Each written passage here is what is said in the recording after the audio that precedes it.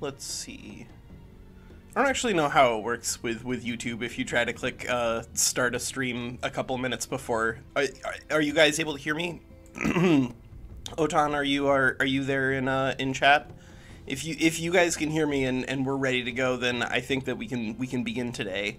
Um, I think if if we're not, and I'm just talking to myself, then that's okay. This will be a fun a fun warm up introduction. You guys will like jump in in a, in a cold open, and I'll be in the middle of a rant about stonemasons. But you know, if you can hear me, great. Um, I'm Walker. Here we are. Okay, ex- excellent. Welcome, Otan. Um, yeah, welcome to we we play games. I'm Walker, and here we are in Age of Wonders 4 with our first single player. I don't know exactly how I'm gonna build these things and like what we're gonna how we're gonna deal with them, but we're gonna do a single player stream today. We're gonna aim to do like an entire game. I think we're going to be able to do that with some like pretty interesting changes to our our uh, map settings and stuff. Um, and then like obviously depending on on how people feel about map settings in the future, we can figure out different things. But I'm I'm vibing with with what we're going to do today, and it's going to be fun because we're going to use a stonemason. So historically, stonemasons have not actually been very good in Age of Wonders 4, and it's for a couple of different reasons. So first, like you might think, all right if I want to get my capital city up and going and growing and building good stuff with with you know infrastructure, then like you want to do a stonemason because that'll get you extra production income. But in reality, the way that that production works in Age of Wonders 4 is that first, a lot of your production for most factions is not going to come from the cities themselves. It's going to come from like farming the map. So anytime you go to a resource node that's defended like a quarry that's defended by uh, enemy troops and you fight there, you're going to get a big bunch of production that's going to be assigned to your closest city. You're also going to get some production from infestation sometimes. Sometimes, if you're lucky, you find one early on, like an ancient wonder, and then you can just funnel tons and tons of production into a city without using the city's infrastructure at all. That's like the first ding against stonemason from a like a meta perspective. The second and I think biggest problem with stonemasons from a meta perspective is that in order to achieve the boost, you had to build two farms. When it came to early game in uh, Age of Wonders 4, it was and remains like very, very, very important to try to figure out how to get an academy down in your capital. In like most of your cities like pretty much as quickly as possible but academies are extremely expensive in terms of their production so you absolutely need the boosts on these. Um, if you're if you're like just building a raw academy uh, something something's not right in your economy over there. But in order to, to build a boosted academy you need two quarries and one forester. So this meant and of, and of course you require a, a research post. So this meant that like in the very beginning of the game there just wasn't a lot of space for most economies to be running a lot of farms um, which of course in order to have a stonemason get boost you need two farms. So that means like you need to do either a flash where you take two tiles that aren't farms turn them over to farms um, and then like turn them back over to something else and hope that you can build the the stonemason in like a two or three turn window with just a lot of production in the city. That's possible if you have a boost that you've like lined up really really carefully by clearing like a you know a fight on the the the overworld or whatever but it's like it's pretty difficult to uh, ensure that you're going to do that. And so typically in order to do this you you had to run like at least one farm and then have like you pick up a farm on a population growth and then immediately switch them both over. That's usually easier to accomplish but that means that you have a lag where you have to run a farm. And in the olden days when um, food was like a meaningfully different when it came to a population growth it didn't really matter that much uh, how many extra like food bonuses you got because you got 40 bonus food from your town hall um, and now town hall 1 only gives you 30 food so the base food that you get for in each in each city is actually lower.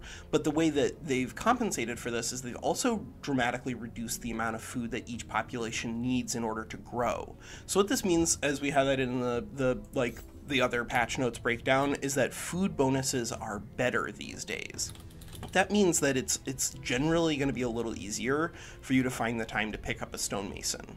Unfortunately for stonemason, that still doesn't fix the the broader broader meta problem with stonemason, which is do you really want to be building production with production because let's do just like a little bit of math, right? If you assume that you do not have the boost, which frankly we honestly should probably not do that because if you're building a stonemason, then I'm hoping that at some point you're going to have the boost. You can get around the gold problem by just like you know floating um, tiles, which we'll we'll show whenever we get to to playing, like switching from one tile to the next.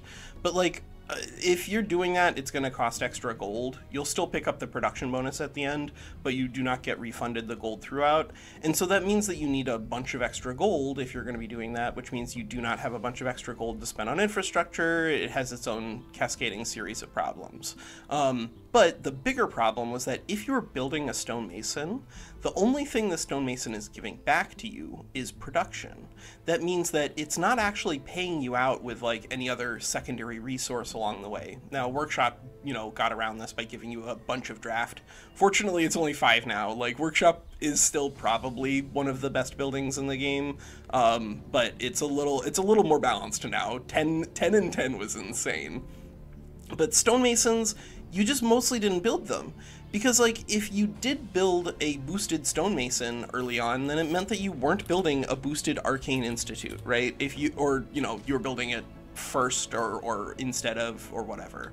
Um, because like generally you you don't have time to build everything before you get to your town hall 2 and then you want to get your town hall 2 online so that way you can get your uh, wizard tower online so that way you can start getting your extra um, your extra Imperium.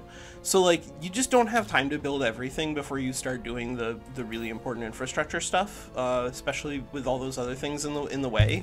And so like you can't just wave your hands and say, all right, well you're just gonna get infinite time for the production to pay itself back with a stonemason, because you just frequently don't have time to build it before you build all of your important things. And then by the end of like building all of your important things, the time that's remaining in the game isn't enough to justify building a stonemason.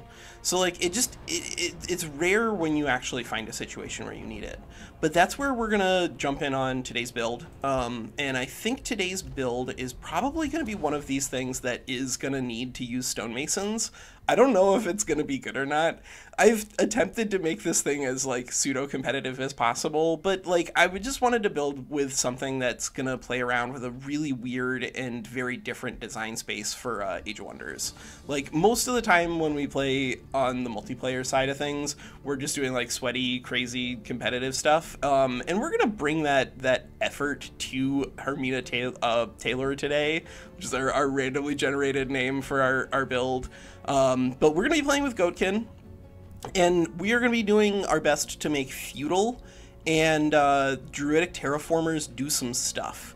So let's let's like talk through the build, the strengths, the weaknesses, ways to nest to like you know make modifications, maybe improve things. So Goatkin here, we're going to be taking tough and we're going to be taking mammoth mounts. I think that generally speaking, you do want to take. Um, I, I think that probably tough and resistant. Where where are you? I think these should be mutually exclusive, the same way that like a lot of the other uh, mounts are mutually exclusive both because of the points but also because of the the mechanics involved with them. I just I think that those two things together are are kind of a problem. You can play around with that on your own if you want, but it is really oppressive.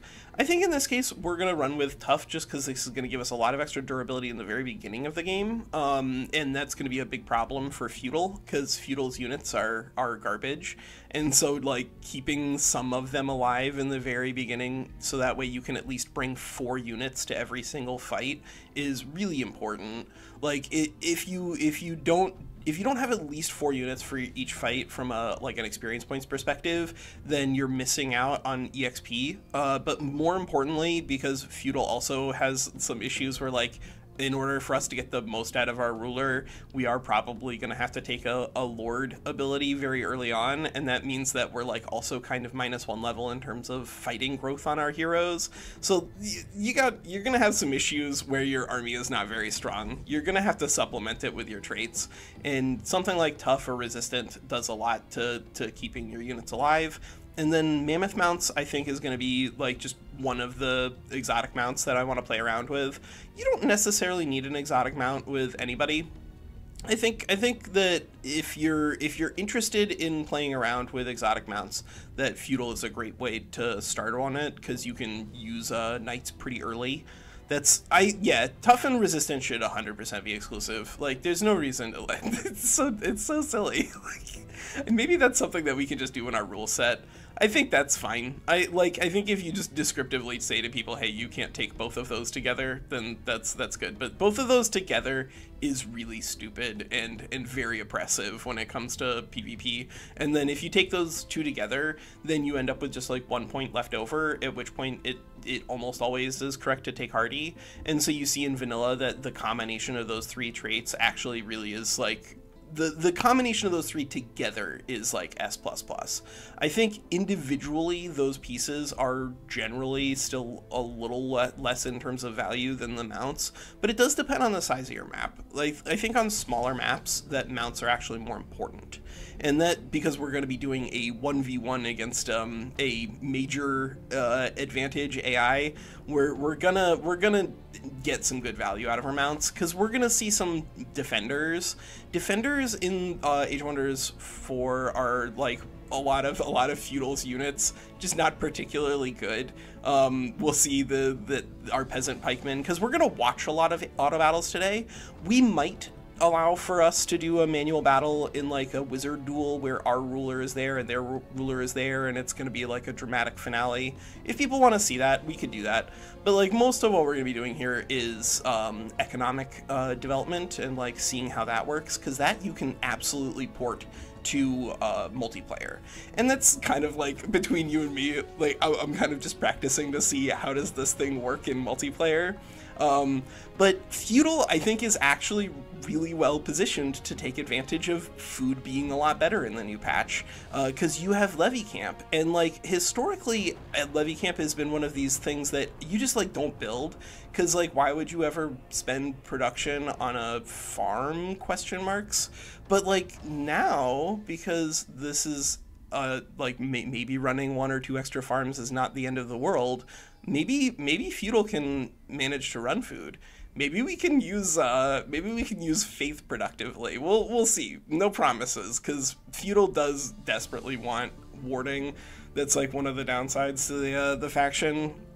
Without without tome of warding you are a lot worse. Uh, and without tome of cryomancy your early game uh, creep is a lot worse. So uh, what are we doing in terms of traits? Well, what we're doing in terms of traits is we're trying to ma maximize like the value that we get out of our feudal. So first in feudal, of course, you have like really low quality units. You're supposed to be able to keep them alive with the steadfast ability, but unfortunately the auto resolve AI doesn't really use steadfast very well.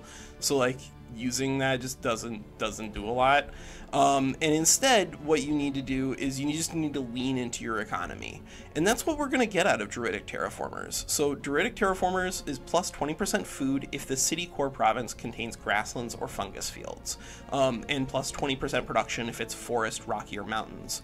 Now, fortunately, a lot of these things are not mutually exclusive. You can have grassland forest, you can have uh, grassland rocky like you can you can get even snow uh, forest that that that happens too but the the first and biggest thing I think you have to lever against Druidic Terraformers is that A, this does not apply to the resources that are coming in from the map.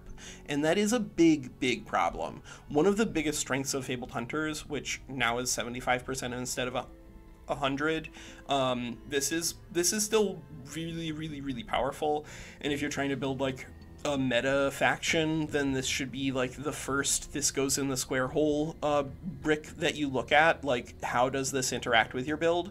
I don't think it's mandatory necessarily because, like, you I think you can have fun and do powerful things with a lot of other stuff. Uh, but this is an amazing baseline, and unfortunately, this really doesn't like hold up in in comparison to the amount of resources it gives you in the beginning of the game when you're doing just like normal stuff. Because when you're doing normal stuff, remember most of your resources are going to be coming initially from that Town Hall 1. Town Hall 1 does not have like plus 400 resources of everything. It's plus 30 food and plus 20 production. 20% on this and 20% on this. That is those are joker numbers. That that means nothing. Get this out of here.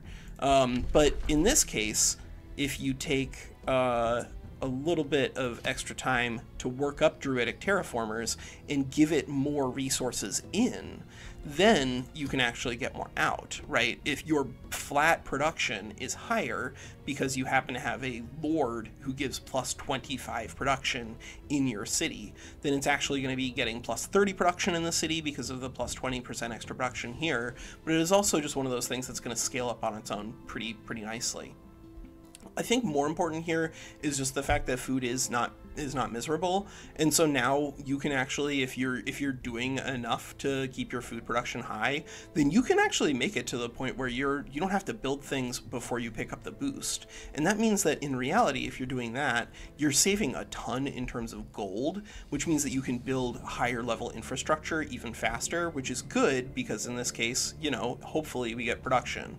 The biggest thing i think you can say about druidic terraformers is that you're not even guaranteed to get food and production in your your uh, capital.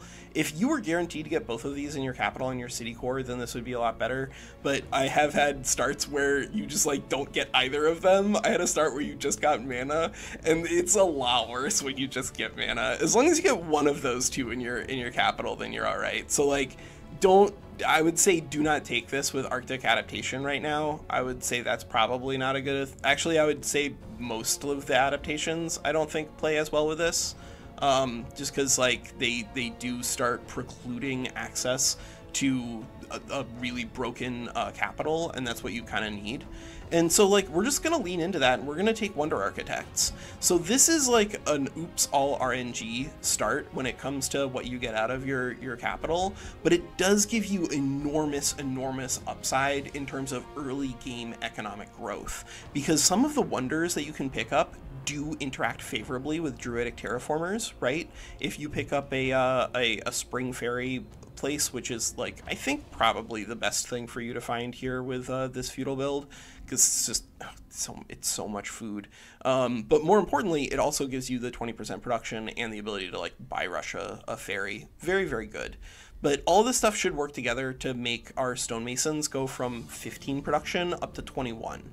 That means that the actual payout in terms of time for them to like justify having been built goes from around 12 turns to only 9.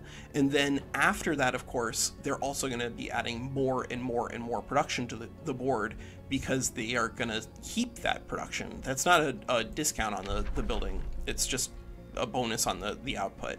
We're going to take Tome of Cryomancy here. Like, I, we won't take this in every single build, I promise, but for things that I think are generically not as powerful, Tome of Cryomancy is a pretty reasonable place to start. It is a little awkward with this particular build because we are going to be playing with Mammoth Mounts. Mammoth Mounts, I think, is just like a, a fun thing that I want to try out. I, I think that getting four extra frost resistance, making it so like your defenders are all of a sudden 50% resistant to, to frost means that there are some fights, like some ancient wonder fights, that go from being difficult to being pretty trivial. Um, and so like that's a, a really nice pickup in terms of just utility. And then, you know, plus 10 hit points across the board for your, your guys is good. But it does mean that your civil war against your free city is a little more difficult with a Tome of Cryomancy on the books. Um, like not the not the best combination of things there, but it does scale really well after the the free city fight because you get an SPI, you get like two uh, nice enchantments, and because we are going to be playing with feudal and a mount, we're of course going to be moving into glades, so having frost arrows is actually really nice. Uh, so the of workforce does work with terraformers. We are probably going to take that. Um, the only downside is that in order for us to take that, we do need to find a lot of mana in order for us to justify it on this build, because we are going to be playing with a champion. Um, I wish that I could play with a Wizard King, but I really do want to play with Crowmaster Bow. I think that this is another one of these like generically powerful things right now that's worth trying out um, for most for most builds just to see how you feel with it on that build because it it just it does so much for you in terms of early game creeping. Getting one extra unit that can tank for you that can absorb retaliation hits for you and can apply blind which is actually like a, a really big deal when it comes to clowning on uh, ranged units. Because like ranged units are generally not that dangerous but uh, like if you if you have a bow they go like a, a crow actually then they go from being like not that dangerous to being like borderline free experience points, which Feudal desperately needs because we're again minus one experience point.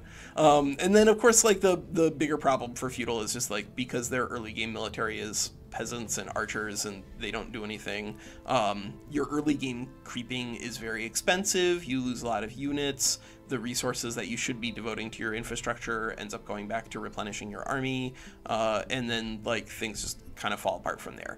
But hopefully we can avoid all that today. Um, that's that's what we're going to be doing. We're going to be running this uh, Hermina Taylor, the blue-blooded goatmen, and see how we do with it. Uh, wait a second. Do I have to do I have to click overwrite? I didn't change anything. I don't think I changed anything. Did I change anything? No, I don't think I changed anything. I think you're just trying to give me a panic attack, Age of Wonders 4. But we're, we're playing with the uh, the champion, not really for the economic bonuses, but because I want to play with Crowmaster Bow. And unfortunately, if you play with a Wizard King um, and you unequip Crowmaster Bow, then you do not have a weapon. And you do actually not have a weapon. There's no other like struggle Pokemon uh, attack. You you do not have a weapon.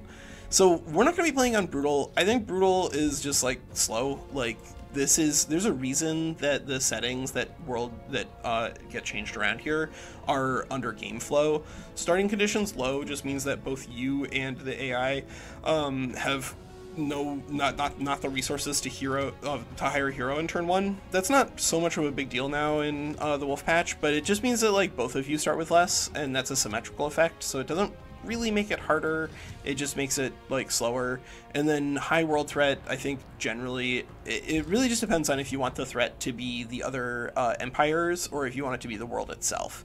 Like the world itself is a lot more threatening on high, but the other empires in the game die to that world a lot more. Um, and you can just like track it in an Excel spreadsheet, and they just like spend like a third of the time in the void on high world threat and I want to fight an enemy AI rather than the world. So we're gonna play on normal, but like we're not gonna we're not gonna leave it as that. We're gonna make the AI the hardest. We're gonna give them a major advantage, and we're gonna give ourselves a minor handicap. Uh, we could play with major handicap, but I want this to be like a, a information that's going to help people play multiplayer. And if you're playing on a major handicap, you have to do very weird stuff um, in order to do in order to do that. We're, we're playing today. We're playing today. I'm, I'm just uh, we're, we're going through the build and and stuff. Oh, PvP. Uh, yeah, we're gonna we're gonna play today. No, we're playing PvP tomorrow and Sunday. Um, today is just going to be single player. It's just going to be us in this this very hard major advantage AI, and we'll play. I think we're doing large. I, I played a little bit on very large, but I want the game to be like over, um, and and like for us to be able to see what feudal can grow into. So we're gonna play with world sealed active, so that way if somehow it becomes a cold war between us and the uh, the AI, we can win through seals. But I don't think that's gonna be a problem I think I think we're gonna kill them, um, but we're gonna try to do it with. Oh yeah, we're gonna do hero resurgence never. Heroes go to owner. Fast. Uh, we're we're gonna leave this on in case people like do want to see a manual combat, because um, I'm not opposed to doing them. I just like I don't think I don't think we should be doing them. I think that if we're doing a, a like a manual combat to save a unit, then you're not playing like with PvP standard um, rules in line. And also, if you if you reload to save a hero, then you're not doing it either, Walker. So that's we're not gonna do that either. We're if if if our for, our hero dies on turn two, then our hero dies on turn two. All right. Uh, yeah, I think this is fine. This is this is this is pretty standard what we're gonna run with, and then we're gonna see um, what feudal can do to actually grow its economy here. This has just been such a strange, a strange build for me. I think the the biggest and weirdest thing about it is the evaluation of like the different starting things. Like here, Shatter Skull Keep is normally like a fantastic pickup um, in terms of good value for you, but it's it is a lot worse than the uh, than the fairies, honestly. And I think I think unfortunately we are gonna have to. So here, what are we looking at, Walker? What are we looking at? Let's let's pause before we start talking about the wonders. Um, so the first thing you should do whenever you load into Age Wonders 4 is go ahead and just like pan out, get a look for like how big your map is. Um, if you are playing on a 1v1, then like you're not gonna have an infinite amount of space we're not going to be planning for like, well, what if we have like six cities? If we get to four cities, uh, I won't be like amazingly surprised, but we'll probably start like not with tons. Snow is like not fantastic, but doesn't preclude uh, food bonus here. Um, so we did get Druidic Terraformers food. We did get Druidic Terraformers ha- uh, hammer and mana. Oh man, we got all three. All right, so th- this is uh this is gonna be a spicy capital. This is like yes, the stuff near near us is not like the highest quality thing in the universe in terms of real value, but that is um that's gonna that's gonna scale really well. That means that everything that we do here in the city is gonna get bonuses basically. Uh, but yeah, just like go ahead, see what the size of your map is. Uh, if you have an underground AI, it'll be smaller. And then start scouting around the edge of the map and see if there's anything under the, the fog nearby that's that's valuable. So uh, you need to start getting used to like spotting the shape of ancient wonders and the shape of windmills to see oh there's a free city here there's a silver wonder there um, and and as I was highlighting here, this is a place where there's a fairy. Fairies are ridiculously important for this build simply because you can rush them out really early with uh, Rally of the Lieges.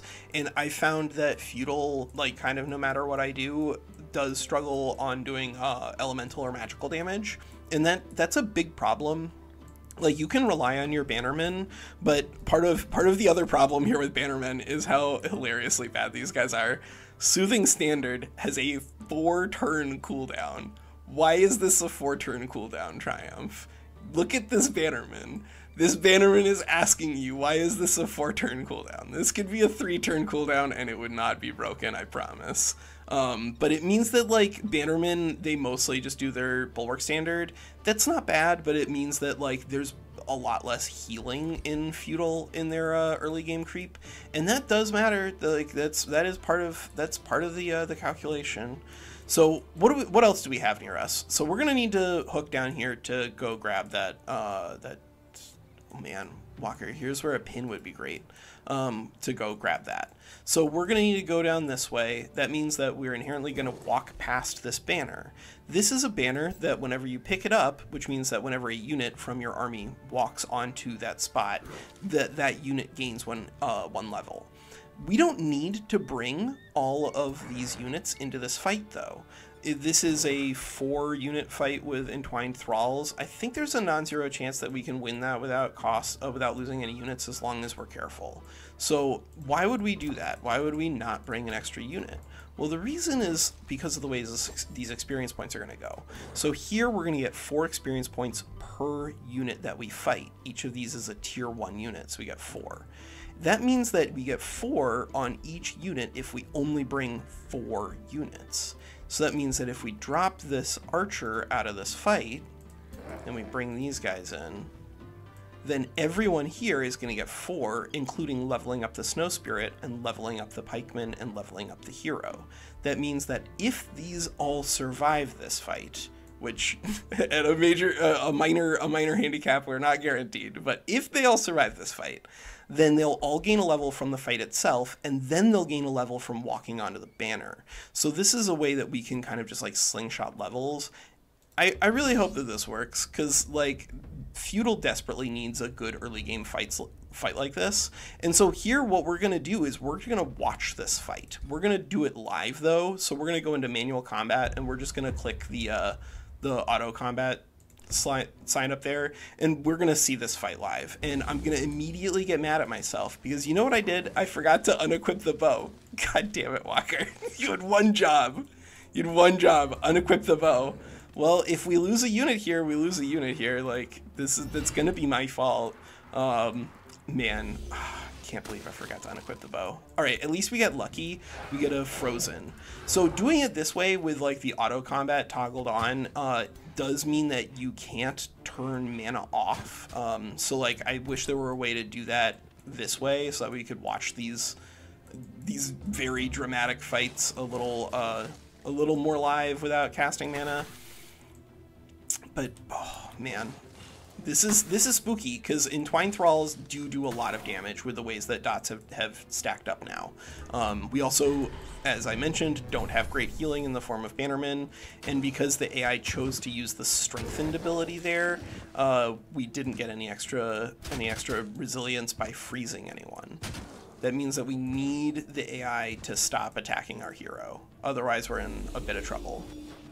Oh no! Like the, the, one of the one of the nice things for feudal is that their bannermen um, do do a lot of damage because they do uh, spirit type, which is just a great type. Um, and that's that's really good for us actually. There that we're reducing these model counts. That's another thing that's going to work to our advantage in this fight. Oh no! Oh no! Snow spirit! You can do it, kid. Believe in yourself. Oh man. I really hope we don't lose that one, because that is a huge piece of scaling for us. But if we do, you know what? We're in Tome of Cryomancy. This is not the last uh, Snow Spirit we're going to see in this game. This is this is the prototype. Oh, oh. the Snow Spirit, it's going to make it. I can't believe it. I can't believe it. This is this is this is the best. All right. Brittany made it. Um, let's rename Brittany. And now, as I mentioned, all of a sudden everyone's level three. So this is this is a really big deal in terms of early game scaling. Um, that's like one of you can choose to delay your your banner. I think choosing to delay it so that way you can do a catapult from two to four is really really effective. But like there, it was very very important that we didn't bring everyone in, into that fight because if we had, we would be way down in terms of of our scaling. All right, so let's see where are we gonna go as I said, we have to go down this way, but this is like really inefficient to walk through forest. Forest has eight movement point cost per turn, um, whereas snow has six. Now, unfortunately, because we did not choose uh, the snow movement um, or adaptation, we don't have the ability to move as quickly on this map as we would otherwise. That's that's okay. Like we'll get over it. We're we have a level three hero that's gonna go a long way to, to helping us out. And I'm gonna unequip the bow the reason being that just like a these are going to be a lot more durable because of the the plus three defense against non-flanking attacks, but B, the ranged AI is just not very good. Um, it does prioritize getting a lot of accuracy, so that way it has guaranteed damage output, which is good. Like, props to it for that. But it does mean that like your your guys are uh, so this game does not have match- matchmaking yet. When to recruit any strategies. So heroes, I think you want to be getting basically the best hero that you can. Um, so that means that you want to try to find a free city to recruit from, I think, or if you find the uh, the silver ancient wonder that you can clear for free, then you want to clear that one because it's not just about like getting uh getting one like one turn earlier or whatever. You want to be able to get heroes that are coming with growth that you didn't in invest time into and that's what you get whenever you re recruit a really high quality hero like the uh, the one that comes from ho hopefully we see it hopefully we see it we, we've seen it in enough pvp that like I, I I, I won't feel like we're owed it from a, a chance perspective. It's just very strong, and I like having it. Um, oh, all right. Can we can we rename Brittany? Or do we need to get to legendary rank? Does anybody know if you can rename units in uh in Age Wonders 4? This is like the the single player experience that I'm sure everyone is here for. Um, all right, let's build a workshop. So it used to be really important to just like wait until you could hire your hero, but of course in this case you can't do that because there's Imperium. So that means if you don't do anything for like the first N turns until you can recruit a hero that's not good, so a, a, good high value hero would be anyone that starts first. You want to look for the ones that start with uh, level three. That's why recruiting from a, a, free city is so good. You just get two free levels, um, and because you know you have to bring at least four units to every single fight in order to guarantee that you're actually getting the most experience points per fight. That that can mean that like starting at level three instead of starting at level one sometimes it's just one banner or not, but sometimes it's actually like you have to get through three fights. And if you have to get through three fights in order for your hero to get to level three, then you're like way behind the other person because the other person's already level four.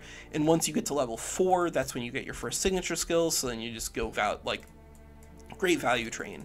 So basically starting at a higher level is is an enormous upgrade in terms of your early game strength um, and uh, you you should prioritize that over most of the other early game stuff the ones that give you important affinities are also really good that is that is yeah those are also really really good the, like if you if you can get extra affinity for materium early or something like that or extra material or extra shadow that can be huge um, yeah, both of those are, are actually really, really, really nice.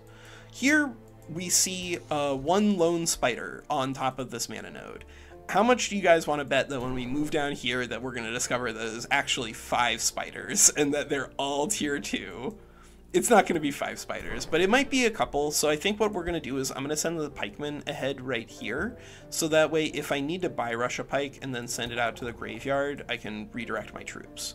All right, so it looks like no. In fact, the um, there's only one tier two spider there, and we have a pretty strong hero. This snow spirit is like at half HP, which means it would almost certainly survive this fight, but it's also getting higher and, and higher in terms of value, right? The the first eight experience points or whatever maybe we were guaranteed to to lose one or two snow spirits but the the, the stronger this things get the more uh, hp it has and then whenever it gets to champion it's going to evolve into a snow spirit. And so that means that like as you get more and more experience on them you need to be more careful with which fights you're taking them to um, which means that we can't actually get four units into this fight unless we buy rush our pikemen. But by buy rushing the pikemen, we actually can get that into range, which means now we can have four four units at this fight and still still allow our snow spirit to to heal it off and not you know potentially get thrown away in a an auto resolve. And because we have the uh, the frost weapons here, this is one of the the other nice advantages of playing with cryomancy is like any anything that gives you uh, an elemental damage weapon, um, like evocation and pyromancy as well. Those are just really great for level two heroes in terms of their damage output. Just really really great because against any unit that has a higher defense than resistance, which is going to be most units other than support units then you're just doing more damage, uh, unless you're, you know, specifically being resisted. Like, they're not as good against the undead, but that's that's a problem for later. Here, I think probably we can get away with turning the mana off. There are going to be some fights where, like, you want to be able to use the mana no matter what. And this one, because we're the only unit that's been damaged and we have a support unit, I and we have a another um, a bird. I think this will probably be okay. I think this will be okay. It was. we have three HP. It was okay, Walker. Hmm. Hmm. All right. Well, that's that's not great because it means that now our hero does need to take a little bit of time to uh time to heal. Hmm. Well, that's okay. That that that gives uh the hero time to think about what it's done um, and the snow spirit time to think about where it's gonna go. But we made it through that fight and we got a bunch of mana. And that means that now I think we can have a pretty easy time summoning some more uh, snow spirits once this guy comes down. And because we did find a Horn of Plenty there, the Tailor is probably only going to need maybe one turn healing off. This is if if this were just a better a better support unit, Bannerman, then uh, I think we could we could definitely do only one turn. But we'll see. We'll see. All right in the meantime, um, if you see an infestation, this one's not going to matter as much because Haunted Graveyard is not like a particularly high level, so it doesn't have a huge area that it's controlling. But if you see an infestation, they uh, will spawn with like pickups and stuff inside their territory that are free to pick up um, that would normally have units guarding them. So you can go in there and find a large creature cage and get a like a level two unit really, really early on, and that can make a big deal whenever it comes to, you know, not almost dying. If we had died there, it would have it would have been annoying because it would have delayed our snow spirit. But we don't have anything that we're casting right now, so like it kind of doesn't waste any uh, any world map casting. So if you're if you're gonna die, do it early. Um, let's see. I think this this archer probably is going to end up exploring into the underground. So you want to like as I said, you just you don't want to bring every single unit to every single fight, but you do want to typically try to have enough to prevent taking that much damage in a fight. Um, just so that way you don't have to do what we're about to do here, which is maybe even spend Imperium to grab a tile. So you have somewhere to heal that's closer to the front. That can't be good. That can't be good value. So generally, you you just like really do not want to be clicking attract population. Um, this what it does for you is it gives you food here in this little ticker. Um, that's okay I, on the surface, except that now you can just get a lot of food from other stuff, and that's uh, that's generally a lot more productive when it comes to sustainable growth. Let's see. Yeah, you go here and then you'll have 30, 43 HP. Yeah, 43 HP is enough to fight a, a haunted graveyard. That's fine. So yeah, we had to take one turn off in order to heal. Or no, uh, and then we'll be level 4 after that fight, probably. Oh, there we go. All right, so this is a high level, uh, a high value hero. That's a Lost Queen's Crypt, um, and it, it under the uh, the earth out here, we're gonna find a tier a level one hero with like 15 levels of equipment that also has the Whiteborn ability, so that way it has a uh, lifesteal. And the combination of all those things means that this hero is incredibly, incredibly strong. And getting it onto the field is going to be a huge upgrade in terms of our military. So now, whereas like we did have this path to go down here to pick up the fairy, I think we do need to go now. Our new path needs to go pick up the Lost Queen's crypt, then probably conquer Triway, and then uh, take the uh, there it is. Take the the fairies, because like that's that's just going to become a, a much more profitable path, and that's the value of of scouting. Like being able to see stuff is pretty important.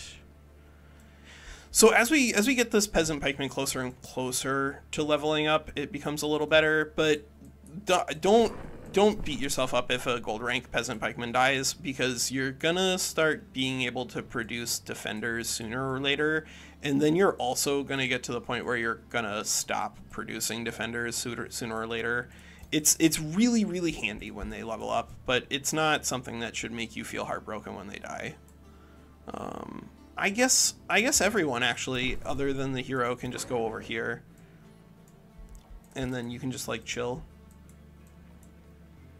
Okay, yeah, that's fine.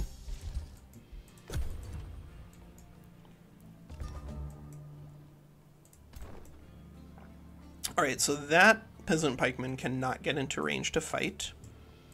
Oh, but they could if we do this.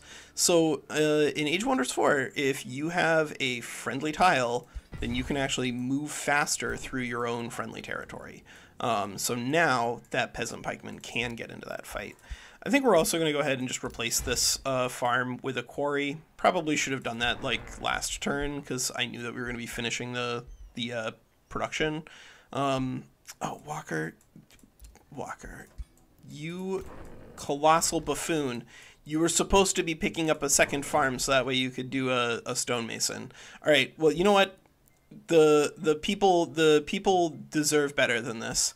But just so that way you don't have to re-roll. We're, we are gonna spend uh, influence or Imperium on that, but you don't really want to be doing that. Like you'd much rather just be like being playing better. you'd much rather just play better. um, but anyway, we are gonna we are gonna get a stonemason down immediately, and the reason being is that this stonemason is not producing 15 production per turn. It's producing 21 because of the the wonder architects here and the uh, the good roll on our druidic terraformers, and this is gonna make this thing a lot faster in terms of paying itself off because it's gonna finish, and then we actually could immediately slingshot into Town Hall 2 into found into Wizard Tower Foundation. I think we need to build a library first, but like getting getting this thing online is going to get us to pretty insane high levels of uh production. Yeah, stone stonemasons are not good usually, but but here I think I think we're going to see uh, fingers crossed I think we're going to see that stonemasons are going to work it here because we are going to do that and then we're immediately going to switch both of these into quarries. So we're not going to we're not going to do stonemasons the slow way with like farms for the remainder of the game. Um, but now we've we've set this up. We've acquired the boost. Our production cost won't go up um, when these switch out if it's being finished. So this will finish, and then it'll immediately switch into do quarries, which means we'll immediately have two quarries, a forester, and a, a Shatterskull uh, keep. So we have our academy right there, um, and that's that's great. That's that's fantastic. I love it.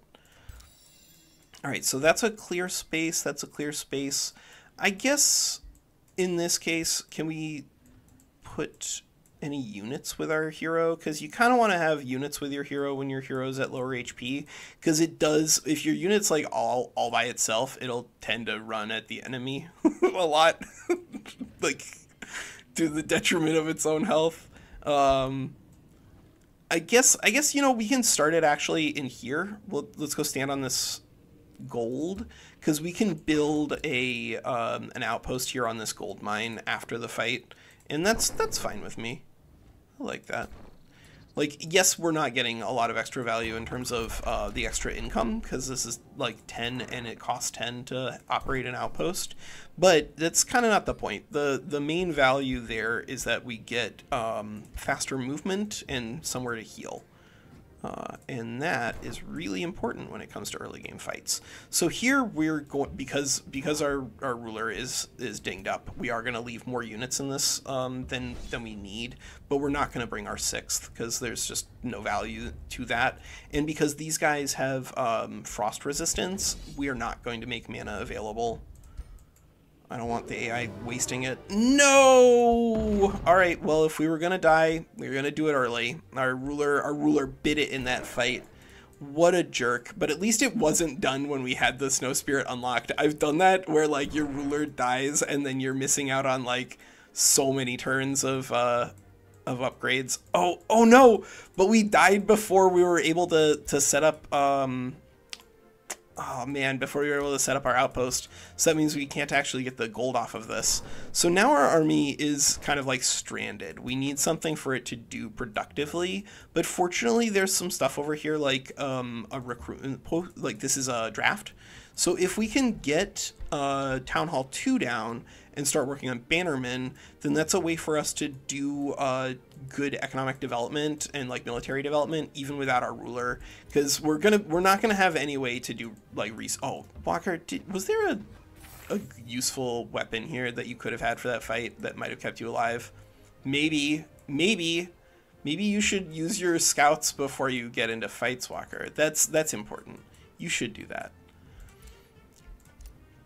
All right uh let's see Let's go here. Let's go here. All right, so the Spring of Youth does indeed exist, and this looks like really high quality land. So that's good. Like, I think this can make for a natural city one, two, and then three. And then I think that should be enough for us to, to fight, like, whatever the AI is doing over there.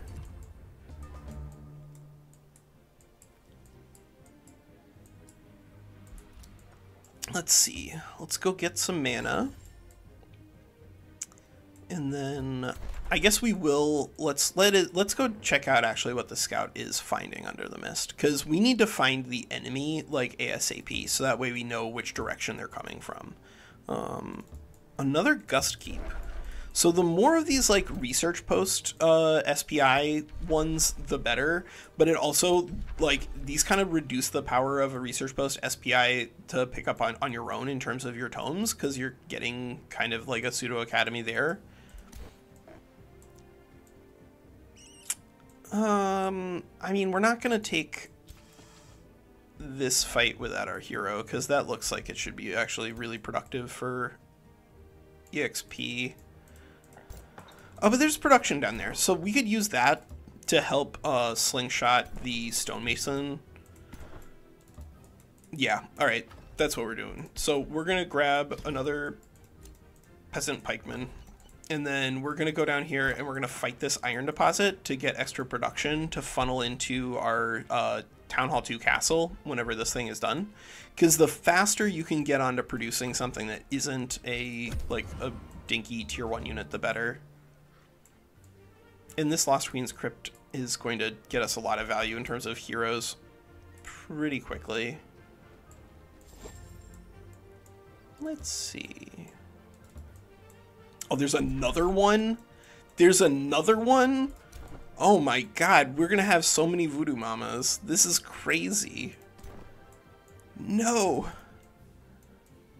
I, I mean, I guess we we have enough population growth that I'm not worried about losing them to uh to sacrificing them here. So what this is going to do, assuming that it's not the one that requires you to fight it, which unfortunately there are some that require you to fight it. I can't tell the difference between them. They look the same to me, um, but when you fight when you fight them, you you still get good value. But when you don't have to fight them, you just sacrifice one population, and then you get uh, like just a really really great really great hero, really great hero. All right, let's go here. Um, and we're, we're going to clump the units together as much as possible if they have to fight without a hero around because the more clumped they are the more supported they'll be uh, in terms of the, their behaviors. They will actually try to they'll try to help each other out if they're being flanked. They won't always be successful but they will try. Oh you jerk! You Triway! Oh oh my god Triway is just like, all right, here's what we're gonna do. We're gonna now we're gonna take this gold, and I think we're gonna end up declaring war on Triway. We're gonna now now we're gonna take this this crypt first, and then we'll declare on Triway. But that's that's it. They took they took our production. How dare they? Uh, yeah, yeah. Let's go here.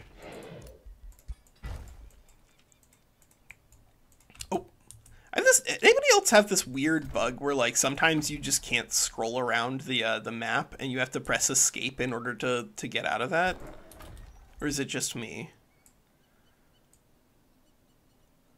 All right, so we have two quarries. We can pick up a second forester without it being harmful here. Um, and we could use it actually as a way to link up to Triway, which that's fine with me.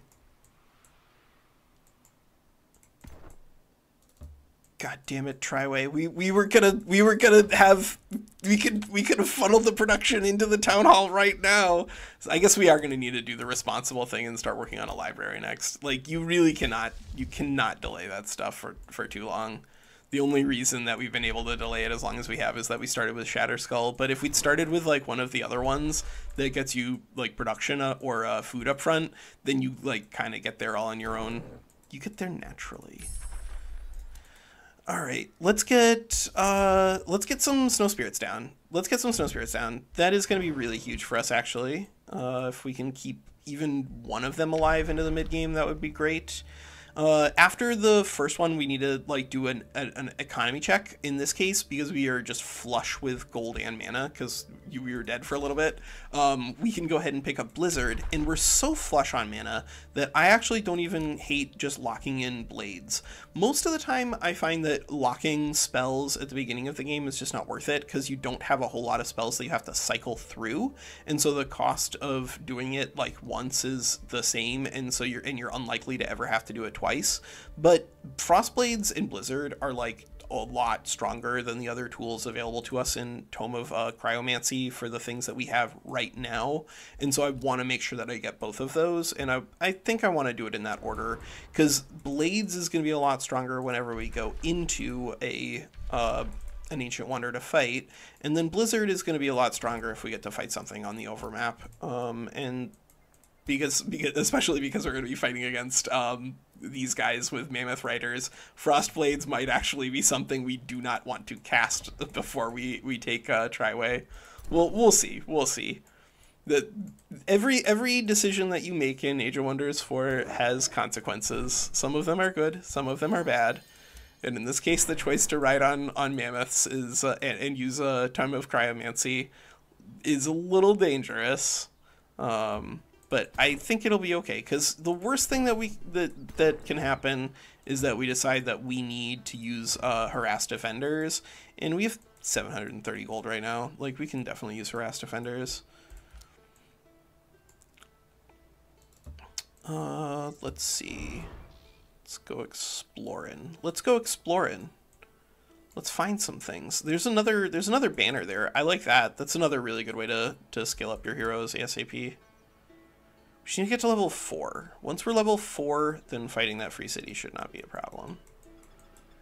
Um, but in order to get to level four, you do have to get into a fight and not die. That is expert analysis, Walker. Thank you. Actually, Blizzard into a, a large monster den can be a really big deal in terms of getting value.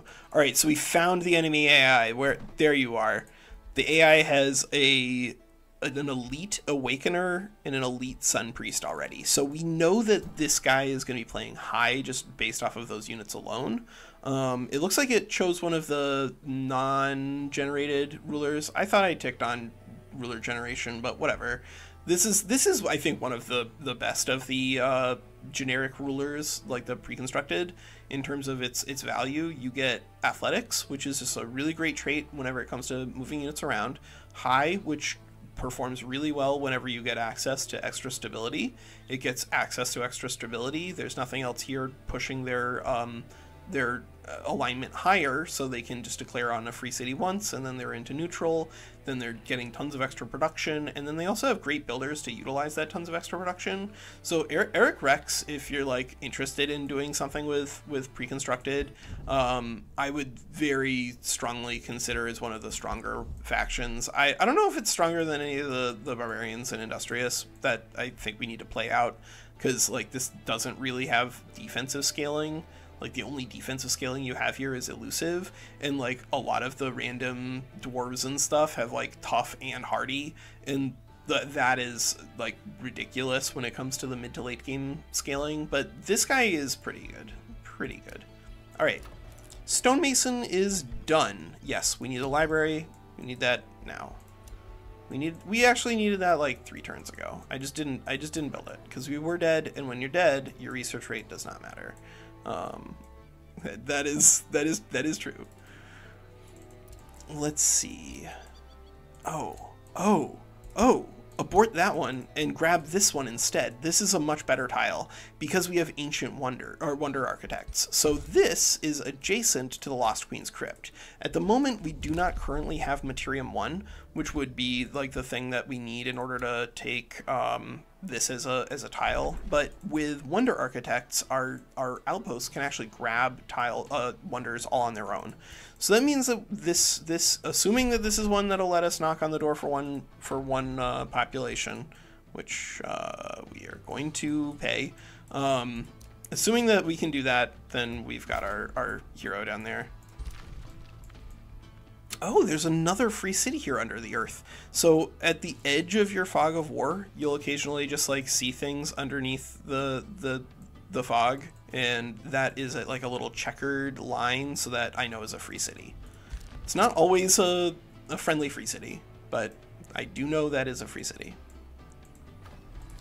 And we actually might be growing our we'll see if we grow our population fast enough to do this but what i want to do is pretty soon after town hall 2 i want us to do a town hall 3 and the reason being is that your draft is sort of like it it's flexible. It can go from one spot to a next to the next. You don't want to be spending it building peasant pikemen. Um, these things, yes, they do eventually evolve into defenders, but they're really, really bad in combat. And then defenders are like okay, but they're really not that good at damage output. And unfortunately, I do think we are going to need to take Tome of Warding. It, it is so much better for feudal um, than not having it. Tell the difference based on the name of the province that has the ancient wonder. Um, that's the Lost Queen's Crypt. I like the the art is the same. The art is the same. The name might be different. I don't know. Walker, do you ever read anything that you're clicking on? No, no, you don't have to read it. Just feel it with vibes. Just feel it with vibes. All right. Uh, wow, we are just gonna have so much gold that it's crazy. So yeah, I think as soon as we can build a Town Hall 3 there, we will. And then and then we might even need to build a an early blacksmith. All right, that looks like a sun shrine to me. So I would bet you anything that that's their capital, which means that this uh this large distance put them maybe like five or six turns away from our capital. So I think what we're going to want to do is probably institute a rule where we are only allowed to uh, siege their capital if we have 18 units coming in, just that way we're like required to fight them if we if we want to do uh, like long term things like this on smaller maps. Because I I actually really do enjoy doing the, these like small weapon tests just to see what what is possible. Um, but if people want to do like a long, big single player thing, then we can do that too. It just kind of depends on, on what people want to do with, with single player streams. For now, we are going to let this scout get completely devoured. And, uh, you know, in, in, PvP, you could delete your hero or your unit there to deny people experience points. But I think that's mostly unsportsmanlike, so I don't do it. and I'm lazy, so I'm also not going to do that. Um, but yeah, now we're going to work on the Town Hall too. And are you... Yes. All right. So we want to make sure that we will recruit our hero here. And the way we can do that is if we go in and increase our hero cap, now we have a hero cap of 2, which means that when we accept this character, instead of adding it to um, like our our pool, which we would then have to recruit out from our, our uh, capital, we can now recruit immediately here we can recruit Moldy the Inspiring. And yes, Moldy the Inspiring is only level 1, but I promise that is not a big deal. Because let's see what Moldy the Inspiring comes with. We have Tier 3, Tier 2, Tier 2, Tier 3, Tier 2, Tier 2. Alright, cool. So we started with a big dumb staff. Um, this is something that's like kind of annoying about the this hero that you can get, but you can fix that pretty easily if you find a different weapon. Um, some of the stabs are really, really good, but this one, because it, it provides like no value in terms of, of us, we are not going to be doing a lot of raising undead here. I'd much, much rather have uh, Moldy the Inspiring just use a brutal great hammer. And Walker, did you seriously? Your your ruler died because you couldn't you couldn't you couldn't bother giving them a weapon, and then when you got a weapon after you died, and then you just didn't give your hero you're a monster, Walker. You're an absolute monster. Why are you doing this? Yo, what's up, Winsaya? How's it going? Our uh, our our ruler got a was level three on turn one, and is level three right now.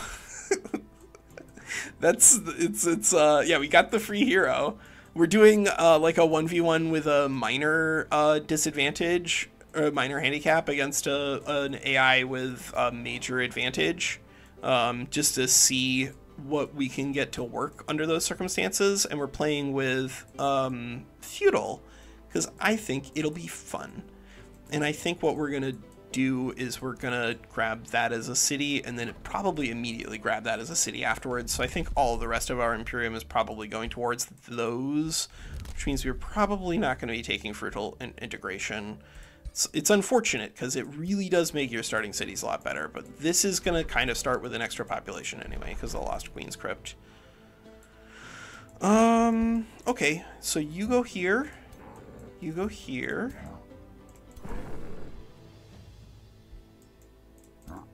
Now this thing does have an insta kill, which is pretty annoying. Um, and so like bringing evolutionary units into those circumstances is pretty dangerous. But unfortunately, we even with with Blizzard, we're not strong enough to fight a large monster den right now. Uh, I think if both of those heroes were level four, uh, I think that it it could be worth risking. But the way it stands right now, not worth it. But there is an Archon blood down here. It's not crazy far away. Oh, thank God. Uh, people need to see this, Winsaya. This is this is the real science. You've you've found the the secret hideous the hideous truth. Uh, and now the world has to know. I guess I guess we're God, are we just gonna fight this and then immediately go here and then come back? Because here, here's a problem for us. So here's Archon Blood, and here's Astral Dew. So that means if we find Tranquility Pool anywhere, then we have Cosmoflux Elixir. Um, but the further that we keep going, oh, but if we just keep going east, then like once we're already here, then we could just go get the Gust Keep, and then we're all the way over here, and then we could go get the Cursed Barrows, and then like 20 turns have gone, and this the Spring of Youth is still just sitting here doing nothing, watching us. But unfortunately, I think that that new path is is probably stronger because uh, over here, I don't see a, this might be Archon Blood here. That could be it. Does that look like Archon Blood to you? That looks like Archon Blood to me. So maybe that's okay. But like the the value you get out of an ancient wonder isn't just in clearing it or isn't isn't just in, in occupying it, it's in clearing it. You get like this giant reward, and the reward here is knowledge, and the reward here is knowledge, and the reward here is stability. This is dumb, or morale for your units. This is not good. Um, and because we're we're spec to be able to fight uh, the winter fairies, and this is not the winter fairies, I think this is going to be a harder fight than it needs to be in comparison to this. So yeah, all right. Sometimes the important decisions that you make in Age of Wonders 4 are like to stick to your plan, and sometimes it's to not stick to your plan. And I think in this case, not sticking to our plan is going to be better. Let's go. Uh, let's go get an Archon Blood. But considering that we're not going to be coming back to Triway for a while, let's go conquer that first. Um, yeah, I think that's fair. And we'll grab those guys for the gold. And that's good. That's good. Yeah, we need to take this fight. Alright. I guess you two get kicked out. Yeah, you two get kicked out. No, I think we can only bring four, because I think we do need to get this guy up to, to level... We need to get this guy up to level four immediately. It's ridiculous. How are you still... Why are you still here? Why are you still here? yeah, I don't care as much about leveling up a a defender if we're about if we're working on Town Hall 2 right now. I don't really care about growing a defender. We're about to be able to make a bunch of them. And I suppose that we take this fight with four, and then if we lose the Snow Spirit, because we, we might, um, then we can still turn it in... Oh my god. 278 production. But Town Hall 3, do you does Town Hall 3 require just 5 for for actually building it? Cuz if it does, then we legitimately might start building it here. Um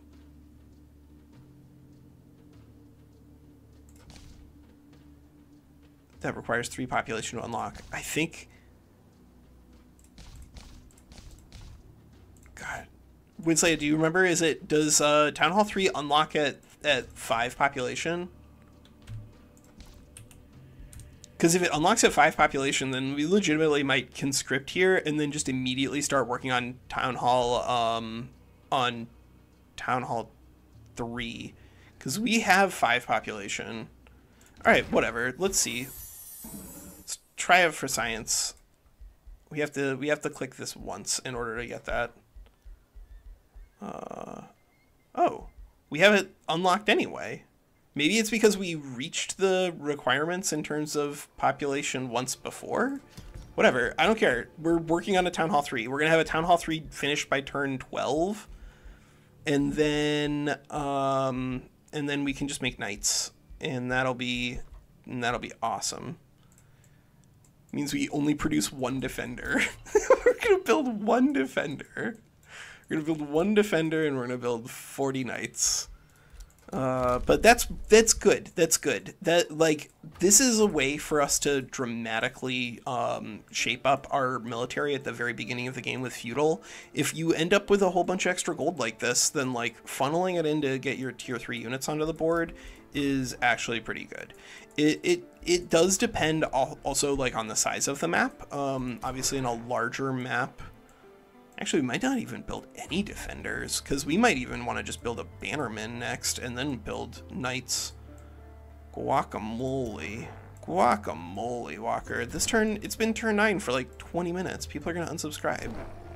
Unsubscribe if it's been my turn for 20 minutes while I've been talking about guacamole. Um, I guess that's three, that's five. Uh, yeah, alright, you get out of here. I don't think these two are going to participate in these fights. I think it's going to be this crew, if that. Um, it might legitimately... Yeah, I guess Dusk Hunters do actually do really well against pole arms. So yeah, it's gonna be no pole arms. We're just gonna us and us and some supports and some uh and some snow spirits, and we should get there. So yeah, let's go find our our free city. And you guys are all at full HP, so I don't see any reason you can't go there.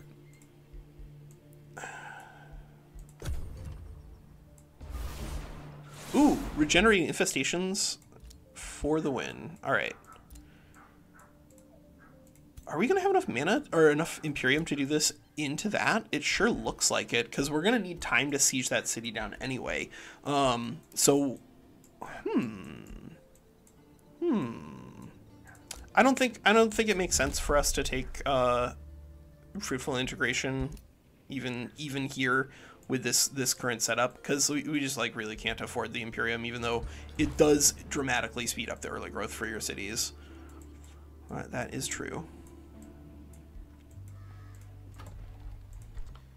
352 gold to finish our, our Town Hall 3. Fucker, if you buy rush that, people are going to make fun of you. Um, let's go here. Let's go here. Is this is this enough front line? So right now, our front line is actually like a lot better than their front line. Um, we have, oh, oh, rad. We have a we have a power attack. All right, yeah. This this should be a pretty this should should be a pretty easy cleanup with no losses, Walker. He says with confidence, and then loses half of his army.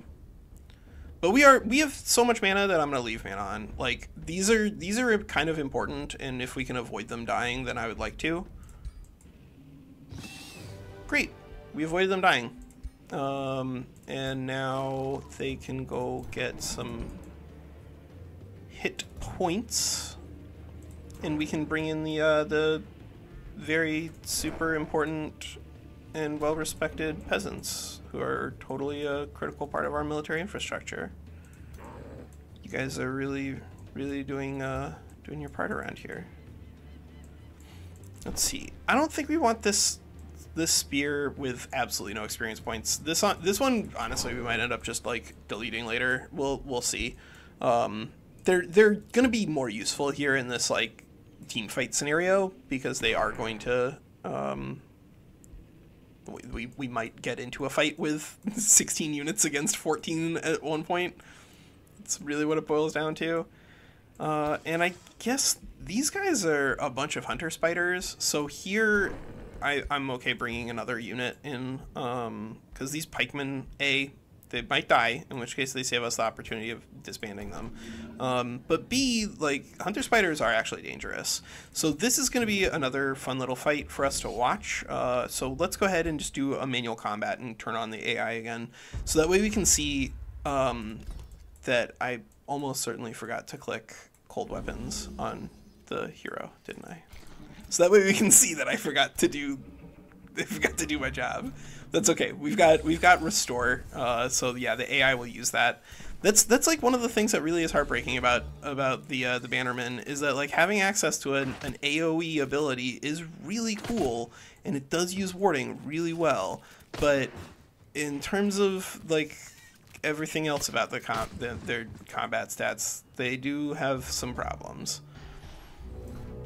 All right, so let's see. The AI decides that strengthening their peasants was the right thing to do, and then moving them in. All right, all right. I see what you're doing.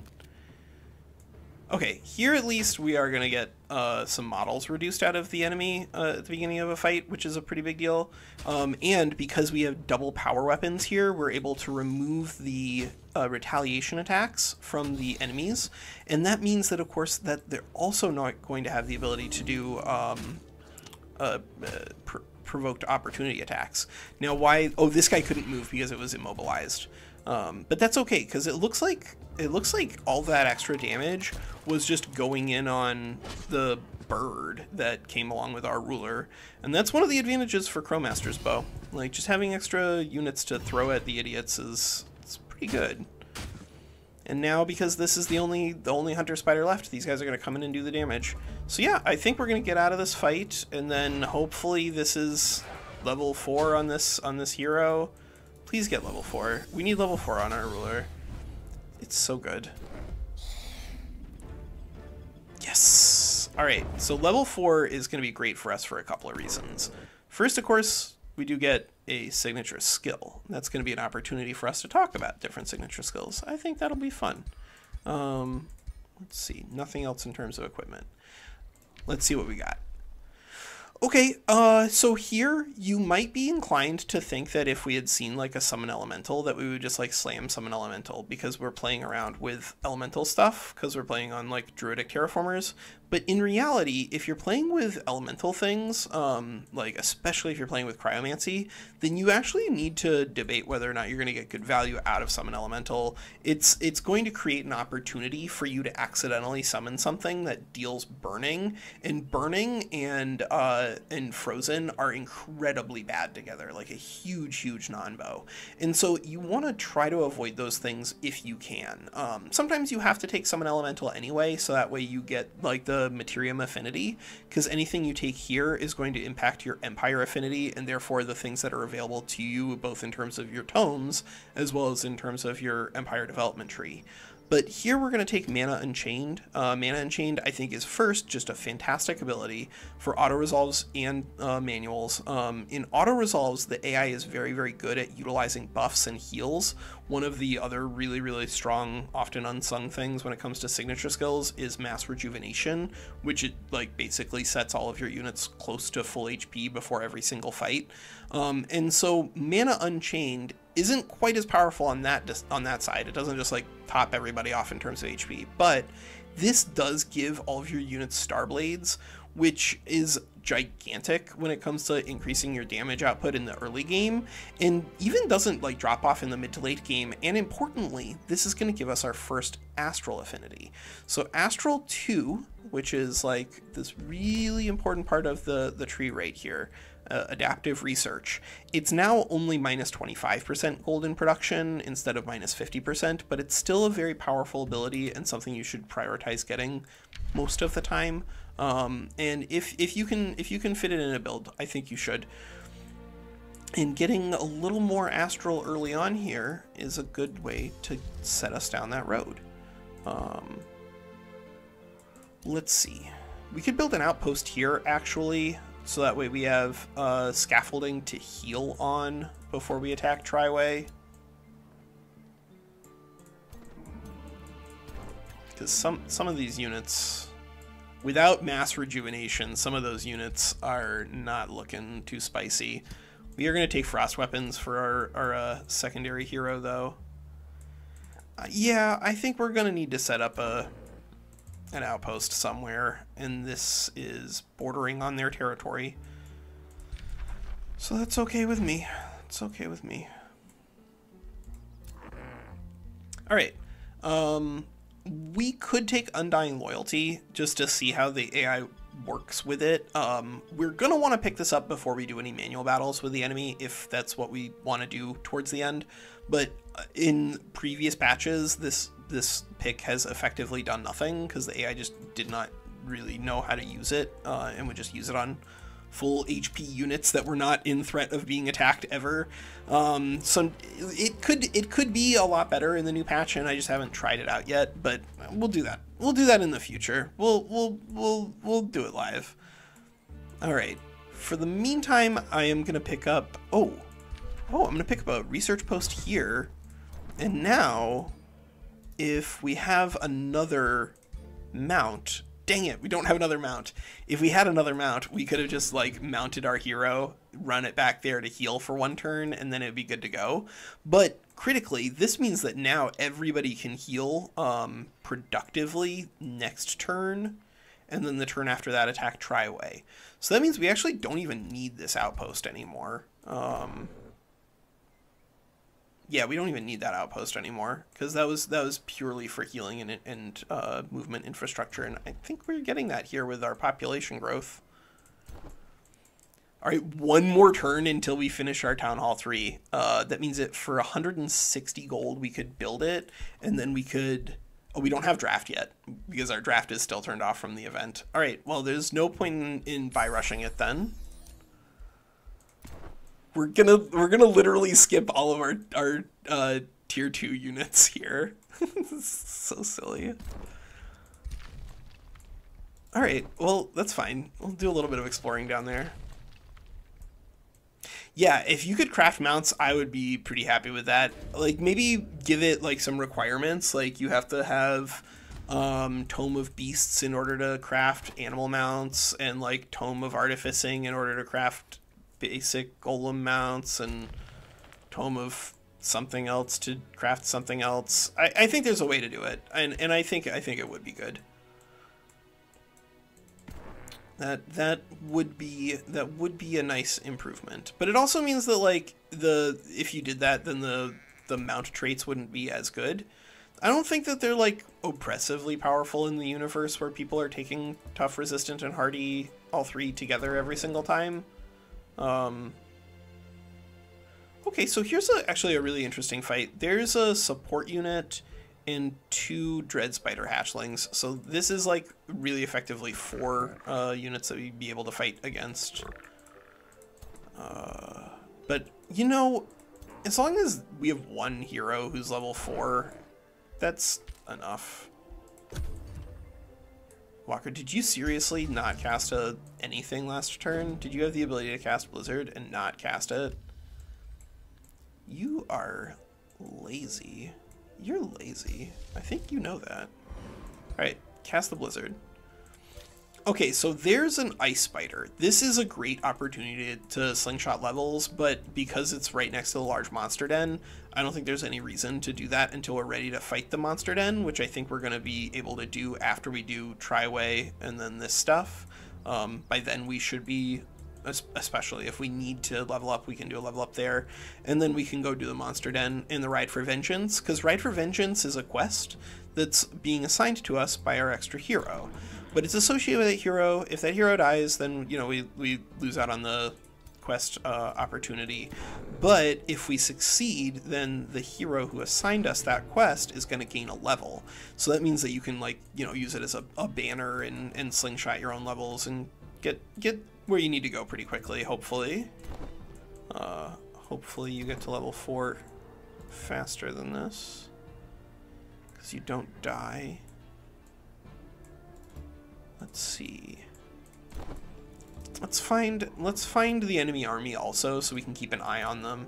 Oh, oh, sure. All right. So we have uh, a rally of leashes and we can take a corrupt soul, which we like yes, we don't have Oh, Oh, we actually do have some undead synergy because we have that uh, the undead staff. That's interesting. Um, we're not going to bother building Brewer Ogre because I think we're going to get enough. Uh, maybe one Brewer. Nah. Eh, eh, eh, chat, do you guys want me to recruit a Brewer or not? We're definitely recruiting a Corrupt Soul here. So Corrupt Soul, tier 3, even without anything else that's like actively supporting it, I don't really care. We have much more than enough gold to bring another unit in. And this is a, a pretty solid, like, just frontline fighter type thing. A Brewer Ogre is a little different in that it does give you access to another way to um, freeze people through Frigid Belch which interacts re really favorably with Blizzard, but it also means that like this is an effect that we are going to have a lot of already uh, if we can get enough of our snow spirits to stick. And even if we can't, we, we're going to have some snow stuff going on, so like I don't feel like we necessarily need this in order to get good value here, but it is cheap. You wanna you wanna see it? All right, let's get it.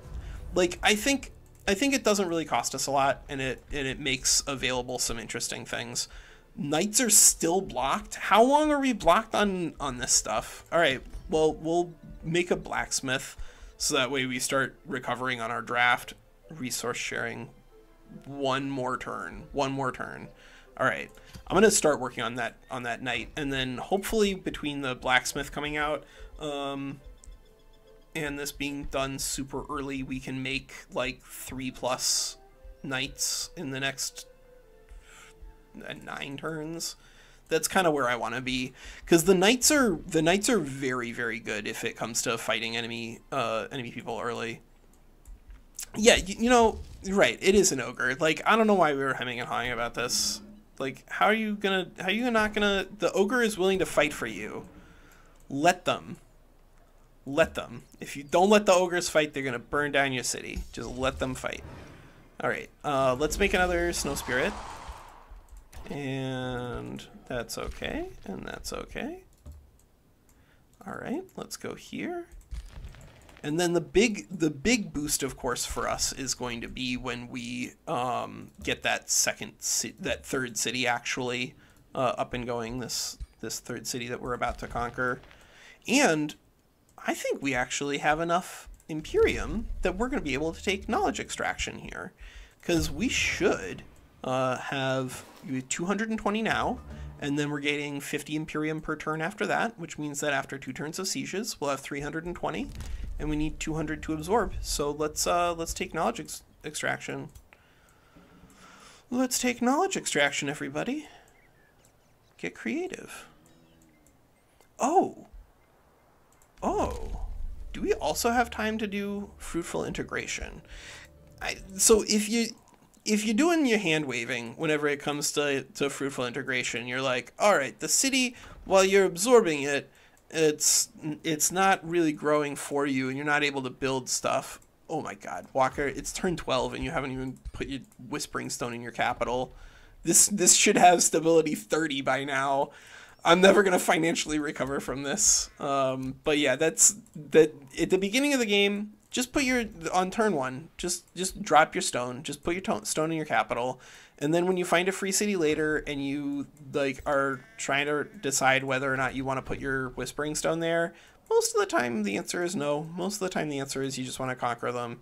But if if it's something that you're having like an agonizing fight with your yourself about you can like deal with it once you get to that point but just like leaving it in the side it like in the sideboard in case you find a free city is not worth it. Because some you usually don't. And then having like 30 extra stability here would be like 10 extra production per turn um, which that's that's not nothing. That is not nothing.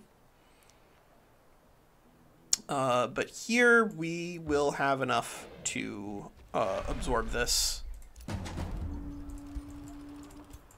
and we are fighting against one support and three archers. We're we have to conquer this city just so that way the other people can't. One support and three archers.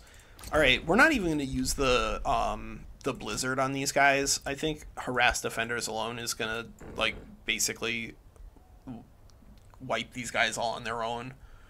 partially because bannermen are bad. Um, at least until you get Tome of Warding. Uh, but we will we will get that for ourselves in just a moment. I guess let's see how far out do you reinforce? You reinforce out to there. Reinforce out to here.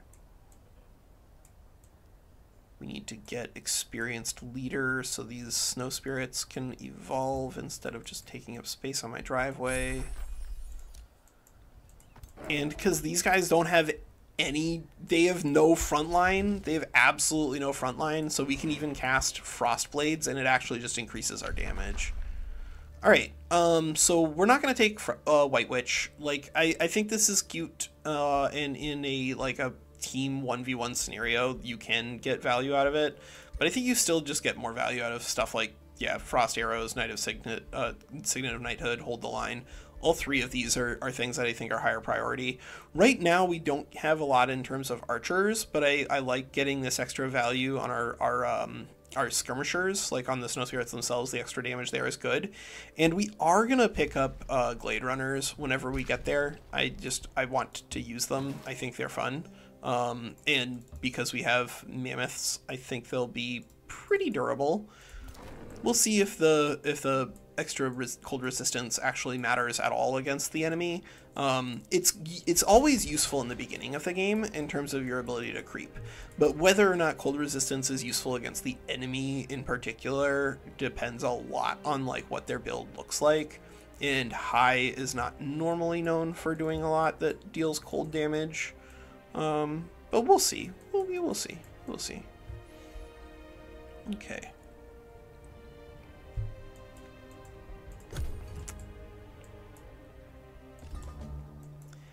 Abbeyvale, Helden. All right, so our, our units are down and hot off the presses. This means that we can probably just like not bring any of our really low EXP snow spirits because they'll probably just die and I'd rather save the mana. Uh, Abbeyvale is finished though and we can build a workshop here.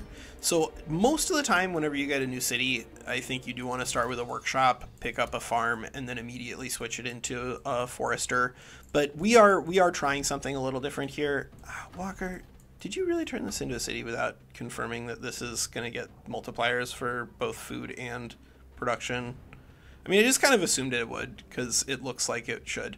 Um, but it does, and that those are the only ones that really matter. Like if we made that the capital, it still wouldn't have gotten the mana. So yeah, th- there wasn't really a better place for Abbeyvale to go. That's okay. That's this is good enough. Um, we will make, I think, one more peasant pikeman there,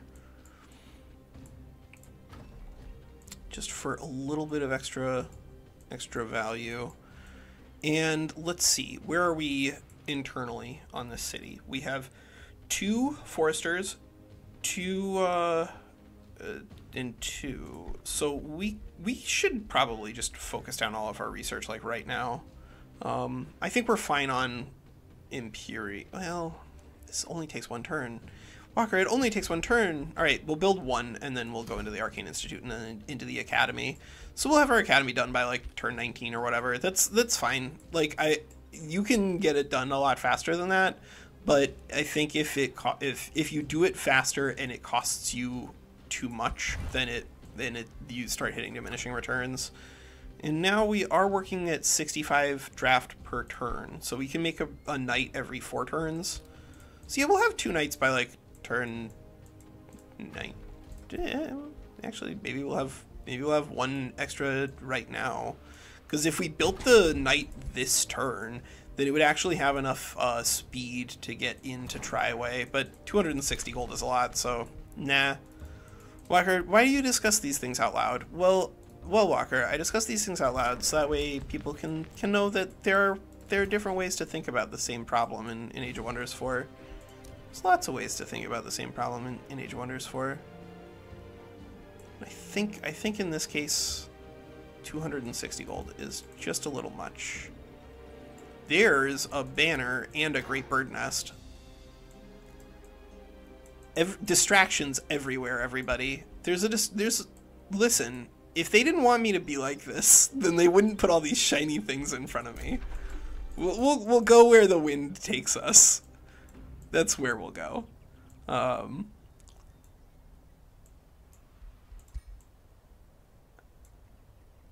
pay for faster doot. Pay for faster doot. Zero, I I gotta tell you, I I do you do you mean like um, rush by the tower here? I think that's pretty reasonable. Um, I don't think you would want to rush by this knight here though, even after like discussing it, because a I don't think this fight is going to be very difficult. Um, I think we we got the breach here. We also have like maybe even a brewer ogre that we don't even bring to the fight because we don't probably need it. So we have like a corrupt soul, we have a hero and another hero. Oh, the the rally. Nah, we're not gonna we're not gonna muster the rally here at 150. I think if we had taken so Spring of Youth, if you start with uh, Wonder Architects and you um, start with a Spring of Youth near you, then you should actually probably shave some time off of this because being able to get like a, especially a Winter Fairy or an Autumn Fairy down very early with with basically any army is just an enormous upgrade in terms of your damage output. Um, they're they're really really good early on. They're sort of like what Mage Heroes wishes they were. Um, and and they they can be very terrifying. Um, but if you don't literally get the the fairies, then I don't I don't think you should be rushing um, the rally very often. Like I, I outside of that, most of the rally stuff that you get is fine whenever you get it.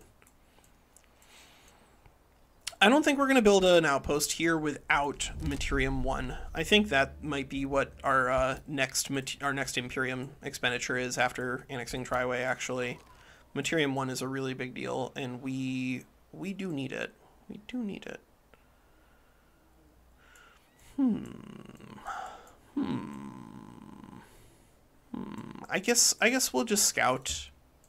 I want to get a little bit of vision, and I don't think we need every single um, snow spirit that is not going to be involved in this fight, just standing around the outside of the city. Alright, so you go here, you go here.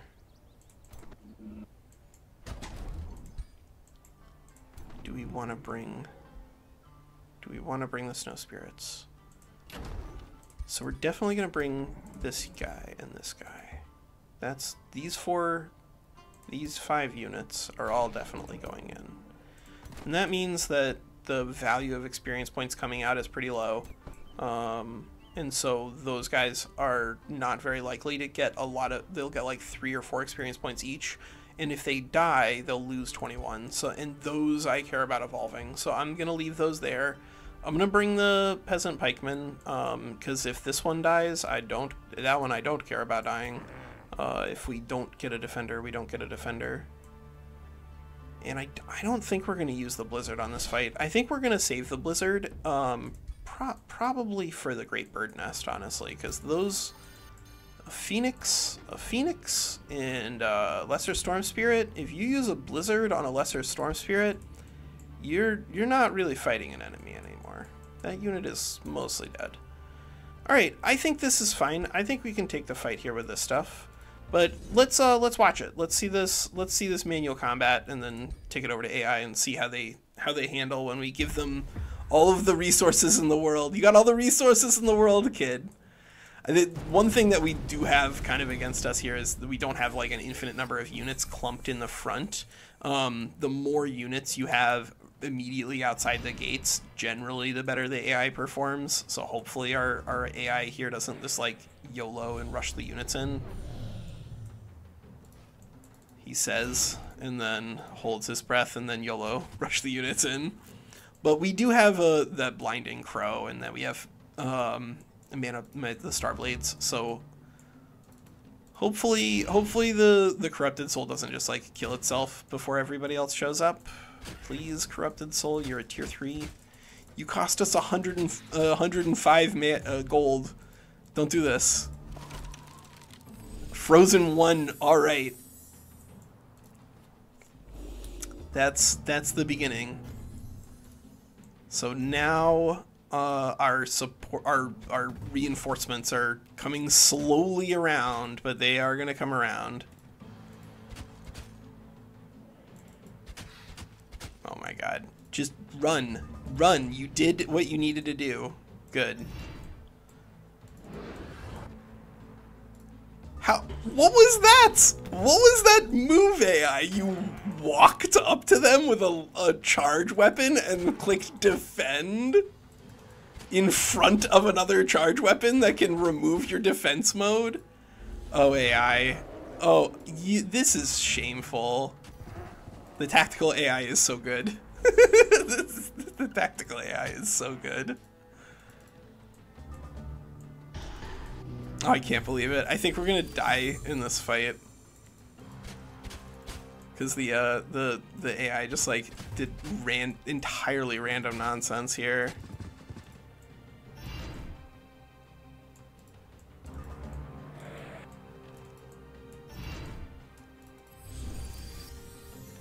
You need to you need to you need to get the tactical AI to understand pathing also like a little bit better than this because it's just like randomly doing like absurd nonsense.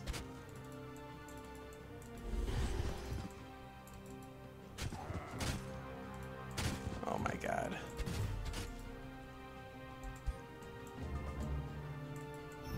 Can you do it? Can you do it? Level 2 hero? I mean, you do have you do have Whiteborn, so like it is gonna heal a lot. Um, but the fact that our corrupted souls just like walked straight up the gullet and and just got are like just torn apart by ranged fire is is gonna be a big deal. No, you have to kill the units. Just kill them. Stop letting them get bolstered defense. I think everyone is gonna die in this fight except for Moldy the Inspiring. I think that's I think that's the the plan.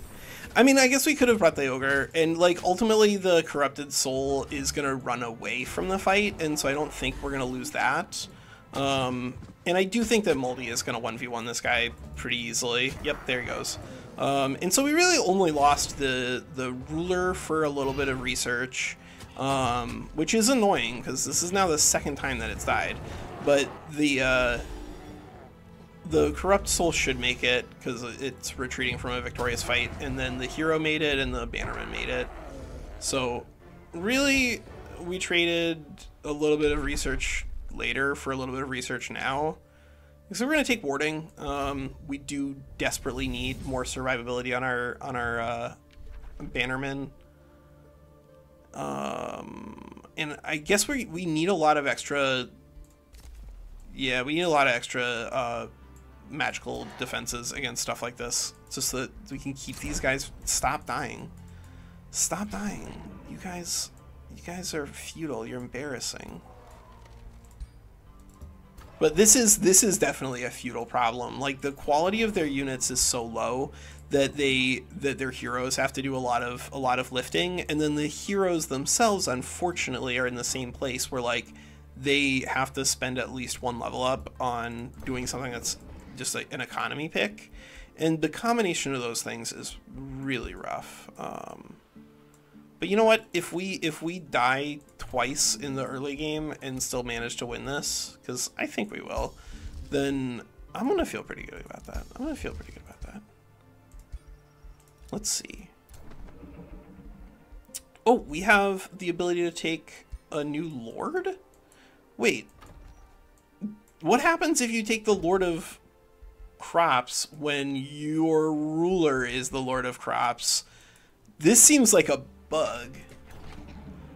But um, you know, I'm gonna try it, and then we'll see what happens to our our uh, our lord. Because if our if both of our cities can get the Lord of Crops going, then that that would be pretty nice. That would be pretty nice. I wouldn't mind having a second city where we could make uh, our our knights. We have a level 4 hero here. We could try, if we had a bunch of mana, we could try to save it up to, to get that guy on the field. But given that we don't have tons and tons of mana, I'm not going to worry about it. Um, frost heroes. Let's see.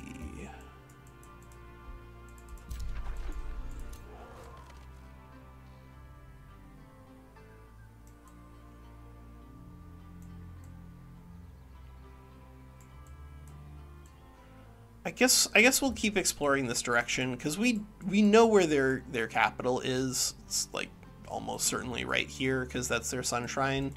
Um, but I think just being able to see the rest of the board, like if there are any important uh, ancient wonders for us to to pick up, will be really helpful.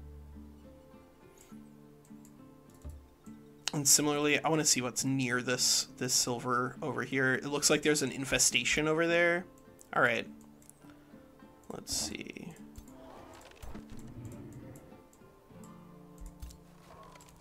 That that fight also could have potentially been uh, a lot easier if we'd put all of the units on the the force that was attacking the front first. But it's hard to know because the AI is really, really unpredictable when it comes to how it does stupid stuff in in uh, tactical combat. There's no oh there is mana there. All right so there's mana here. We could we could definitely use banking some mana at this point um, because we are going to be picking up more mana cost pretty significantly soon. Um, and this is i think that's a fine opportunity to get moldy the inspiring doing stuff. Chaos eater instead of brutal. Great hammer. So this is 12 non-physical and this is almost entirely non-physical. And this gives us an elemental slayer. Uh, what is this? Ignores status resistance. So this is a really high chance of doing slowed. But i don't really care about that. Whereas this this looks like it does a lot of damage. We killed we killed that stupid ruler and we took their we took their sword. That's what we did. And it only cost us our, our hero taking a second visit to the uh, the realm of eternity or whatever does anybody here know like a lot about the uh, the lore for Age of Wonders 4?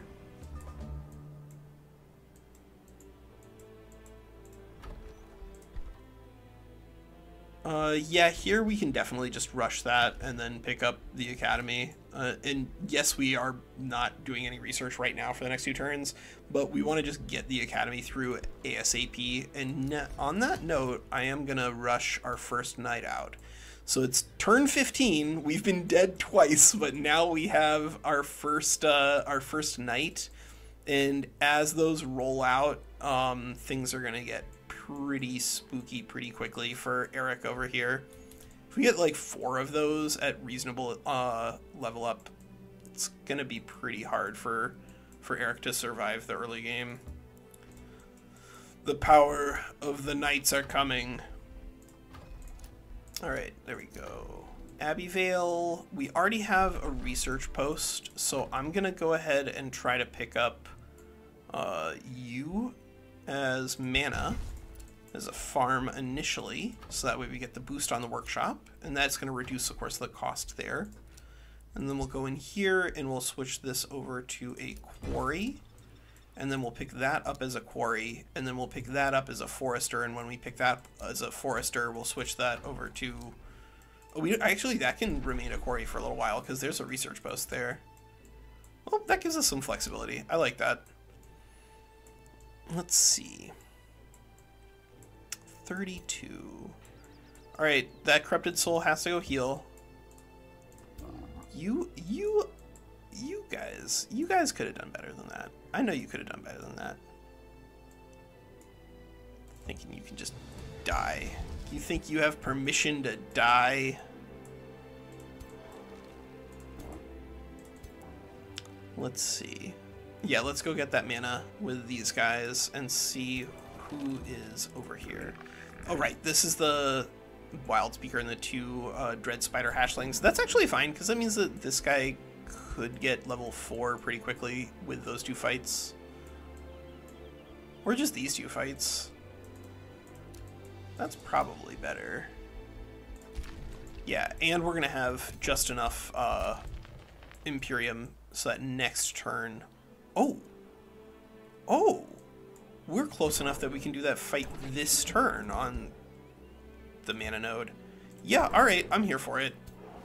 Like, I... This is probably.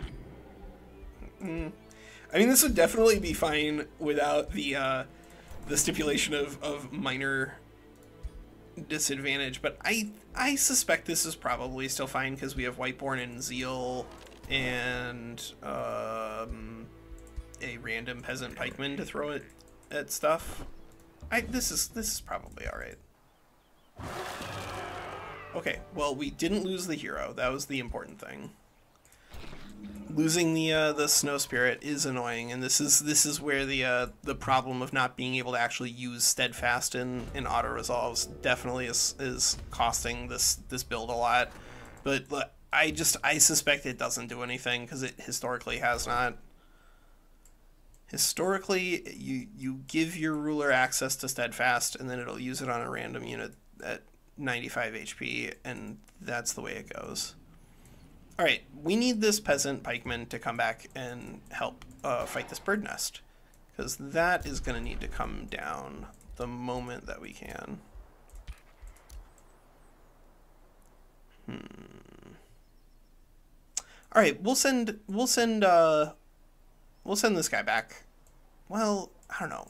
Like we kind of don't want to bring.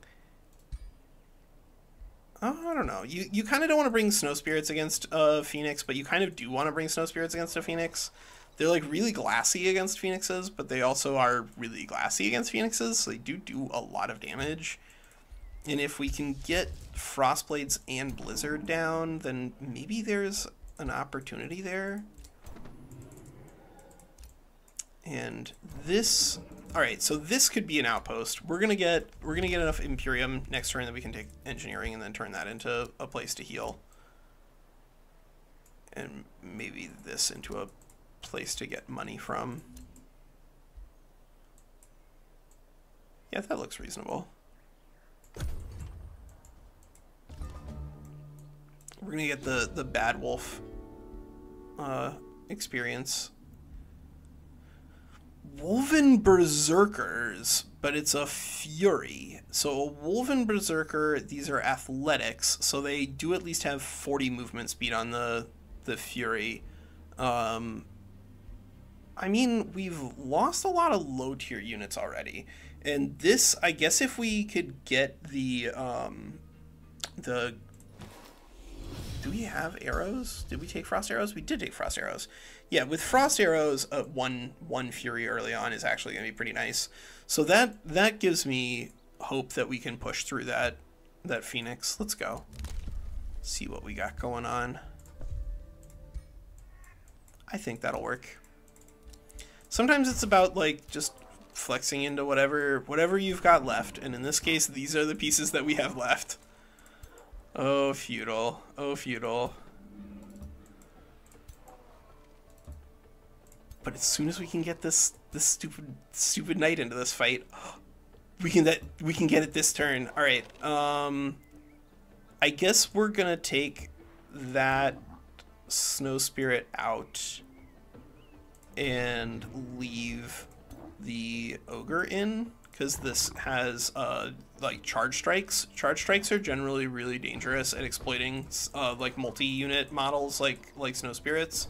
They're really really good at, at just grinding down their, your damage output, and so knowing like okay, and then in that case we probably want to bring a, a brewer ogre to provide some some good value.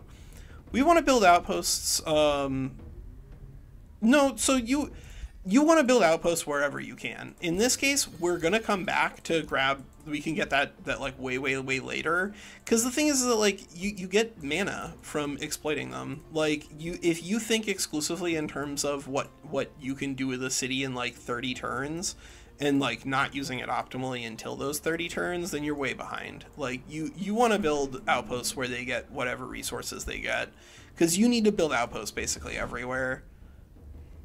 Uh, all right, I think this is probably going to be enough out of Moldy.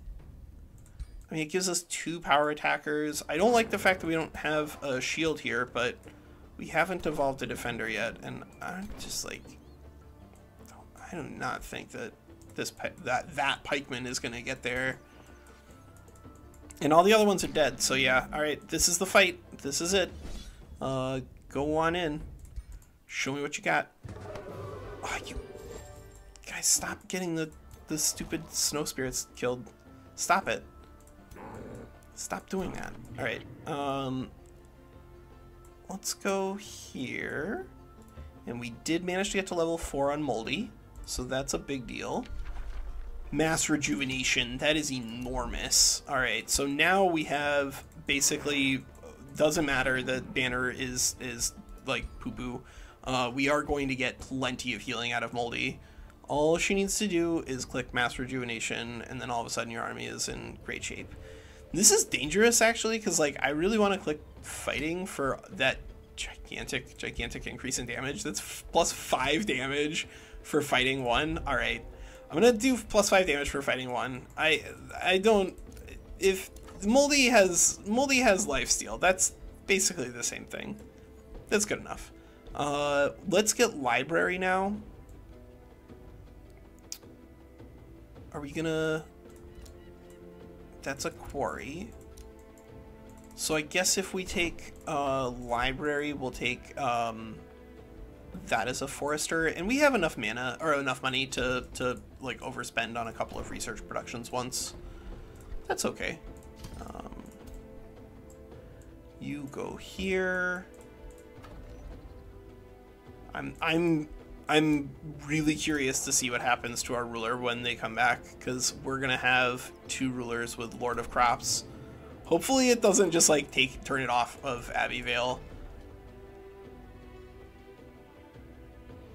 But this is Lord of Crops plus 25.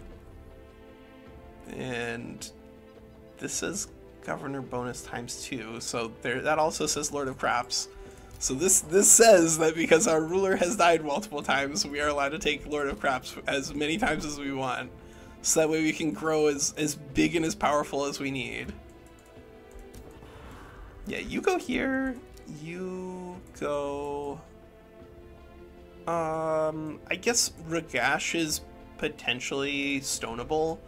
Like this is this is a big enough city on kind of like the other side of the world, and we have another city that we want to put right here. So we could potentially just vassalize those guys. And honestly, a little bit of extra stability is not going to make a big difference in that city. Our stability is going to be much better once we're not dead. Um, I think that's fine. Yeah, let's go.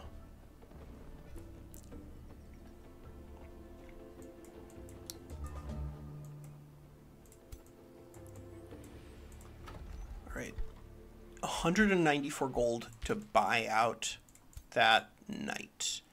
I think we'll buy out that knight next turn. I think that's fine. So yeah, let's uh let's see. If we fight the banner first, are we going to be able to? So if we can fight the banner and get the uh, the level up off of that before fighting the, the Great Bird Nest and come in at level six instead of level four, that'll be a really big upgrade because we're really kind of again only at level three instead of level four because we were minus one level for the uh, Lord of Crops. I think I think this is fine. I think we'll go down here. We'll help them clear out this stuff, and then grab the Great Bird Nest. And that means that like those things that are kind of right here right now, maybe we save? No. No, we want to we want to we want to get value. We want to get value. Yeah. Yeah, we need to get value. That's being absorbed in one turn. Okay. You go here. Oh, we can get down our frost blades and considering that we do actually have a fury we do not want to just sit on um, two unit enchantments like using our our spaces and we have a blizzard queued up as well I would be casting more um, snow spirits here except that we don't have anyone with experienced leader just yet and so we kind of don't get as much out of getting them down as early as quickly as possible and we'll do you as a forester. Ooh, all right. There's a haste berry. And here's actually a really nice space for a tome or for a school of cryomancy, honestly. So yeah, Abbey Vale, it's a little cramped on space over here, and we're gonna need to help it out by removing that large monster den. But for now, it looks like a pretty reasonable uh, second city to turn on. How close can you get? Can you get two turns to get within combat range? Bro, are you kidding me? Are you kidding me right now? Are you for real, though?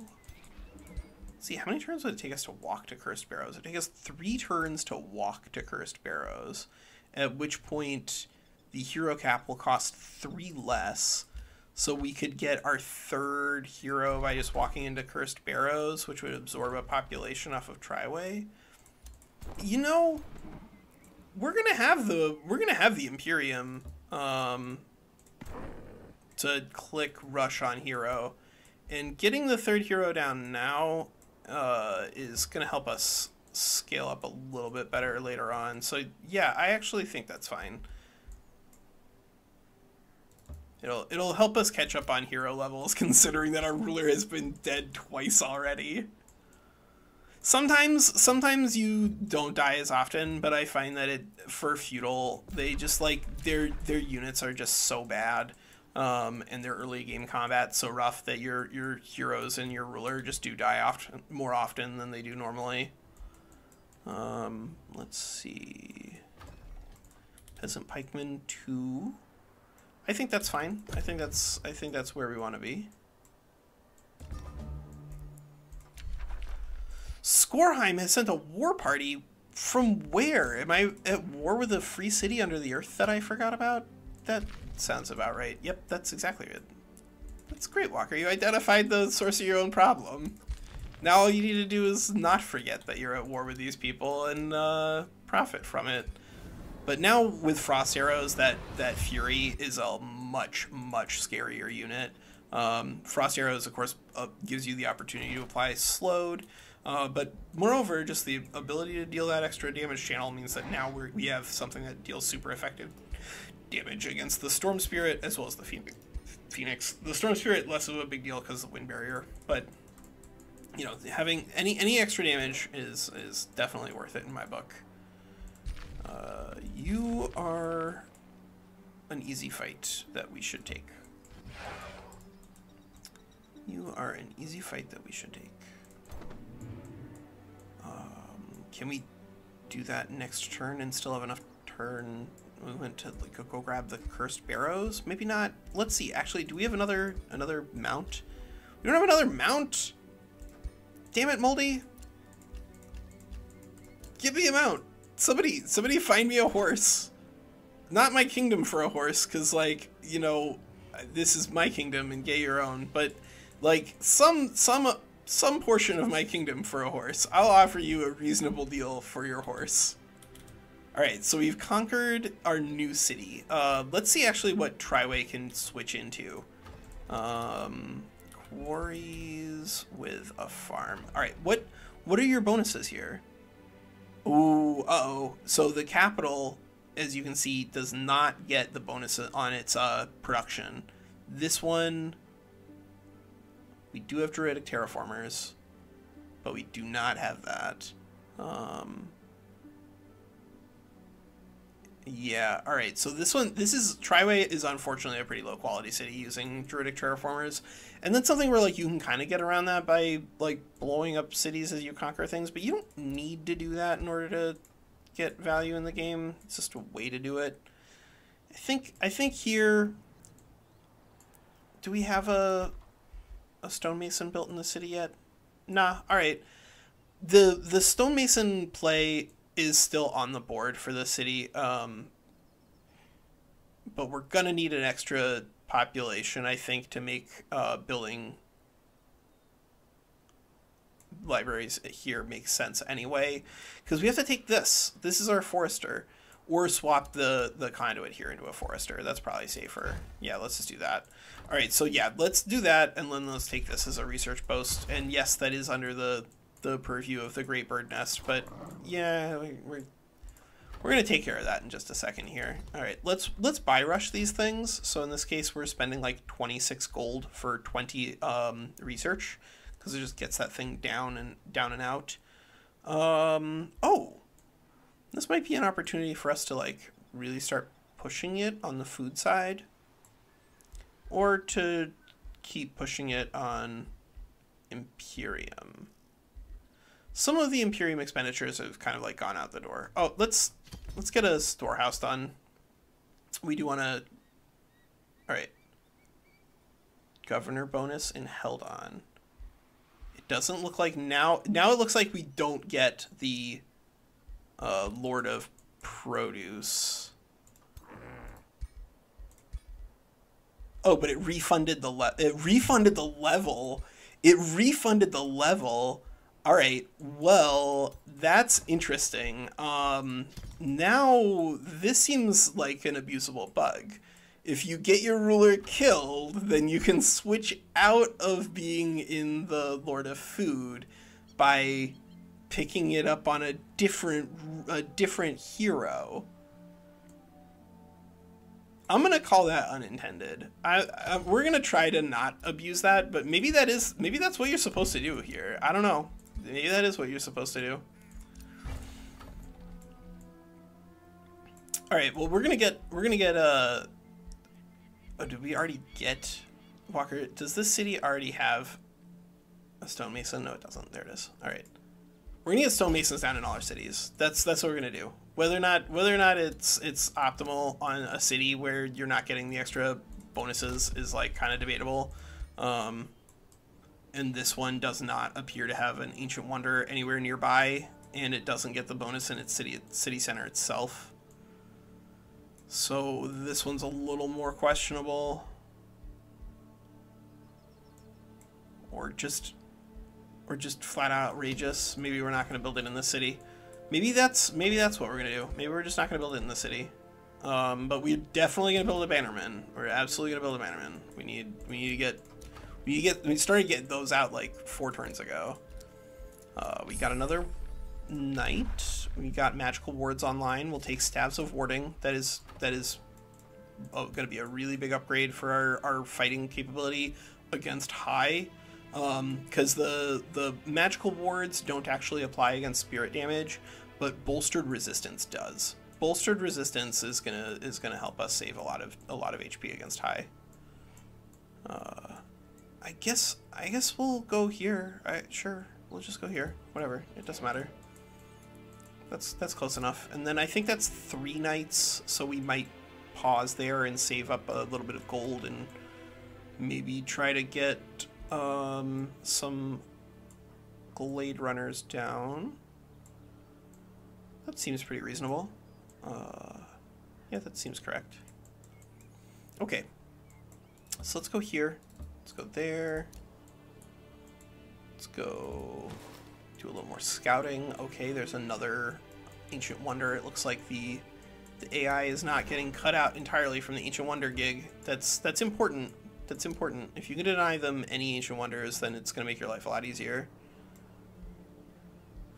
Um, let's see. August Keep.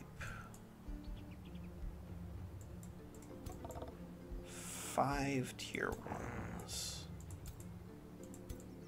I think we want to kill these guys with the uh, with the knights. I think that's what we want to do. I think if I think if we're gonna compete with the uh, the AI over there, we're gonna need those knights to be in in pretty good shape. If we can get them up to like silvers, get them to silvers, they'll be durable. If we get them to elite, they'll they'll do a lot more damage.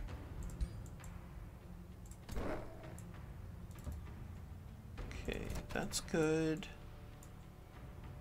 And that's good. And that's good. All right.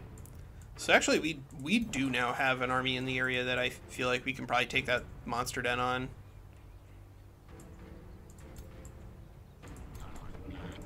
Uh, but we also want to we also want to get the cursed barrow down. It's three turns away, Walker. Your extra hero is lying under the dirt, son. It's right there. It's right there. And that's like right outside the enemy the enemy capital or, or secondary city too. That's that's actually really cute. That gives us an opportunity to, to fight productively over there. Twelve more turns on Ride for Vengeance. So we don't need to go there immediately. I think I think we I think we have time. I think we're we're gonna grab the cursed barrows. I think we have the time to do it because we can even do it with a, a uh, an outpost that's two away. So what we can do is if we see here, this outpost is not naturally adjacent to the Cursed Barrow, but because of the Wonder Architect's perk and the Materium 1, what we're going to be able to do here is drop in this outpost, it'll grab this forester as the natural work uh, work post tile, but then it'll also have the reach to grab the cursed barrows um, from the Wonder Architects itself. And that means that we're down here for that fight. Yeah, you need to make more outposts. You just like always need to make outposts. They're really good. Outposts are really good. They exploit land, they give you movement, they give you healing, they give you everything. They give you everything. Maybe we can take both of these fights do we have anybody who can just like walk over there and do that? Um, we could summon a lesser snow spirit. That could that could be a way to do that. All right, yeah, that's fine. That's what we'll do. Uh, you are level four and you're in range, and that is enough that I think we shouldn't lose anything. But I'll I'll include the knight for good effort, just because this is like nobody with pole arms. Um, and if the opponent does not have pole arms, then knights are pretty effective. They're pretty effective.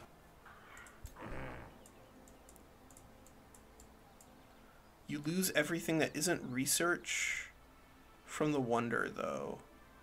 No, so when you when you um when you have an outpost, the outpost naturally exploits the, a couple of different global resources: mana, gold, and knowledge. It'll also naturally exploit the Imperium from controlling any uh, associated wonder, uh, any any wonders that are uh, associated with it, as long as it's your outpost. If you give it to a vassal, then it's no longer under your control anymore, so you, you don't get the Imperium. But if it's your outpost, you do get the Imperium. The things that you don't get naturally are things like if you build um, like an outpost with a forester or whatever, then like you don't get the the production from the forester. But that's not always a problem because sometimes you like get good value out of just having an outpost like here with a, a forester that because of wonder architects will pick up the cursed barrows. But once you get materium 1 online uh, military engineering then like just putting outpost places is really good kind of no matter what you're doing because outposts are going to give you extra movement speed and extra healing. Even if they don't give you the resources it doesn't matter because the resource that it's giving you sort of like implicitly is power and time. It's making your army stronger by letting them heal, and it's giving you time by allowing your, your units to, you know, get extra HP and, and level up a little faster. Hopefully they evolve. Hopefully these stupid storms or these stupid spirits stop dying. All right, defenders, you guys are not allowed to do any damage because like that's the way that this game works. Defenders are not allowed to deal damage. Good. They did they did not deal damage. At least not enough. Um, but now we need to get... I guess... I guess I just want to send this pike all the way out there to just, like, pop that tower, honestly. Like, I just want to see what's going on over here. We need vision. We need vision, Jim. Let's see. Oh, we could work on a Scholars Guild. Um or Wizard Tower level 1, or Item Forge. Those are all really important here. Uh, Scholar's Guild is only plus 20 knowledge. But, alright, we'll take a Scholar's Guild. Like, we, we're behind enough on knowledge because we died twice that I think, uh, I think it's called for. There's a forester that's turning into a farm? why are you turning into a farm? Because because you thought you needed to build a uh, a stonemason here, even though you already built a stonemason there, Walker. That's why you need to do that. You need to do that because you are not paying attention. All right, uh, let's build an abbey or a, a, quarry in Abbeyvale. So one of the other things that's like kind of nice about Druidic Transformers is uh, Terraformers is that it scales up with your food really quickly because the, the, natural things that cities are going to produce a lot of just from like the tiles bringing things in are food and production. Those are just some of the most common resources in the game. And so you're going to get a lot more out of terraformers on those than anything else. But that's also not a bad thing because those are some of the fastest in terms of like early game economic scaling. Like mid game you really do need um, to respect your knowledge and, and your imperium but like in the very very very beginning the, the, the, easiest way to scale those things up is to get production. That's one of the reasons why why mystic was so bad for so long. Here's here's a little bit of knowledge and mana to to compensate for missing out on enormous amounts of of early game volume and economy.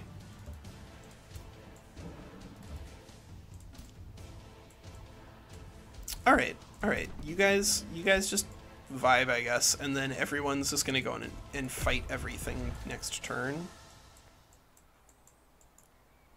Or once we get that hero. maybe it's once we get that hero. Let's see if we can walk there. Yeah. So by adding this forester as friendly tiles um, through this outpost, we did make it so that this hero can get to Cursed Barrows a turn faster, which means that now should be able to get here. Should This is already a level 2 city because it was a, a free city, so we don't need to worry about that. Oh no! It's one of the, the you gotta fight us guys.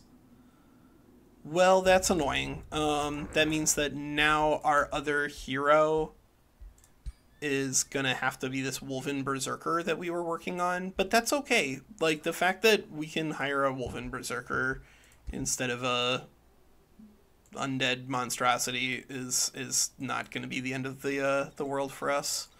It does mean that m- maybe we fight the cursed barrows later, but we're gonna we're gonna need to play it by ear. We're gonna need to play it by ear. Is it worth it to recruit the hero right now, though? Or should we pick up uh, another city cap? Because if we pick up another city cap, then this could still be a really solid city. Um, what? This is a grassland and a forest, so this is food and um, production. And that's ashlands and rocky, so that's production and gold. Grassland forest, forest, grassland forest. So yeah, actually this could make a, a really, really solid another another city and then we could just use it as a forward base for the cursed barrows and for launching attacks against this city. Like if we wanted to just end the, the fight immediately, then we probably go here. But I think it's more fun if we have like a long skirmish fight with them and like see what sort of things we can get out. And get attacked by that stupid bird. By the birds. Alright, let's see. Uh, I guess I guess with the fact that we're screwed on that hero side means we probably do need to recruit this hero here.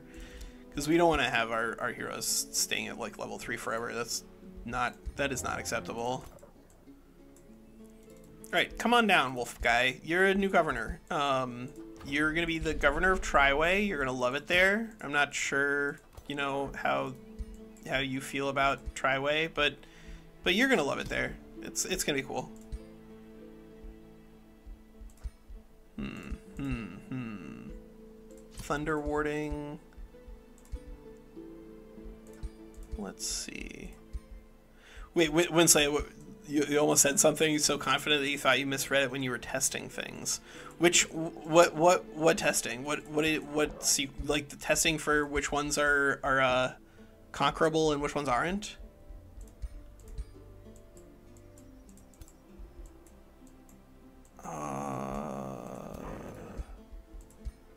I forgot to assign. I forgot to assign my my choices. Of course I did. Um, let's see. Actually, here I think it makes sense for us to go ahead and pick up some magic and then leave production on the outside moving around. Does that make sense? I think that makes sense because that that gives that gives our our empire now the opportunity to grow the fastest. So yeah, let's take Lord of Magic, um, and we'll take. I, you know what? I'll give it Undying Loyalty just to see what it does but historically it has done nothing. I would love to see that that's not true. That would be really exciting to find out. But historically, what it has done is nothing. Um, we got we got our staves. Uh, I guess we'll take Mark of Invulnerability also, just for added troll survivability.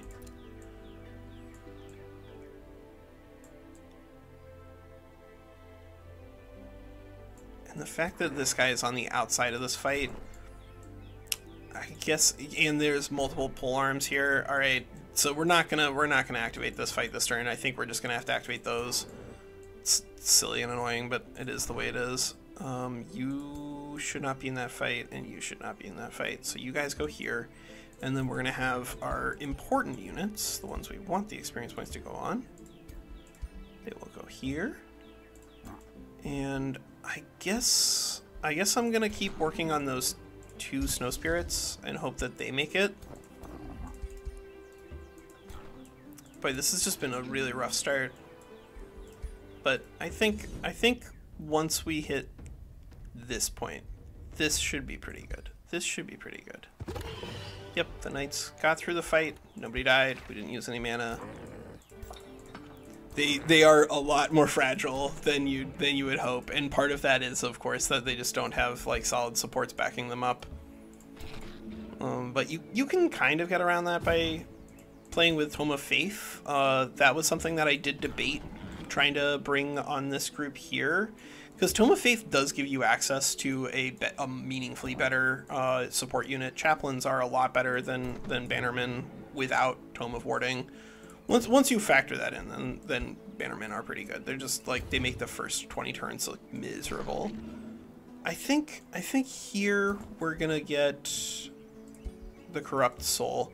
So is the cursed barrow one of them that like you can't because they just look the same to me. Like this one that looks the same as this one. It's just the text on it. So like I I guess, but that should not be the case. Like they should they should make these things look different. So that way they're a little a little easier to detect on the overworld. Um I think that is fine though. I think that these guys should be able to get through this fight without losing anyone. This is oops all ranged, and we have two shock units and a hero. Yep, there we go. A Dragon Bane of Undead Slaying. That's a really cool name for a tier 2 weapon that's just pretty normal, I guess, guys. Alright But whatever we cleared out we cleared out some production and some and some food and then we'll be able to bring uh maybe maybe our hero isn't our ruler isn't even gonna get in on that fight it's so far away because those guys can get there in one turn oh my god but the fighting just deals so much damage. How am i supposed to not take it? It does a billion. Okay. See, you go here, go here.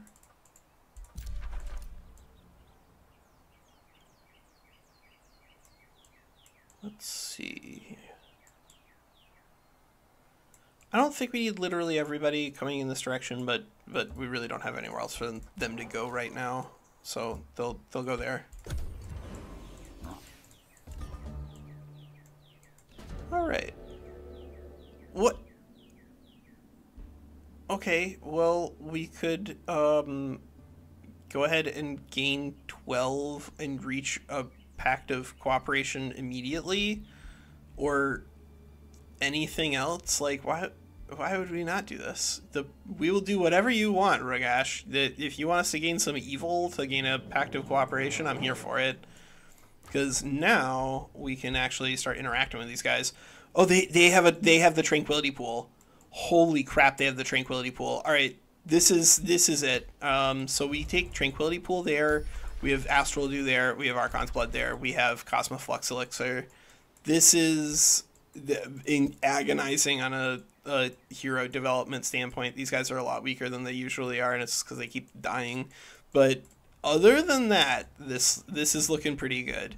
Uh, evil events are a lot better than good. Like good is good is costly to develop and maintain and is mostly not good.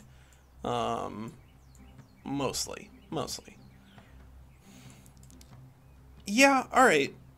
This is fine. We'll just we'll just go here. There are enough there are enough units here now to help support the heroes too. That that that's uh, becoming a solution rather than a problem. And now we can work up our ride to vengeance to where it slingshots up to eight probably because of the banner there and then the the ride there. So yeah, we need to clear this stuff out. We're, once upon a time, once upon a time, the plan was that we were going to take that Spring of Youth, but that is that is the way that the game goes sometimes. All right, stabs of Warding. Now finally, our Bannermen are combat effective, or less combat ineffective. I think we're to save our mana at this point because I would like to get magical wards down. It doesn't matter in every single fight, but in the fights where it does matter, um, those are A, typically harder fights to begin with, and then B, it's, it's to save you uh, like some units just from straight dying because it's going to modify your, your hero here because we're playing with a champion. Um, oh, because the Fog of War thing. That makes sense. Uh, here, yeah, we'll take we'll take Arcane Institute into Town Hall 2. This one is building pretty slowly, but I guess we can fix that by just adding more construction. Mm -hmm. Archon Blood. So close. So close. I can almost taste it. Uh, oh, there's actually a really posh, uh, nice little spot for us.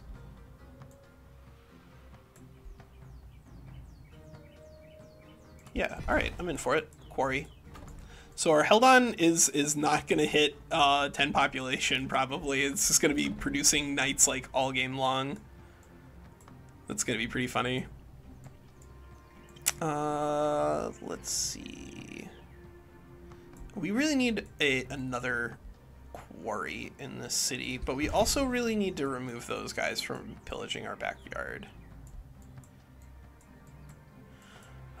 But we have to we have to get the Archon Blood first. It's just it's way too efficient um, to get the Cosmoflux Elixir online because this is if you collect all three of these magic materials here, get the Cosmoflux Elixir. Po province improvements in, in provinces with mana resource nodes get plus five knowledge and plus five mana. So that means we've got one, two, three, four, like we basically get a free academy right then from just picking it up and then we'll get more and more and more as we as we grow so it's it's very strong and this honestly might be a better city than this now that I look about look at it because this doesn't even have the Cursed Barrows online yet and I'm not I'm not 100% sure if we're gonna fight that one or, or not all right so we've oh there's an enemy army right here double Sun Priests, uh, Dawn Defender, Dusk Hunter, Daylight Spear. All right, yeah, that's that's cute. This is this is a scenario where you would not want to have uh, undead. That would be pretty bad for you.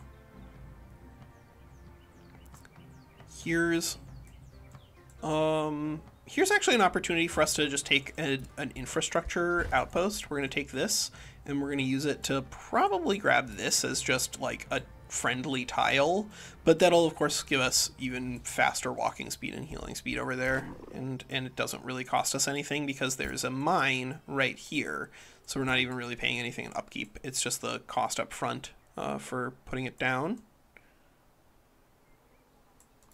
I think that's worth it. Oh, alright, so we see through the fog the defenders of the Archon Blood and the things standing in the way of our Cosmoflux Elixir. There's an exemplar that's that's pretty spooky. Um, but I, I think I think I think if we bring the right units to bear over there, that we can beat it down without losing too much stuff. And once we do, once we do, things will be okay. Yeah, but you have to like read the name Winsaya. You can't do that. That's that's impossible. Reading is reading is overpowered.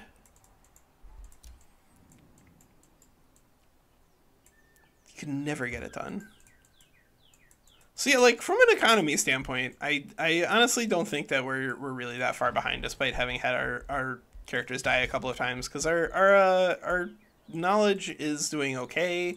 Um, and we do have knights rolling off the, the press. But in a PvP scenario, this would be a very, very tough uh, tough run to try to win with.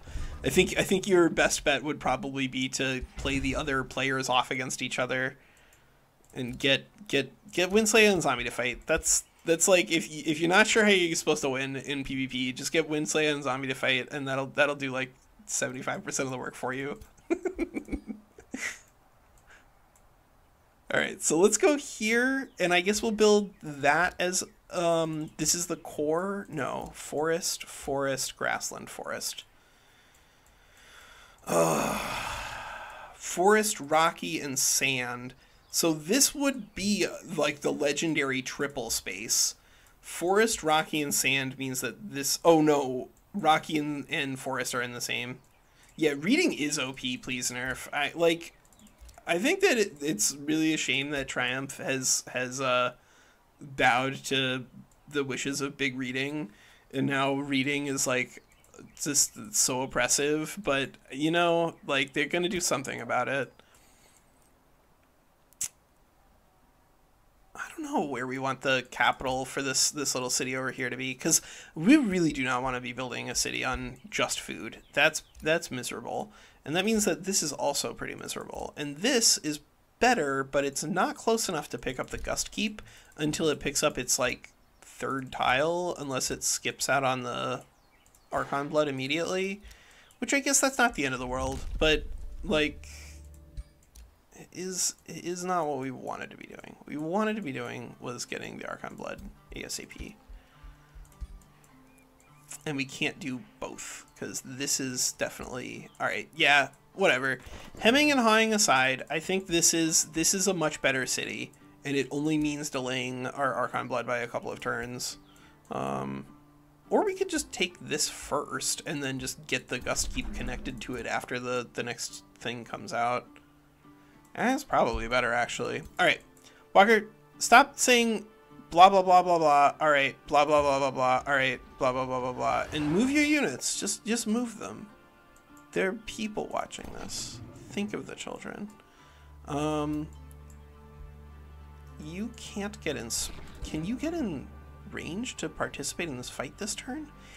You can't even get in range to participate in the Archon Blood fight this turn. Amateur. Amateur. Rank amateur. Alright, Dread Spider Mount. Oh! Ha! Ha! They said I couldn't get in range to get into the fight. But what they didn't realize was that I was about to find my own spoodly doodly spider mount and fly across the battlefield. Ha ha ha. And this is great because now we could we have that other tier 2 weapon, the brutal great hammer that we can just swap back into and bam, done. So now we can just keep swapping back and forth between our two tier 2 uh, mounts. Yeah, change all important text to cover symbols. Like I just want to be able to play the game while being um, as as as lobotomized as possible. That's that's my goal. All right, let's bring these knights in because those things are pretty good to get experience points on. Um, I guess we'll kick the peasant pikeman out. Like, I honestly don't care at all about this peasant pikeman getting experience points and getting it a little more healed is fine. And then I guess we can clear. Jesus Christ. I guess I guess then we can clear this large monster den and then the and then the great bird nest in like very absurd reverse order, but that's probably that's probably our best bet. It's probably our best bet.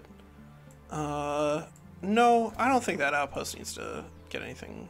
I don't think I don't think you get anything fun. All right, you go here, and now we have all three of our heroes in that fight. And you have archery as your first pick up, so we're gonna need to fix that. Um, or we could fix that by just making a gun. That's that's certainly a, a way we could fix Vicar Grime. Materium Affinity. Oh, right, you have Materium Affinity. So you can take production and grow um, this city even faster. Because this city does not currently get the production bonus anyway. Because it doesn't have a oh man, it doesn't have anything. So the Triway is garbage. Whenever we get this other city going, that's where that that other hero is gonna go. That's what it boils down to. Triway sucks. Uh, well, let's make one defender because now we have three knights, and knights are way, way, way more effective, but they are also way, way, way more expensive. And we are down to 26 gold per turn right now, so we need to respect that. Some builds will want Phantasm Warriors ASAP, um, but given that we are now on Knights and stuff, I don't think we're going to be bulking our army out that much with Phantasm Warriors. But be aware that you absolutely can start on Tome of Warding and get Phantasm Warriors and get them, get like really good value out of the Phantasm Warriors for like the first 30, 35 turns or so. They, they drop off, so like you do not want to assume that they're going to be part of your army forever because um, hopefully they're not. But for the very beginning phase, they do make your creeping a lot better. Like a lot, a lot better. Alright, do we need... Do we need anybody else in this fight? I guess I wouldn't hate having the Bannerman here, but we're definitely not going to bring, the Corrupt Soul here, because all of these guys are going to be dealing spirit damage, and the Corrupt Soul uh, by virtue of being undead is spirit weak. And this is one of these decisions that you do need to like kind of make as you go along. Um, like, is it currently worth it risking in, in the fight that you're about to take? Blah, blah, blah, blah, blah. And in this case, the risk to reward is, is definitely, definitely not there. Definitely not there. Um, you're level 5, you're level 4, you're not getting anything from this fight. But maybe we could get a level up after both of those fights with this hero. Yeah, that could be worth it. Alright, so let's go here. Good. Yep. Carrion Bird. Not as good, but that's alright. It's, it's the way it is. And this was this was the capital. This was the capital. Uh, so now to get around the leadership penalty problem, we're going to do this and oh no. The Bannerman and the uh, the bad or pseudo badly injured uh, hero can't go together in the same stack, so we can't get that healing off. That's unfortunate, but it's the way it is sometimes. Uh, Brewer Ogre. I don't think I care that much about getting more experience points on the Ogre. I think I think this is gonna have to be the uh, the army that we're gonna send in here. But because we are fighting against a tier four and there's uh, Archon Martyrdom here on the field, I am gonna make uh, mana available to these troops. These are high quality and important parts of our army, and uh, these guys are weak to to uh, frost damage. One of the many one of the many weaknesses of of Lightbringers here. God, stop dying. stop dying. Just stay alive. Please, heroes. guys are embarrassing. All right. Well, we got we got that guy out of the way. And now finally, we can get experience leader on the books and start working on leveling up these snow spirits. And yeah, I think we're I think we're gonna need to go up north first. I think we're gonna need to take care of this monster den and the small the small monster den. I think we have to remove those two things from the board so that way they're not putting stuff into the back the backyard the way that this is just getting burned down by by that great bird nest. At least it's only burning down the great the the, the research post. Could be it could be worse. It could be worse. All right, you guys go get experience leader um, and you go here. Oh, we should have we should have actually watched that fight to see if it used uh, the steadfast ability.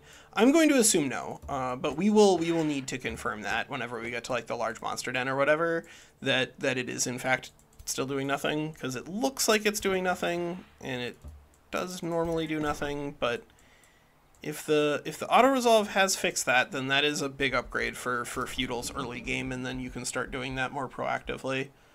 Uh, you know, I think I think this is an opportunity for us to grab stand together. It does potentially add extra damage. Either that or Sentinel. Sentinel is also pretty solid with a power weapon, and this guy's probably going to be on power weapons for most of the game. So yeah, all right, all right, all right. I yeah, I, I can see what we're doing. I can see what we're doing. What we're doing is we're bleeding gold. Because these stupid idiots keep getting themselves killed. And there's an NPC army that might be worth harassing with Blizzard first. Hmm. Hmm. Well, we're going to grab that outpost.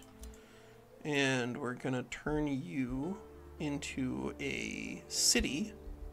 And it says that we're going to go over our cap, but we're not really, because what we're actually going to do while the uh, the city is growing here is we're going to get some more Imperium, and then we're going to put that Imperium into increasing our city cap, and then we will have the city cap necessary, and then we'll have four cities. And then at four cities, like, it kind of, if, if you have four cities and your opponent has three, it kind of doesn't matter what else is going on. Like, we're going to outscale them pretty quickly. And then we should be able to get up to four sooner or later. Oh no. All right, so now we're going to hit Tome of Glades, which is which is important for us in terms of increasing our, our combat ability. Um, we're going to be able to use the Summon Entwined Protector. Uh, this is turn 23 and our ruler has died twice. like, we're we're uh, we're we're making as best progress as we can. This is this is what we were looking for. Just spending all of our mana trying to dig for Entwined Protector, so that way when we get Entwined Protector, we can't summon it. That's that's what we really wanted. Um, but you know what? It's okay because once we get that thing down and we we like clear this space out because we do have Cosmoflux, I I think that we will be able to really just start cranking these guys out. And getting a bunch of tier threes backing up your uh, your knights is pretty good. And then we'll probably be ready to fight the enemy AI. If we end up with um, time to build some Glade Runners and stuff, then we will. I would love I would love to to get those guys down. And there's another Astral Dew. All right, yeah, there's a lot of really high quality stuff up here. Um, hopefully we don't lose too much taking control of it, because we've God we've already lost enough. Um, but assuming we can take it, then we'll be okay. Is there gold there? No, there's man. There's knowledge there. Jesus Christ, we don't have any gold for even getting our third hero back. Ugh. It's just gonna be you and me, Molda. Moldy, whatever. You, you know, if you're only gonna have a one hero, you probably should know their name. That's just, it's the least you can do. They are your coworker. Um, I guess, I guess I'm gonna send this knight here. Because the thing is, with three knights, three knights. Uh, knights deal extra damage to large targets. Large target, large target, large target, large target, large target. Everything is large target over there pretty much, and that's going to be the case with a lot of these um, big things coming out of large monster dens. And it's one of the big advantages for knight for uh, for feudal is that that knights are actually pretty solid units. It's just that the uh, the, the early game as as you might have noticed is is a little a little shaky. It's a little shaky. boy. We could use a lot more gold. We could use a lot more gold. Could use so much more gold.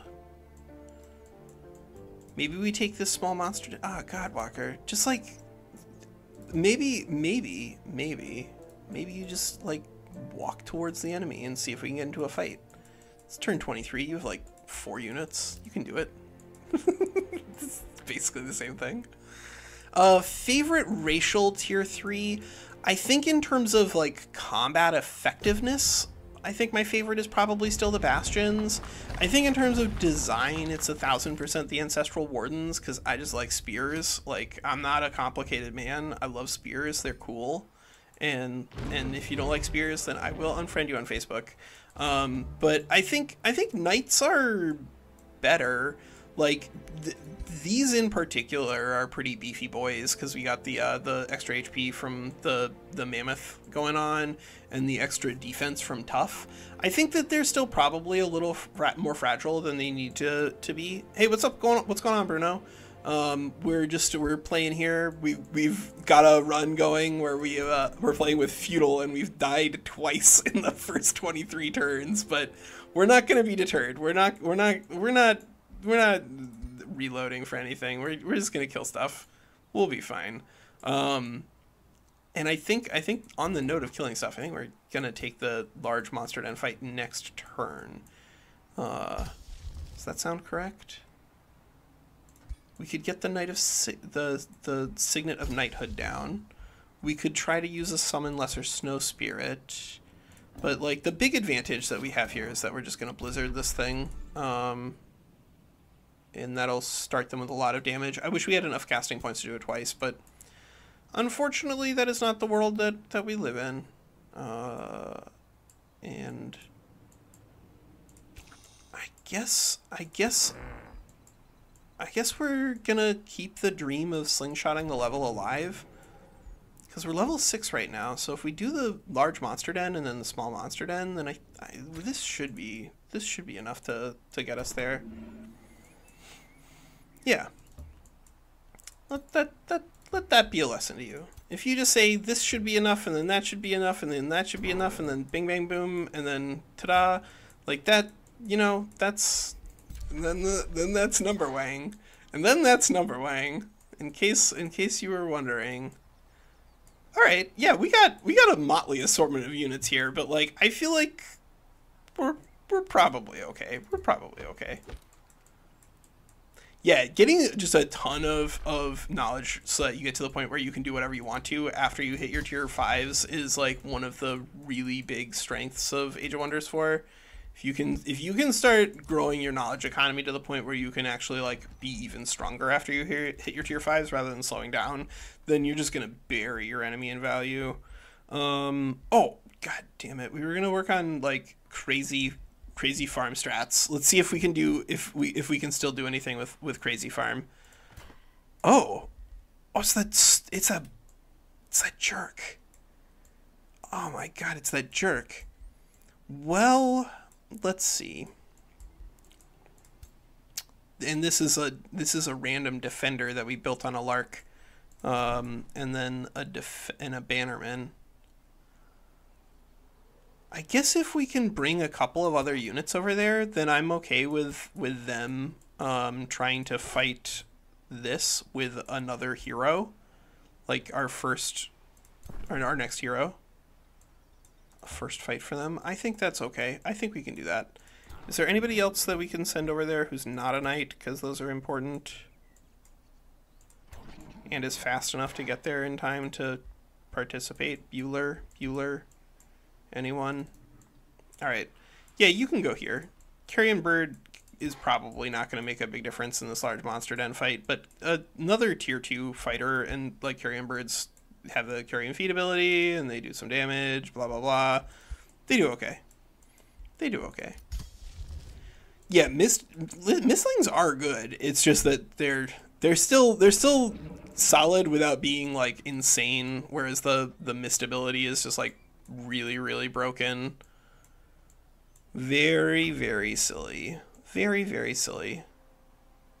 We could get extra from the rally, but the problem is that our gold is stretched really, really thin right now.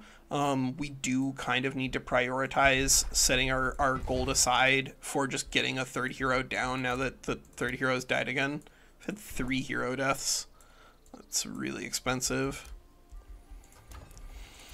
Um, Oh man. Oh no. Oh no.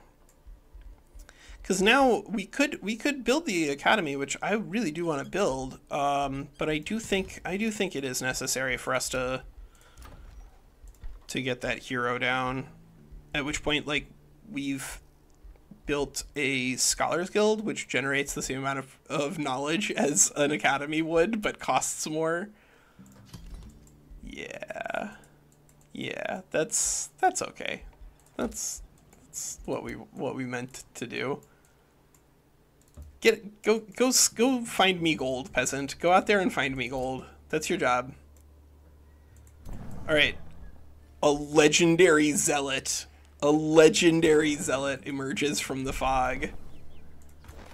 A dread gazebo. I think that's going to be the end of this little scouting party archer out here.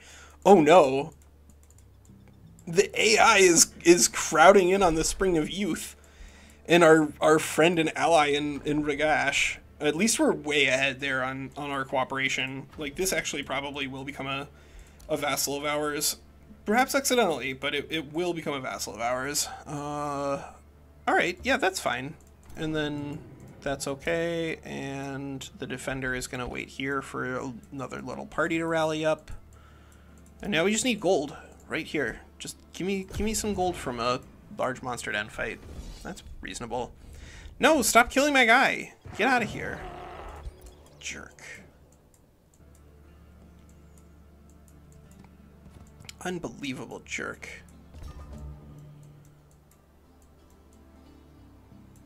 Wow. We're gonna we're gonna just bounce off of those those ancient wonders. They're gonna be right there, right next to a city that we're founding, and we're not gonna have it under our control. We need we need to fix that. That is that is a big problem for a build like this with Wonder Architects. Just the fact that Triway isn't getting extra production is, is kind of a problem because our economy is so thin. But, you know, held on. This is this is at 88 production per turn. Like it is building stuff. And it's been there for most of the game. So it, it is actually getting infrastructure down. Um I'm gonna go ahead and grab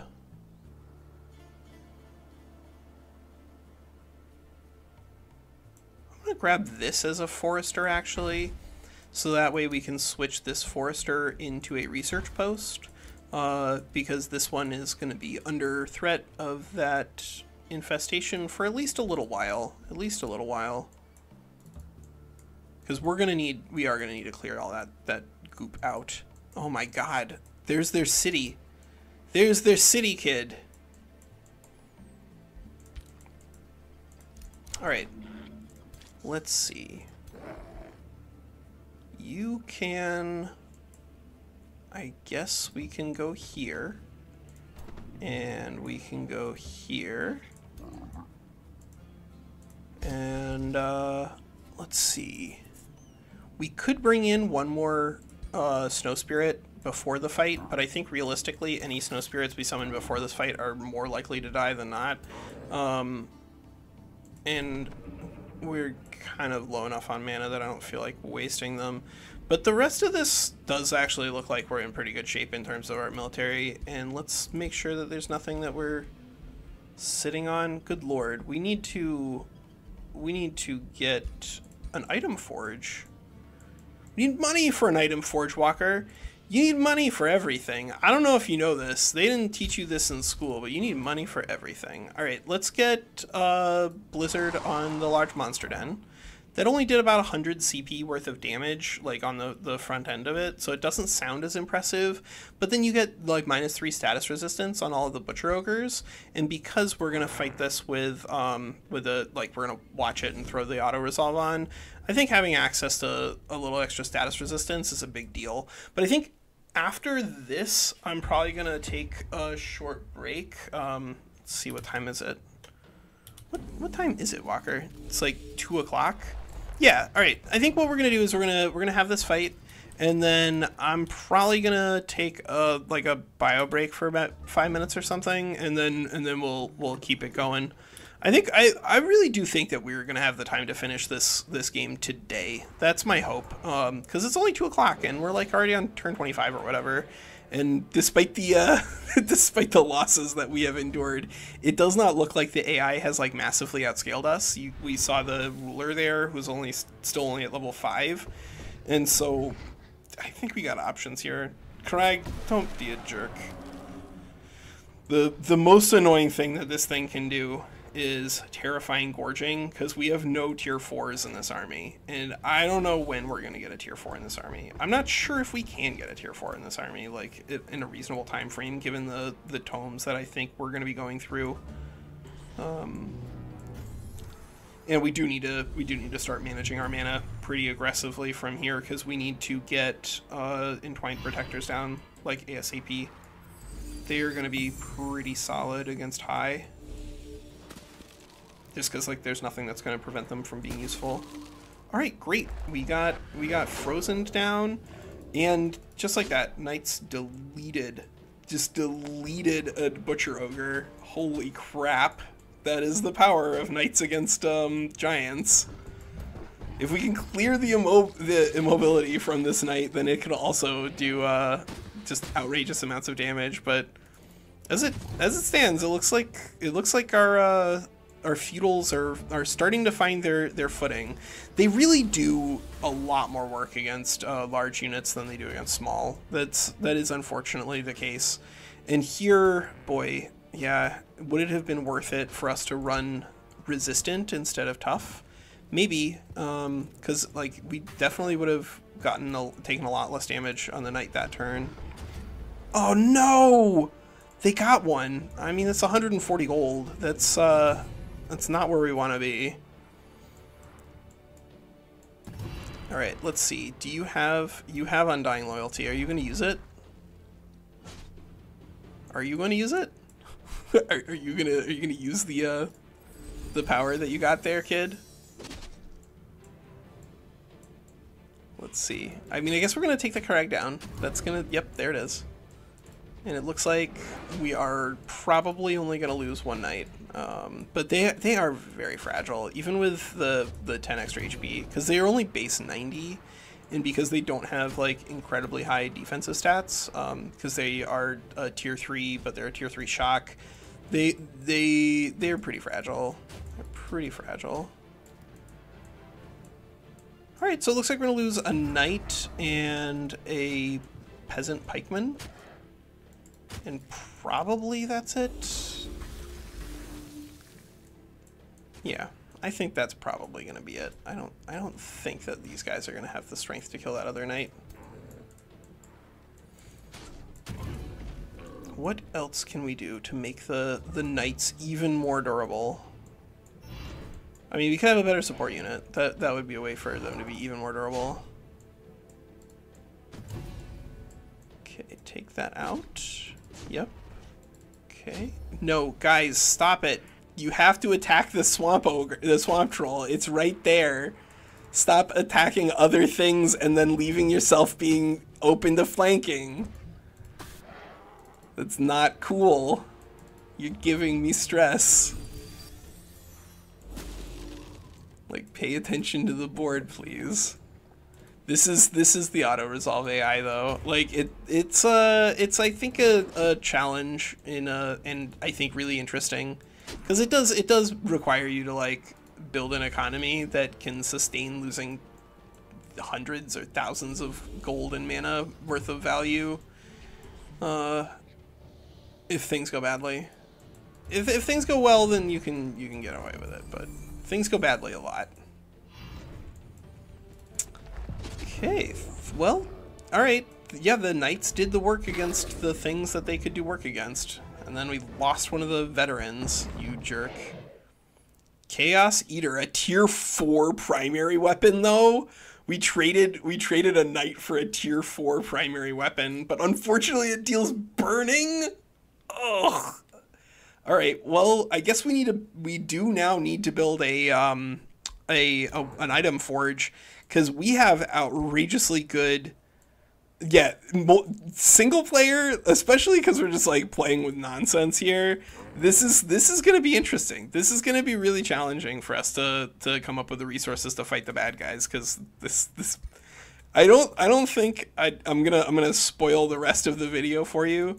I don't think that they've done enough to make um, to make feudal better by including druidic terraformers. I don't even know if that was like meant to be a goal of the game of, of including it or not. I, I you know that's up to, to Triumph to, to describe, but uh, feudal's still pretty bad, unfortunately. Like the their bannermen are just like hilariously slow, and knights are still very fragile for um, tier three, even even with the mammoths on board, they were still pretty fragile. Um, maybe you could get there. Maybe you could get there by by uh, taking resistant instead of tough. But like, uh, we have we do have tome of warding. It's just that the AI is not very good at using what feudal is good at using, and there's not really a way to fix that until you fix the AI. Uh, that's that. Are we going to get this thing high enough level that it's going to actually gain a level off of this fight if we do this fight and then that one with eight units? Maybe not. This this might might not get it. Yeah, if you do if you do feudal, then like 90% of the time you end up taking most of your army from things that are not your your uh, units. Yeah, that's okay. How? How are you gonna do this to me? How are you gonna do this to me? Okay, well, I said I was gonna take a, a quick bio break, so I'll be back in like five minutes, um, and then we'll we'll clear out the rest of this little space here.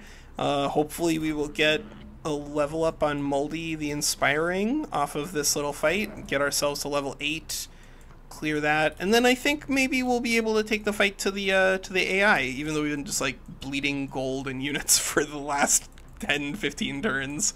Yeah, they just die so fast. They they need. I think they probably need one more defense and one more resistance as like a, a bottom as a minimum. They they are pretty fragile. All right, I'll be right back.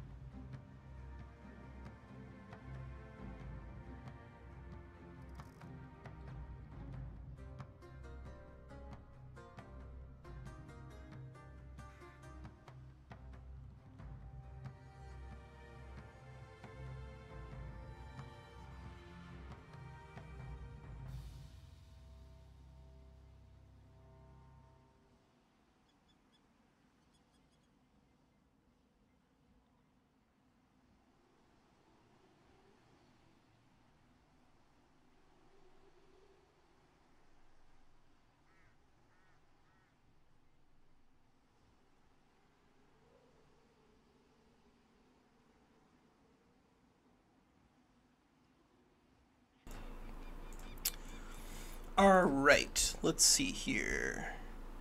Okay, so we do have that tier 4 weapon now, but looking over it, burning is such a bad effect. I guess the one nice thing here is that it does have Chaos Eater, and in um, in manual battles, Chaos Eater is like really, really insane in terms of the value that it generates for you. It's a great, great way to scale up. But right now, I honestly I think that our power weapon just does more damage. Like this is this is going to be something that's going to help us break through defense mode, which is a really big deal when it comes to upgrading your your damage. And this is only a 12 16. I mean it is it is multi attacks, but this is slowed. I guess I, you know what? Whatever. We'll use the tier four weapon for now because it's cool and then and then later when we die, I'll blame it on that. Um, and then and then people will say, "But you chose to wear that," and then I will say, "Yeah, yeah, yeah." But what you're overlooking is uh, smoke bomb, and then I'll throw a smoke bomb, and then I'll run away. Um, and then they'll be like, "Wow, that was really effective." So here, I'm gonna take actually probably the Defiant armor as our generic armor that we're gonna walk around with. Um, we are specifically fighting against high. Oh, but these guys are like. Uh, wait. I could have sworn those guys were doing lightning damage. No, maybe not. I mean, we already have frost resistance because of the mammoth, so I don't think we really need any more of that. And we kind of really don't need blight resistance either. It's pretty pointless. So yeah, I guess we're going to go into defiant armor for now. This is going to be the best thing that we have currently against the the enemy who is high. But if if we're playing against um, just the board, which is where we are kind of, then I think those other you know, those other armors are worth to just have around for for good value. All right, let's see. Are we close enough in levels? Is this gonna is this gonna get there? Six. So this is 18 experience points. That means that if we have like six units in this fight, maybe we will level up beforehand. But if we don't level up, then this is a disaster because then we'll get like one experience point from the the quest instead of like 40. So we're not gonna take the fight this turn. We're gonna be we're gonna be chickens about it because I'm not gonna do the math. And Triumph is a is a user interface thing please change this. Like, it's so much better that this says, you know, 12 out of 24 and, and 23 out of 36. Like, I know that you want to make it so it's a little harder to do, like, hero stacking and management and stuff, but, like, once you've played enough hours in the game, you start to get a feel for exactly, like, how much experience points this this is actually. But like, it's just a bad user experience for people who don't play this game way, way, way too many, too many hours. And even even I play this game too much, and like, I still couldn't tell you exactly how many experience points this needs. How many? How much does this need? I don't know. I don't know. And then and then it becomes impossible for us to do the math of like, can I take this fight before I take this one? And and I don't think that's good. I don't know. I don't think that's good. I don't think that's a desired user experience. Um, but maybe that's just me.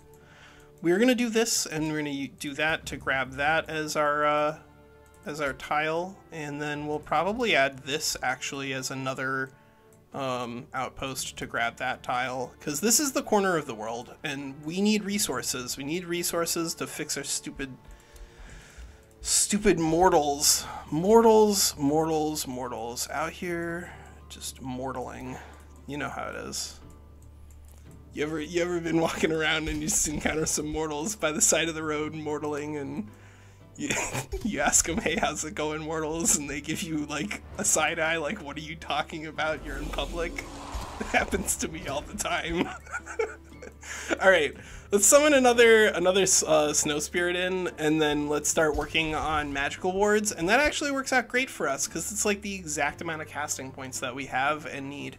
Um, unfortunately, we did lose a, a knight, and we lost a hero. So like we are we are really in the hole in terms of money over here. It's it's got to be worth it to wait. It's got to be worth it to wait. There's got to be money out here somewhere. He says spending money on an outpost. Uh, yeah, all right, whatever. Like this is this is fine. Oh, you want us to construct more conduits? Absolutely. That's the easiest quest. So some of these quests they'll come to you and they'll be like yeah we lost one. We lost one in our in our big big fancy our big fancy battle because it like charged in on people and then just like stuck its butt out at the enemy and then it and then it got hit on the face and it died. Like i don't who could have imagined? Who could have seen this coming? Um, all right so the but the research posts that are in our capital need to remain research posts because those we have uh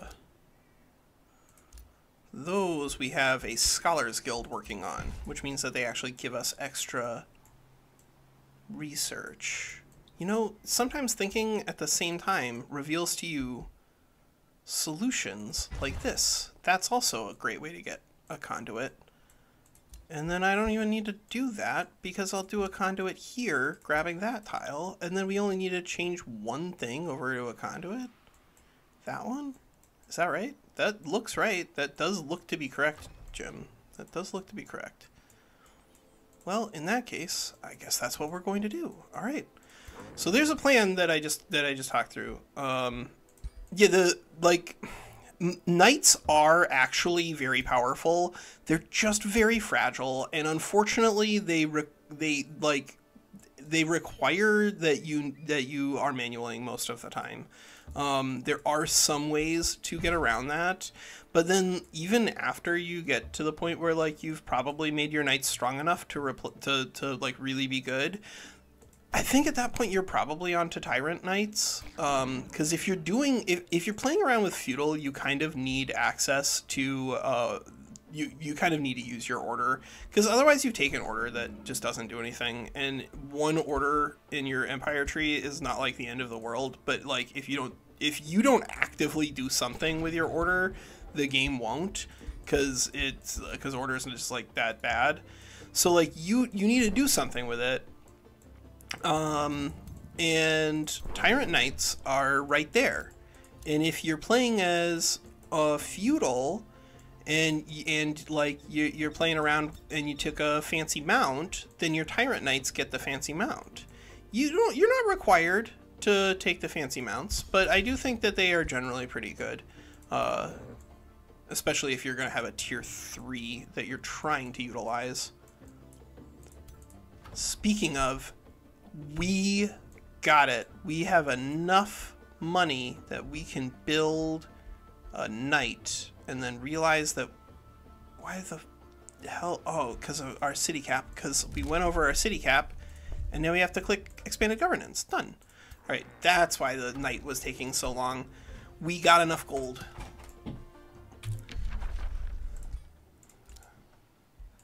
I think that's fine uh, yeah, order early game is not good. Um, like zeal is very very powerful. Uh, like in a lot of different ways, it provides enormous amounts of production, and it is actually something that I think we should try with uh, druidic terraformers, but probably not feudal. Um, and then you play probably with a wizard king because a wizard king with with uh, with with druidic terraformers and and Tome of Zeal can cast the construction spell many times, and you do that and get plus twenty percent extra production on it, and you can build basically any sort of infrastructure in any city whenever you want to, wh- wherever you want to, anytime, anytime. Uh, and it's it's really good. It's really really good at building stuff. It used to be that just building stuff was like not enough, and and you know there's a certain aspect to us saying it used to be, and then we're watching this game where like our ruler has died twice and hopefully not a third time, thank God. Um, and and things are just kind of like plodding along, and and that is that is the way that these games go sometimes. That like they the military development is still the same patch to patch to patch. I would not be surprised if um, the the things that were good remain good, and the things that were bad remain bad. What was I talking about? Wizard Kings. Oh yeah, Wizard Kings with with uh with the ability to to do Zeal. That's pretty good. Wizard Kings and Zeal do, do pretty well for themselves. Um, I guess I'm gonna bring in this Corrupt Soul for this fight, because at least it does have uh, the resistance to Frost. But more importantly, like, if this thing doesn't get a lot of experience on it, then it is going to be worth literally nothing against an enemy that is literally playing as high. So we're probably not going to recruit another Corrupt Soul. And if this thing dies, it dies. Um, but if it if it's going to fight against an enemy that's going to deal a lot of extra damage to it, then it needs experience points. Otherwise, it's just it's just a wasted slot. I'm gonna take this fight without mana, um, because we we do need to start just like casting things. Brother, brother, like you are killing me. Um, Rampart. I don't even think that's the right city. No, it's gonna put it's gonna funnel a bunch of production or a bunch of draft into the city that doesn't have uh, a way to use it. All right, well we're gonna get a hunter spider mount that our, our newly dead ruler can use. Yeah, don't don't try to use don't try to use feudal. I think I think we'll see um, if there's a way to make druidic terraformers work on high though. I think that high offers usually like just the most uh, in terms of like easily accessible big flat bonuses that then druidic terraformers can work off of. And and High does actually use um, Tome of Cryomancy pretty well. And if you wanted to do different weird things, it also uses Tome of Rock pretty well. Um, So you can do you don't you don't have to do the same thing that we did with the high hermits and like build in the same the same basic direction. Should have brought in the ogre every single time. That's that's why that's why we keep dying because we keep losing the ogre or keep forgetting the ogre.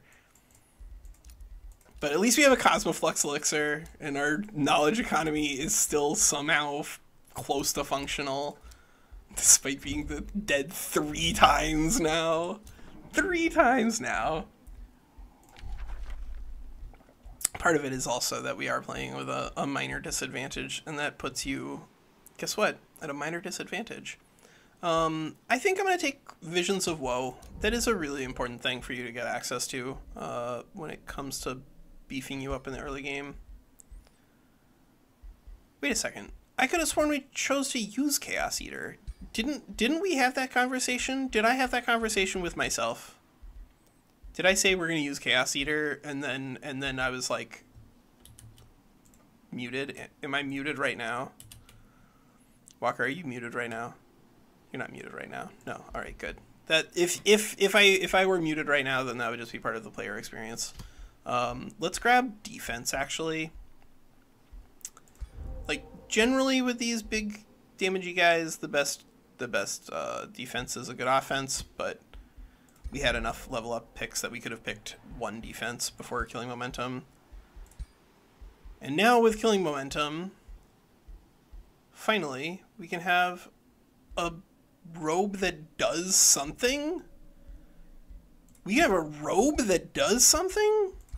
instead of a robe that does nothing? Uh, so for most for most things you kind of don't want um, rock as a as a tome, but I do think that there's a specific space for high in particular to utilize it. Simply because high doesn't have like a good um, defensive matrix towards the top end of their their like structure of units, they have Awakeners, which are good, very good units. Awakeners are very good units. They do a lot of damage. Um, they they do need support in order to do a lot of damage because like the way they deal the damage is by adding distracted to stuff. But like when you do that, when you do the thing that that Awakeners are good at, they are very good at doing it. Here, honestly, actually, now we might drop the knight and are we? Am I seriously gonna hire a level one hero? Am I gonna seriously hire a level one hero? Just so we can get something to lead those units into that fight and prevent us from having to rebuild this. I, this is agony. This is agony. Don't make me do this. Don't make me do this, held on. If only if we were not dead, then we could be casting the Entwined Protector right now. You enormous jerkwad. I mean, I all right, whatever. We're we will not we we will rebuild this. It costs us more gold, but I think it is better than. oh wait. Oh my god. Is this knight going to be able to make it in time? Is that it? are we gonna get there with this new with this new mount that we got and the sword which I may apparently have forgotten to equip to somebody? Two turns? Why? Just let me get there. Just, just please. How, how are you going to tell me that I can't get there in, in one turn walking through only friendly terrain? Is it because this is not friendly terrain right here? Are we going to be like one tile short? Yeah, we're going to be one tile short from getting our, our hero in on that fight. Oh, my God. The stars. Okay, well that's fine. If we lose if we lose a quarry to a pillage, that's annoying, but not the end of the world. Let's see. What else can we build out here? Um, I guess we do need to build a workshop, and we need to get you growing. Um, if we wait, then we will not have enough to hire a level 3. And they're level 5 now. Oh, they're level 5 now. Well, alright, that that's you know, it's annoying that we've had all these heroes die, but now they they're leveling up enough in the background. Which if you if you know the exact the exact mechanism for that, then please let me know because I have tried to figure it out what the exact counting is on that, and I still don't know. Um, but we have done whatever whatever sacrifices to the blood god that they required, and now we have level five heroes that are rolling hot off the press. So like that means they they come with a signature skill. They're going to be a lot more a lot more combat ready. Um, and I I swear to God. And we don't even have enough Imperium to take road building.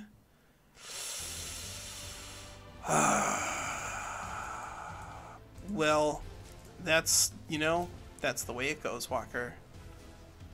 This, this is this is what you discovered when you did this count last turn. I don't know why you expected it would be different when you did the count again, but that does sound like a skill issue. It sounds like that sounds like a skill issue. I think one knight and two tier twos and two three tier twos and a tier one should take this out. Yeah, this if the AI loses half this army here, then I don't know, man. Like feudal, yeah, there it is. Feudal desperately needs their bannermen to be better. That's like the best, the the biggest real problem with their early game is that their support unit is garbage. The fact that this thing is a turn four heal means that like it just puts so little pressure on keeping your units alive in a meaningful fight um, that you just lose way more things than you would versus somebody who has like a real support unit. Like the just just one steel shaper outputs so much more by both killing the enemy as well as uh, as well as healing on a, a much faster clock. I mean, it's the way it's gonna be. It's just the way it's gonna be. Keep throwing units into that that uh, buzzsaw, but we'll take item forge here. Um, even though, like, yeah, we need gold for for everything, because uh, we we part of everything that we need the gold for is uh, getting a better weapon. I think I think unfortunately the tier four Chaos Eater sword is not what the doctor called for. I think what the doctor called for is a gun for our uh, killing momentum hero. That'll be pretty good. That'll be pretty good. All right, let's see. I guess I guess we're just gonna keep keep producing gold. We need to we need to get that we need to get that third hero down. and two more turns in the void for the ruler themselves. So let's see. You could come here. You come here. You come here. And now we have four units for that fight. I mean, on the bright side, this uh this other this other hero we got here is definitely going to put some work in. This one is a level 8 hero. Whenever we fight the enemy, that guy is going to be pretty spooky. And I guess because this is the only important unit. We don't want to have that guy die. I'm going to bring the, the Bannerman along for this until it, it, it hits Legendary. Because if we get a Legendary Bannerman, that's, that is actually also a lot better. legendary support of any type is a lot better than a not Legendary. Because of the bolstered resistance buff clause. Uh, yeah, you know what? Whatever. We'll put a we'll put a haste berry back there. I think that's fine. I think that's a fine thing for us to be doing.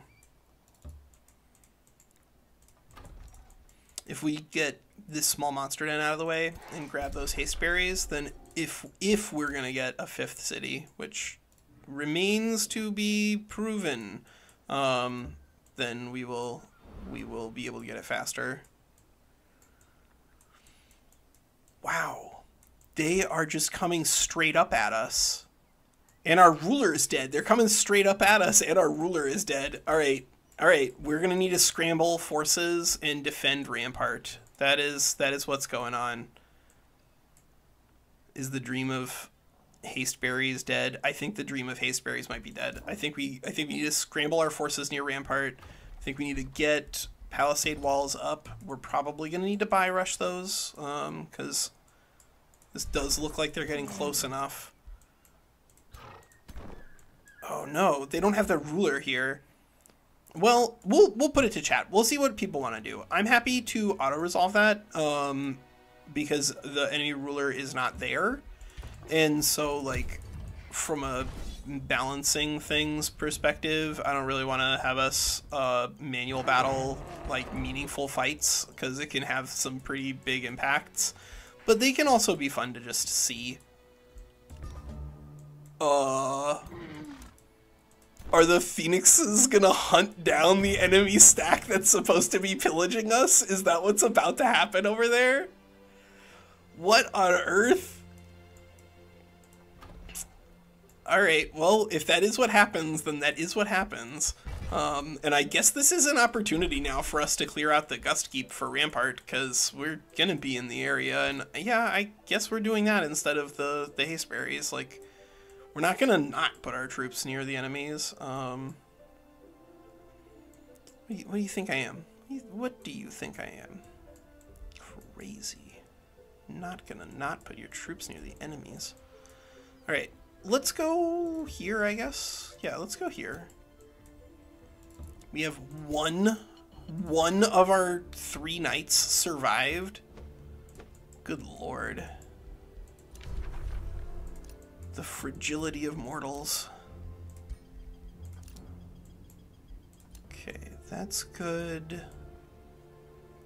Yeah, we my we might end up doing a manual battle today. I think it would be fun, and it would it would give us an opportunity to like show off what different different units are capable of doing.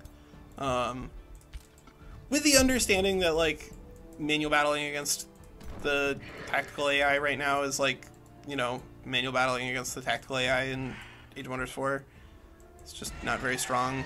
Uh, yep, it went in on their army and died. Alright, so now we can get, uh, wow, 80 extra knowledge per turn. Um, yeah, that's probably, well, hmm. Okay, so this is 480 knowledge versus getting uh, this is 120 gold per turn.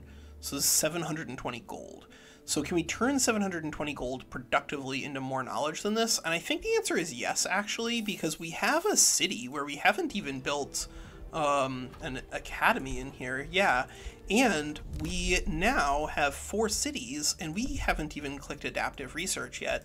So our research economy is about to dramatically outstrip uh, that little growth that they had us quoted out there at 80. We're, we're going to build we're going to build all the research infrastructure in these cities, and that's going to be pretty good at growing our research. If you build research infrastructure, your your research will go up. it's amazing. Who would have guessed? Let's see. Um, our our hero is finally back. Our ruler is finally back. All right, so let's make sure that we're not sending them into a fight where they're gonna get soloed. Yep. All right. Cool.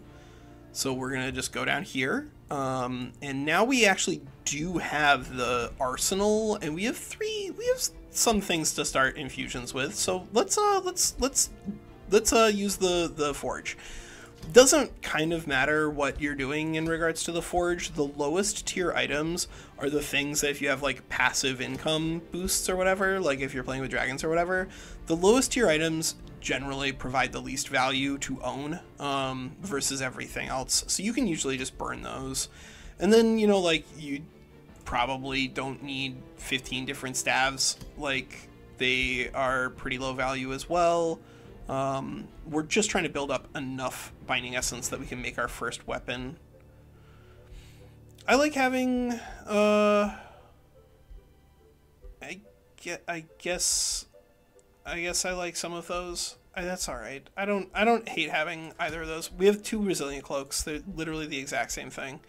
Um, so your leader should probably not be a purely dedicated support because you need to be able to do deal to deal damage. There probably some of the fights that we didn't watch, there were probably situations where the, the AI chose to act in a supporting role rather than act as, in an offensive role, and then left an enemy AI alive so that the enemy AI could like do damage, and then it became like a big problem for us, um, and they killed somebody or something like that, and that that does happen a lot in the game. Uh, let's see, is there anything different between frost damage and lightning damage here? I don't think so. I don't think there's a big difference looking at those. Um, and so I think here, the Chaos Eater, we can disenchant. They're all named Chaos Eater. Everything is a Chaos Eater. Oh, you know what?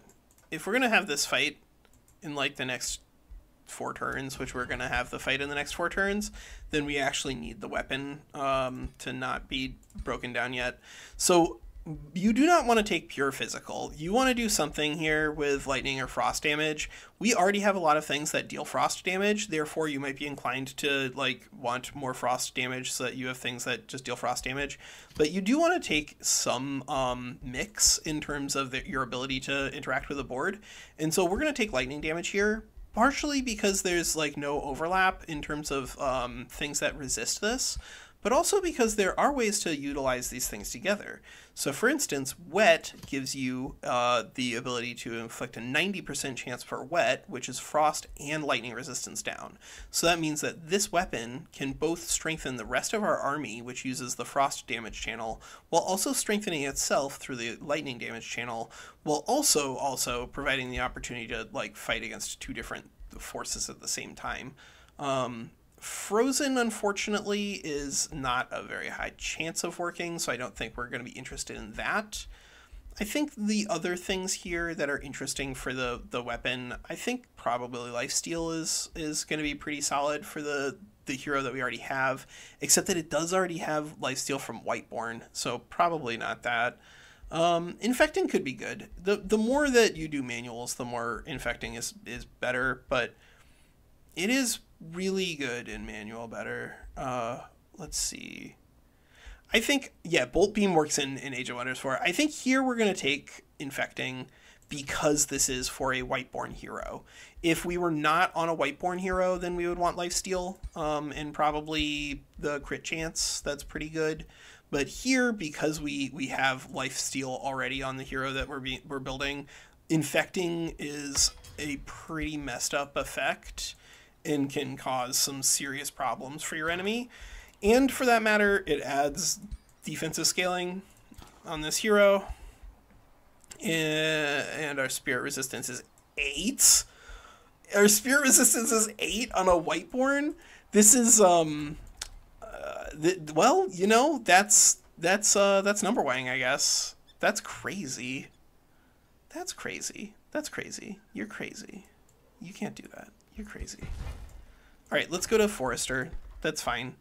We're now we're at the phase where most of our economy is probably going to be trying to focus on just getting units out. Um, and on that note, I suspect we probably want to just turn that into a mine. I just want to see if there's anything here that we like desperately need to build first with two quarries.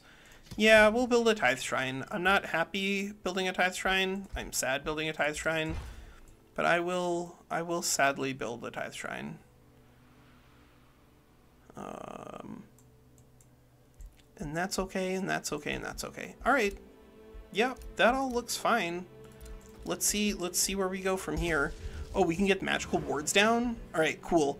Um, that's not going to help our Whiteborn hero, which is a little awkward, and it's not going to help our, like, other weird friend hero, but it's going to help basically everybody else, and that's, that's all that really matters.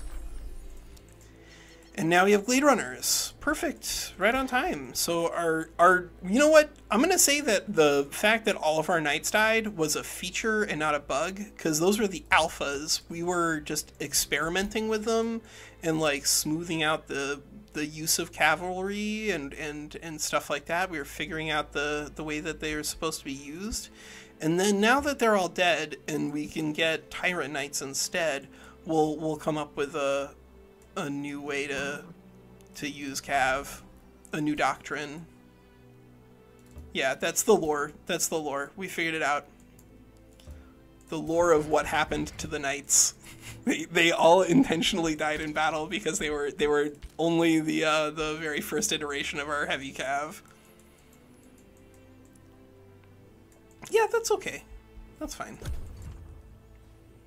And we're still going. We're st- our knowledge is still growing here. We are we are building things. Our gold economy is about to get a lot bigger. Our army was strong enough that purple ran away. All right, we need to catch those guys.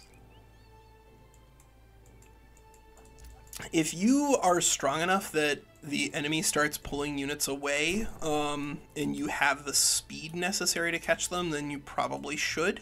Because that's just eliminating big chunks of this army is going to be. Oh no, they're athletic! They're athletic! Eric, why would you do this? Why would you do this? Alright, who would watch a tier list video for the pre-constructed rulers? be honest. If you would not watch that video, then I don't blame you because it would be kind of a little shitposty in terms of, of its content. But I think it would be fun. It's just a question of whether or not people would want to watch that. That would probably impact if I if I ever were to record it. I'm gonna take a one more night, one more night, because that one is that's the only city that can build knights and then everybody else can build glade runners so we just need to get um, a blacksmith down in one of those cities and then they can start working on glade runners it's kind of no point in doing it before you get the blacksmith down um, i'm going to lock in the aspect of the root and we're going to re research leaf skin and then we're going to start summoning some entwined protectors this is this is going to be good this is going to be good our, our army is has been beaten up for so long it's ridiculous. It's ridiculous. Everyone's dying all the time. But now, finally, we have entwined protectors, and we're probably going to start working on... we, are to go this way. We're to go this way. We we were so close to Gustkeep like four times, and it I because these are athletic, I don't think we can catch them. Um, and so we're just better off trying to go down here. And at least clearing the bird nest isn't bad. Um, it'll get us it'll get us some items, and I like getting items. And hopefully it won't lose us any more units, because that's it's just shameful. But now at least we have we have the gold necessary to get our academies down. And that's gonna be good.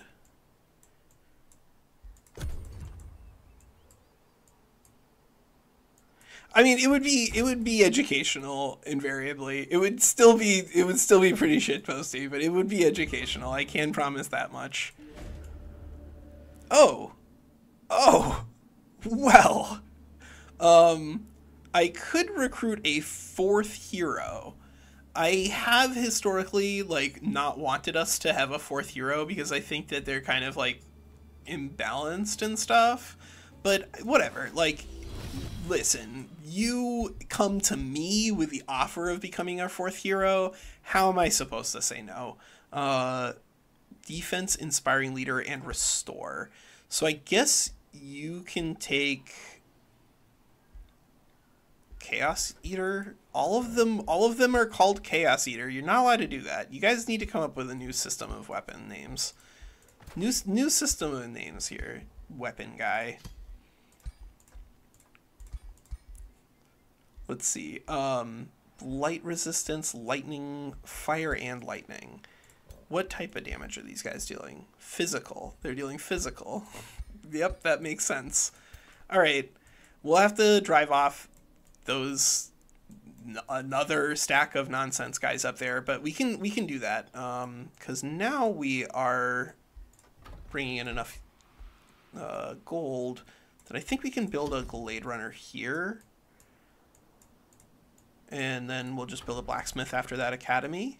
And I think we'll build another Glade Runner here and do the same thing. Because once we get the, the blacksmith down, then then those Glade Runners will become a lot more reasonable. Nine turns is you're never going to get that unit out. That that is not even worth the gold. Um, but I think I think we're going to fix up that draft pretty pretty darn fast here. At least that's the plan. And we're gonna need we're gonna need Imperium for casting reserves because um, we are not playing as a Wizard King. Therefore, if you do not get casting reserves, you cannot cast anything. For that matter, if you don't get channeling chambers, you kind of can't cast anything either. So we're gonna we're gonna need to do that. We're gonna need to do that. Part of the advantage of getting a lot of extra production early on is that you get your other stuff done pretty quickly. But if you don't keep the uh, the the you know foot on the the gas, then you kind of like give up the advantage to the uh, the factions that actually had like good long term scaling because you're building gold is really inefficient. Uh, do I want you to get 16 food? Or do I want you to get 16 food? You are at three turns to Academy. You are at one turn to Academy. All right, you get two turns to Academy. Awesome. Ta-da! We did it, everybody. They said it was impossible. Um, Rampart. Oh, Rampart, that's our new city, and we are growing in population, and that makes sense. All right, good. Everything's great.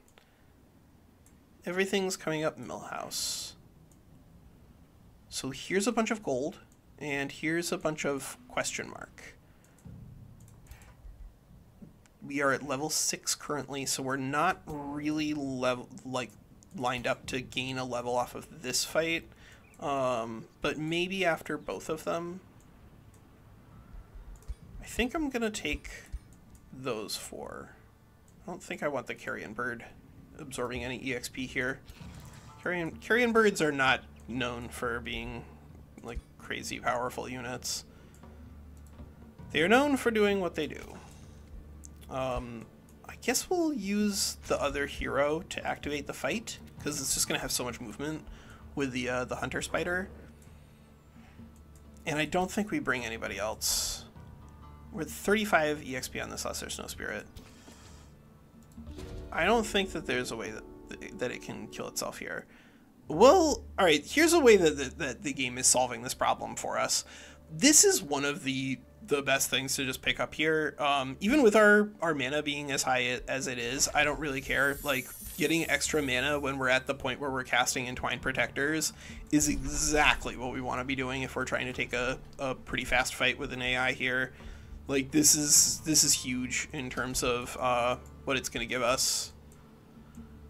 It's an extra turn of mana. I, the only thing I feel bad about now is that we don't have a blizzard queued up to hit the Great Bird Nest. I do feel bad about that. Um, but I don't think I feel bad enough about it that I'm not going to make the troops take the fight this turn anyway.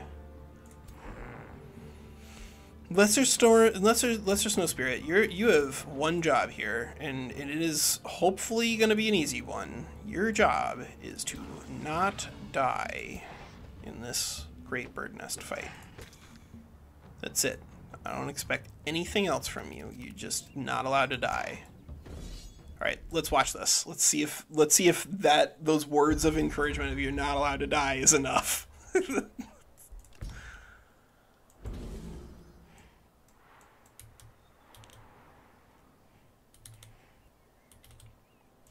as long as it doesn't die, then it'll turn into a tier three at after the end of this turn, like for sure.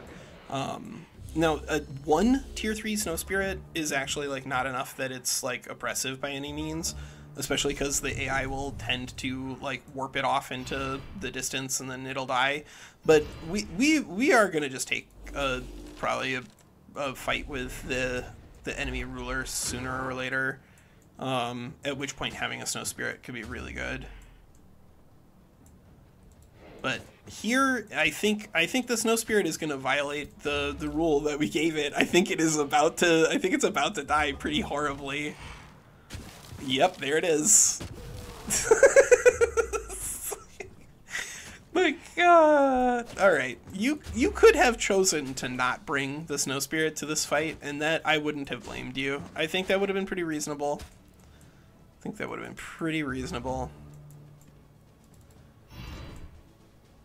Just just like don't just snow spirit if you identify that there are enemy bad guys over there that deal super effective damage to you then go in the opposite direction that's okay i that's all right i'll allow it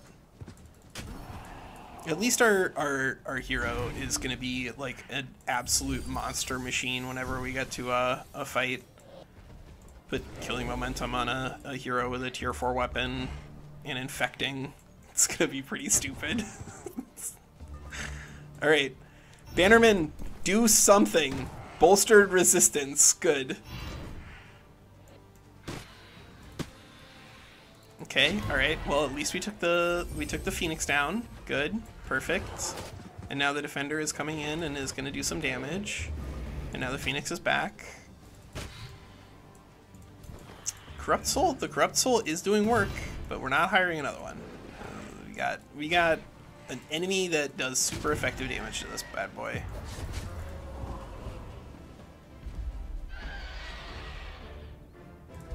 Yeah, rock and enchantment, they they survive a little better. Um, well, actually, it kind of depends. Like copper golems also have a an annoying tendency to just get get killed in every single fight. Um, it they're a, it really depends on what other supporting units you have for them.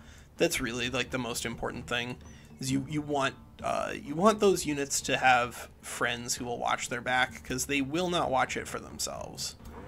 Um, here, I think this is a perfectly good opportunity for us to grab another uh, outpost that we don't have the gold for, so we won't grab it.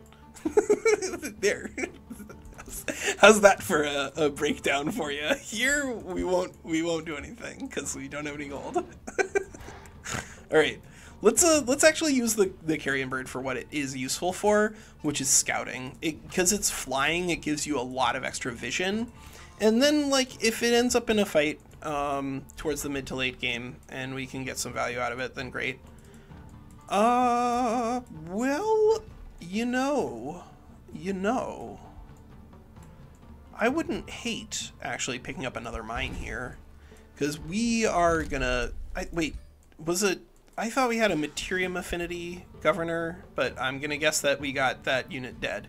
Holy crap, our Molby is actually good while army leader units in army have faithful and zeal that is not as spooky against these guys in particular because like everyone's gonna have uh, spirit damage stuff going on on the other side but that's that is still like faithful and zeal that's a lot of extra damage i wondered where the spirit damage was coming from that makes sense all right uh let's see is there anything else we want to be building right now probably not Held on, can you build anything useful? Can you? Can you?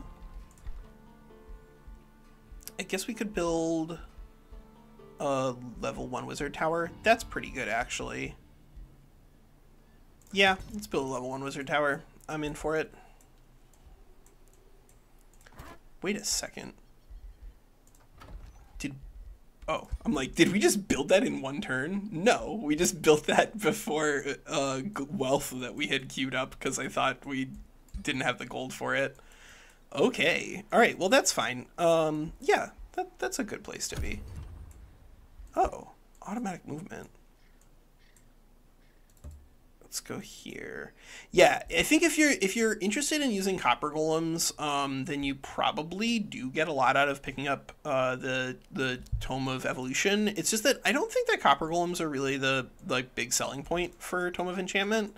Tome of Enchantment gives you a pretty solid SPI because it gives you an SPI that gives you tons of extra draft. Draft is like not the most abundant resource in the game, and and it is very important for mid to late game stuff. Can't believe they took our outpost. They came over here and they caused all this trouble for us, and then they took our outpost. Those jerks. We'll be back. Um, but like enchantment gives you just a lot of a lot of really good value across the board. It's got no Ragash. What happened? Our our cool city friend. I could have sworn we were outranking you. How? And there goes our tranquility pool. What what the hell happened? I thought we were ahead of them on on the uh on the the speed racer thing. All right, well, hmm, hmm. Maybe this is an opportunity for us to go out west and just like conquer Ragash out outright. as our fifth city before we take down the bad guy. Walker, it's like three o'clock. Certainly, yeah, it's three o'clock. Just, just all right. It's annoying that we've lost out on Ragash, and I my heart goes out to them. But I think I think in the interest of doing what we said we were going to do, which is try to get this entire run done in one day, uh, I think we need to kill the enemy. I think that is important. So let's go ahead and buy out our knight. Um, let's go here. Let's go ahead and drop in an Entwined Protector.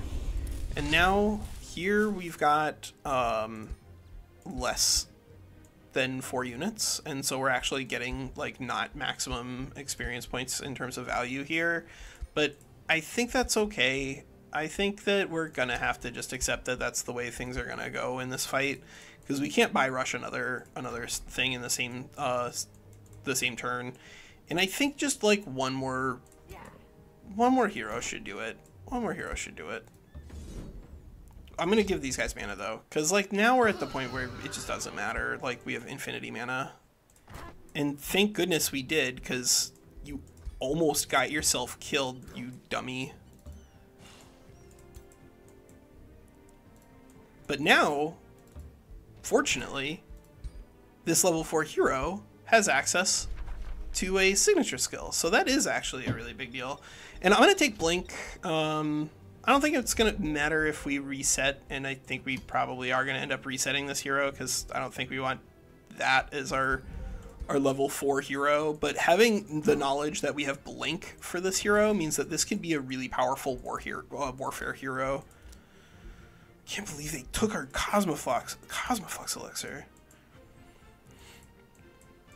Uh, a lot of support for constructs. Yeah, there there is a lot of support for constructs. Tome of the Construct, the tier two tome, is amazing. That's a great, great, great, great, great tome. Um, especially now that that uh, haste is missing on a lot of other stuff. That is another thing that you can do also to make your your knights more durable in auto resolve is take Tome of the Construct. So let's like very briefly Tome of the Construct here. Tome of the Construct gives you uh, linked Minds, which is going to give you hyper awareness, which is going to make it so you're immune to flanking.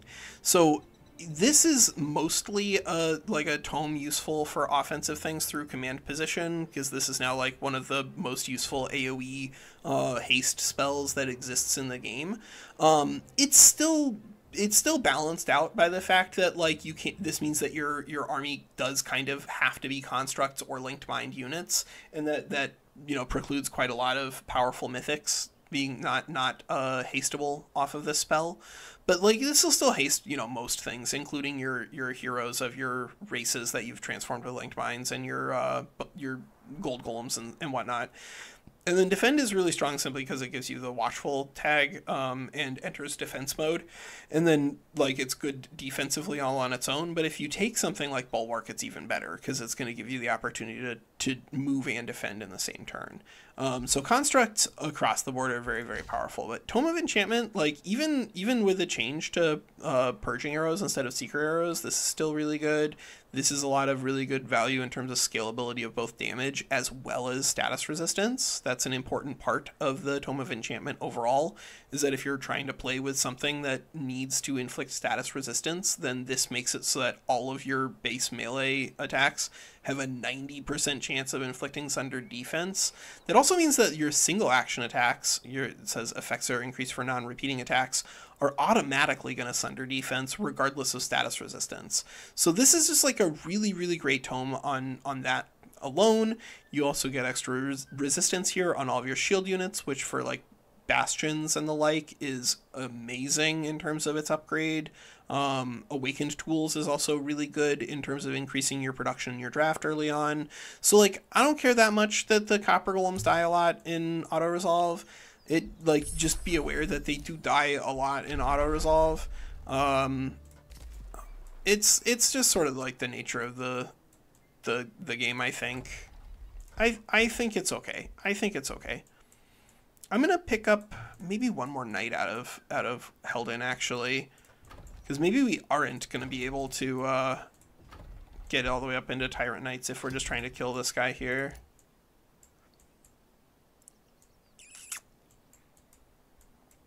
Because we could we could go out to Ragash first and then down to the capital, but like at that point, at that point, might as well just kill the capital. It's right there. You might as well take it, kid. You might as well take it. Shepherd is so like yeah, Shepherd is one of the the things that if you're trying to work on uh, Tome of Enchantment and Copper Golems, Shepherd is a big deal. Um, yeah, it's Relentless Crusaders is not what you need to be taking uh, in order to make like Imperium growth a real part of your build. It's it's just yeah, it's way too slow to get going. It might be interesting in a scenario where you're fighting against like a team, and so you're fighting immediately. But then you're kind of like also missing out on the grievances aspect of it. So like, uh, it's it's tough to get good value there. It's tough to get good value there. All right, so we're not going to bring our corrupt soul in against these zealots because they are going to deal spirit damage. Um, yeah, you can never have enough Imperium, and there's just like way better ways to get it than uh, Relentless Crusaders. Unfortunately for them. Um, so yeah, we'll bring you into this fight. And I guess we'll assume we're going to get to legendary rank on that Bannerman somewhere else. Uh, and yeah, that looks alright. That looks okay. Yeah, we're just going to leave mana on. Like, we just, every, every single fight we take here, we're probably never going to run out of mana. Probably. Probably.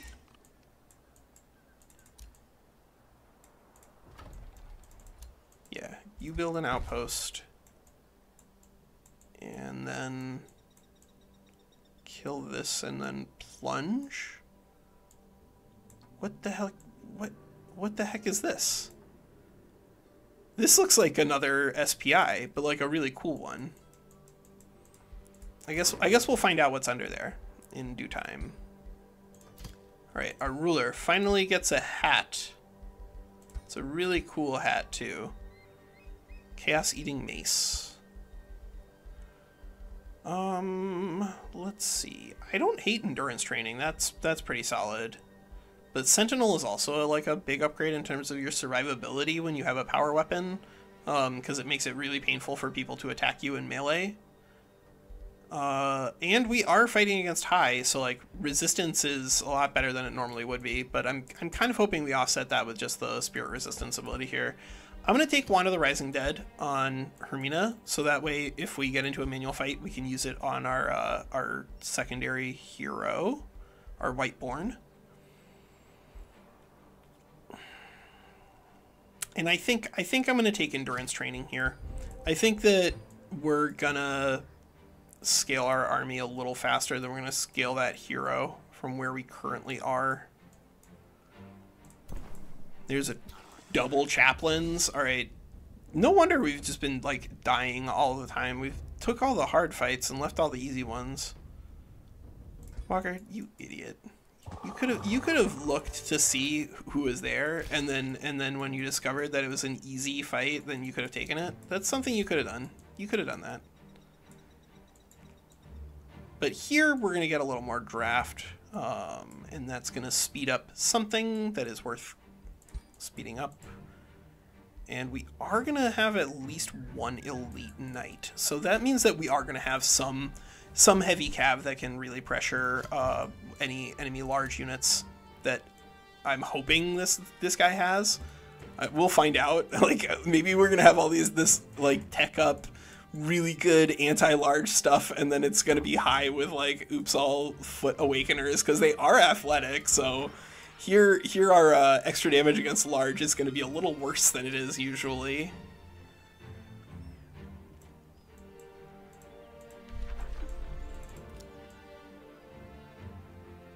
And I guess, yeah, we could use this as an opportunity to grab the Spring of Youth finally. Finally, finally, finally. Because if we can do that, uh, getting one um, fairy onto the board. Or actually, we get two fairies because we're going to have enough recruitment points. Yeah, maybe that's what we're to do. Maybe that... God damn it, Walker. Did you just pass with casting points open? This is where if we were playing a multiplayer, we could just like unclick the end un, end turn button. All right, we will have at least two, but now we can take casting reserves. So there's a there's even more casting available to us momentarily. Um, we need to build Wizard Tower 2 because now after that we can build Channeling Chamber and then and then hopefully we can get like some of these things done like leaf skin and whatnot. Uh, I'm gonna put you on a spider for now just so you can get to the front because it looks like they're coming back. It looks like they're coming back over there.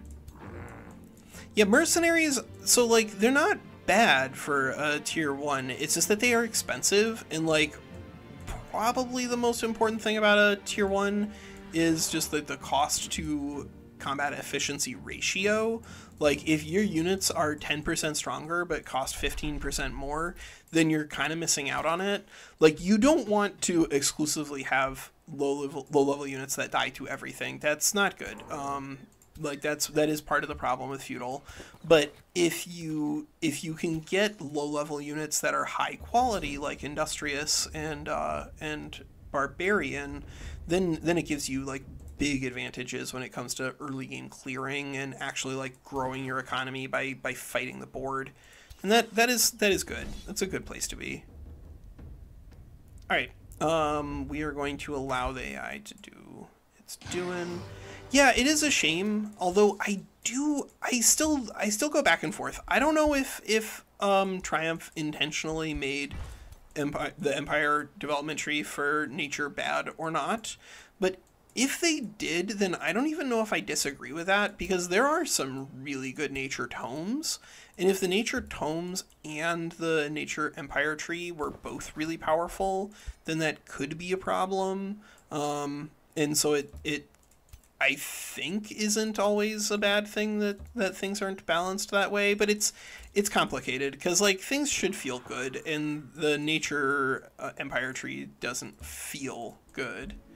It feels like it's like it's a lot worse than the other things that you could have access to, and guess what? In reality, it is.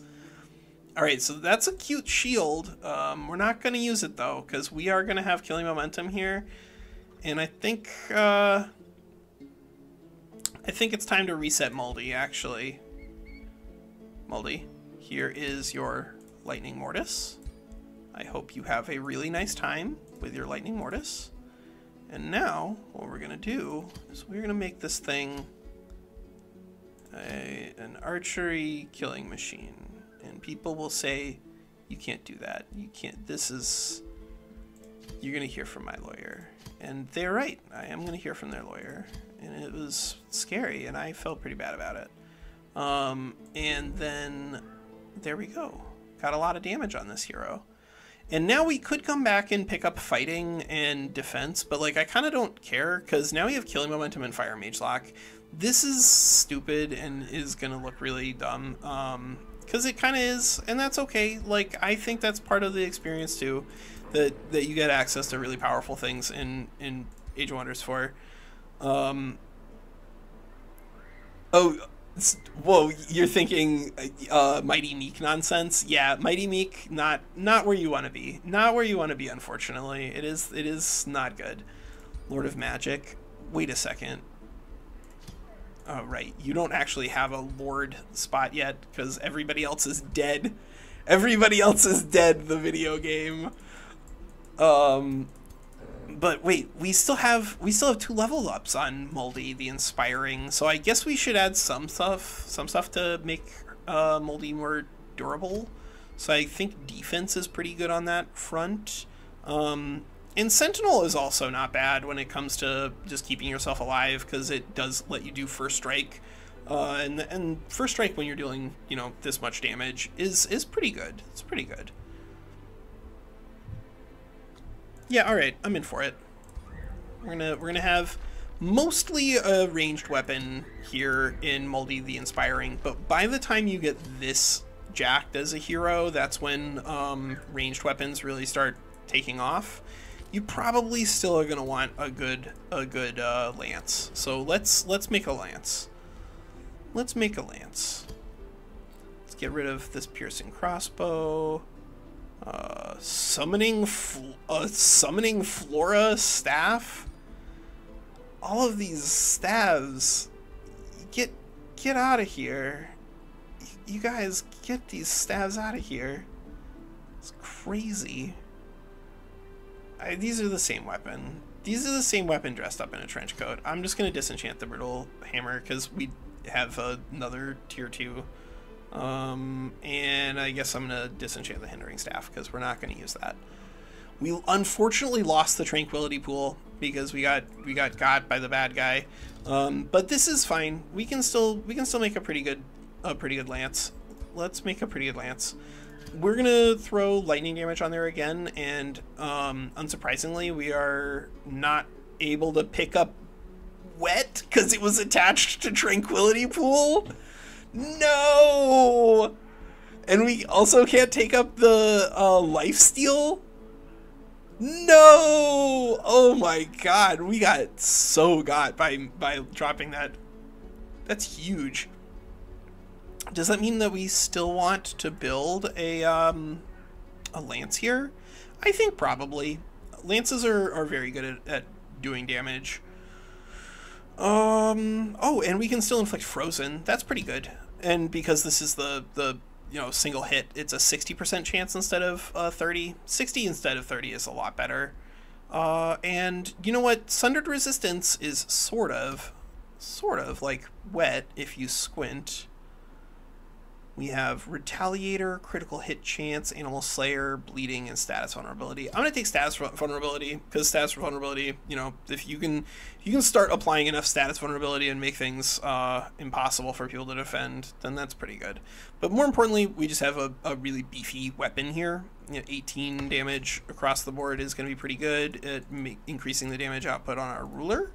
So right now we got a weapon that's at, it says 26 here, but that's because of the uh, the extra damage from our, our attacks, or fighting plus one or whatever. We'll see. We'll see what we have when our new weapon comes off the the press. It should be a lot better.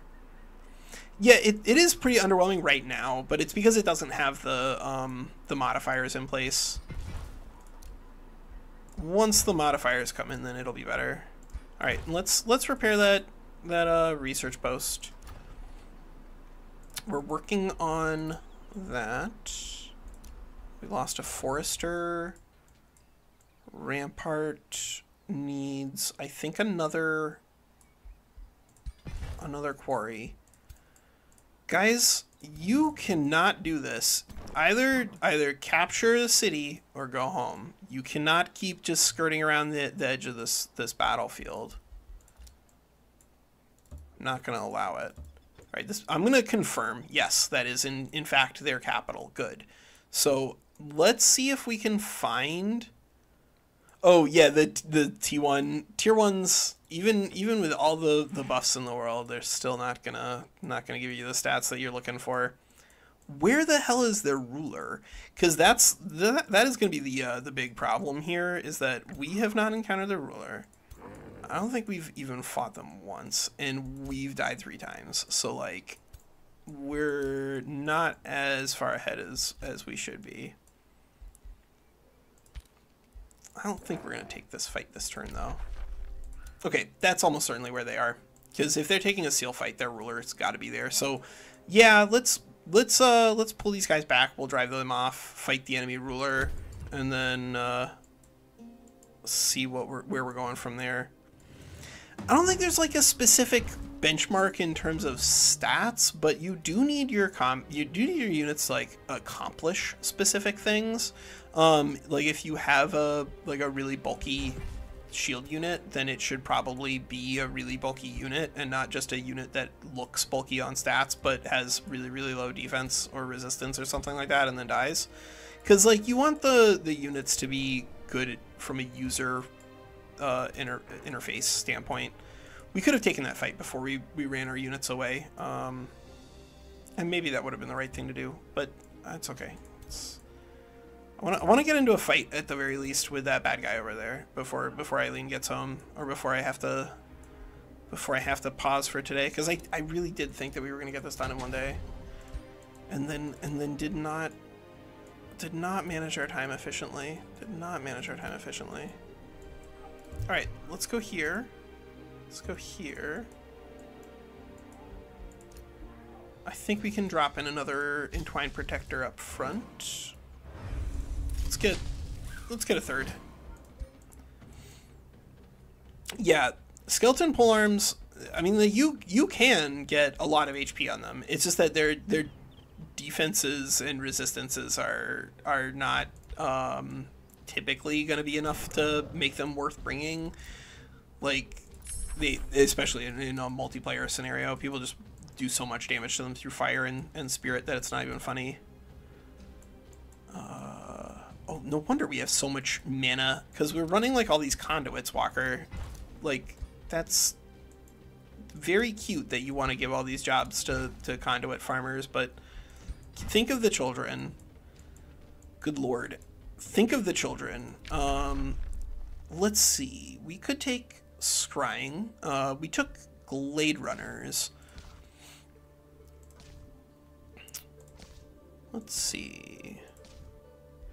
I mean, like a still ubiquitously useful thing is Revelry because Revelry does have access to the like Scald and Blood Fury weapons, and so this is going to make it so that our our uh, knights will do meaningful more damage, a meaningful more, amount more damage. Um, Tome of the Construct does offer us the opportunity to do linked minds and therefore keep our knights from uh, getting chewed through with backstabs. I want to save mists for later, so that way we can just like show that off. I'm gonna take I'm gonna take Tome of the Inquisition, not necessarily because it's like good, but because I think that having uh, Inquisitor's marks on Glade Runners sounds like it'll be fun, um, and and and and it's my party, and I can do what I want to. Uh, so I'm gonna lock in Inquisitor. The more that you want the early things that that show up, like the later on you get into the game, the more you need to start locking them, because like eventually you're gonna have a giant queue of spells that you haven't researched, and whenever you unlock a new a new tome, like you'll see only stuff from the new tome. But then after that, every research after that, you're gonna have like a random assortment of stuff and that means that if you don't lock things in on the first technology, that it'll shuffle everything in, and then you have to like click research three different times just to find one new spell off of your new tome after a certain point. So just locking spells becomes really, really good. Oh no, are we gonna lose Rampart and then we're we're the battle is gonna have to be us relieving Rampart? Oh man, are we gonna have a bunch of stacks over there against like 12 random units because everybody died. That could be funny. That could be the way that we end this stream in one day as we die brutally. I, I think that feudals. So, inquisitors aren't great. They're really good at doing damage. That is what they are great at. Um, they are still pretty fragile, but they did get plus 10 HP, plus 1 uh, defense, and plus 1 resistance on the patch like two turns ago. Um, and that made a big difference in terms of their their like viability defensively. They're still kind of not what an order mage needs, which is the the biggest problem. Um, because like an order mage needs access to uh, frontline durability, and that is not an inquisitor but you know, it, it, still does it still does do put in work, uh, and I think I think that deserves that deserves some some recognition. The Inquisitors are a lot better than they used to be. That much is absolutely true. All right, so what do we actually have here? We have we have 13 units to go in against like 16, 17, 20 26, 28 units. We're like outnumbered two to one. That's okay. If we're gonna if we're gonna manual fight these guys, I think that's fine. Um, blacksmith. Do I want to build anything else here? Uh, I guess I could build an armory for even faster production on these Glade Runners that we may end up not needing. Alright, uh, yeah, I'm here for it. Let's let's see what we get. let's let's see how this goes. And we'll do a tithe shrine. So we need to we need to get over to Rampart before it gets annexed by the enemy. That's the that's the point where like it becomes a lot more costly to take it back because that's where the uh, Imperium cost actually comes back onto board, and we do not want that. Um, our ruler could be providing experience points though, and should. Yep, you get you get a little bit of training. You get a little bit of training. You get a little bit of training. All of a sudden, all those guys are going to get a lot more training. Um, I guess I guess nobody else is coming down before before we have to take this fight, except maybe the Glade Runners. So we probably want to save the the gold. And I guess we'll bring the the carrion bird back home. Like if the carrion bird gets to participate in this fight, then the the carrion bird gets to participate in that fight. There's Rampart. So now it should be unless they took oh no. They if they have nature 1 if they have nature 1 then they're to absorb Rampart like early enough that it's to be actually a problem because we don't really have time to get a blizzard off here either. We can get a snow spirit into this stack. That seems like something that we could add. Um, 32. Do we have just enough to... Five gold. We have five gold.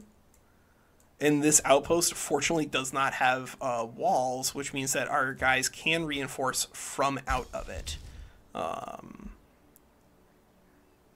we do not have the casting points to pick up aspect of the root or signet of knighthood, so we're to need to fight this without those. But I think this will be a fun way to, to end this this uh, this stream. I think that basically, I think that Druidic Terraformers is worth playing around with. I think that there are absolutely some things that can make um, Druidic Terraformers work uh, pretty well. It seems like they'll be really good for High, because um, High does just have like enormous flat economy at the beginning of the game, and so seeing how it plays out there should be pretty interesting. And I do think that the changes for food are pretty favorable for um, for high in particular, just because it was already pretty good at generating food and and just did so incidentally, even when food was like not good. And food is a lot better now. Um, but unfortunately for feudal, feudal is not a lot better now. Just food. But I think I think we'll I think we'll have a pretty reasonable time here of things regardless. Should we restart reset Hermina Taylor? I no, don't reset Hermina Taylor. Just take this fight. Just go do this fight. Just take the the five, the three strongest. There's a a thousand. We'll take this one. We'll take a fight with the the ruler, and that'll be a fun place to end the stream. Um, let's go you here, and you here. And now we get another Entwined Protector, which you are not a defender of any kind. Oh, this is, all right, oh, this is our dude who I guess can have the Chaos Eater tier 4 weapon. Yeah, that's fine. That's, that's good enough. Um, spirit resistance is going to be pretty good against high. And then I guess you'll take uh, the zealot weapon just because it's there. And uh, I'm going to kick the defender out of our main party because now we want to just get the best things in this group that we can. He says, and then has a brewer ogre with four movement. All ogre and I guess we'll leave the Bannerman with us, and then we'll uh, regroup here.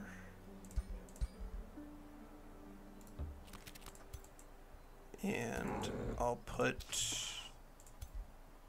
a Glade Runner in this group.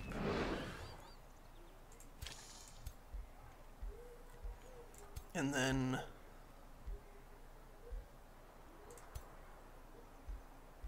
the the high rank knight in that group. Yeah, that's the best. That's the best use of those resources. And then we'll drop uh, an entwined protector down here, and then uh, we'll have a nice fight. Says it's going to be a risky battle. This this is going to be fun though. We have on our side uh, three heroes, so I I suspect that it's going to be a pretty easy fight. Although you know, our our heroes are in in meaningfully worse shape due to having some issues in the early uh, the early phase of the game, and we can't even use um, a blizzard here before this fight. Like the only thing we could do to add extra strength to our board here would be to summon a lesser snow spirit, which. I mean, I guess we're going to be fighting against some low tier units. So, like, I don't even hate that. I think that's okay the higher tier units that you have on the enemy side, the more you need to be concerned about bringing low tier like chaff effectively.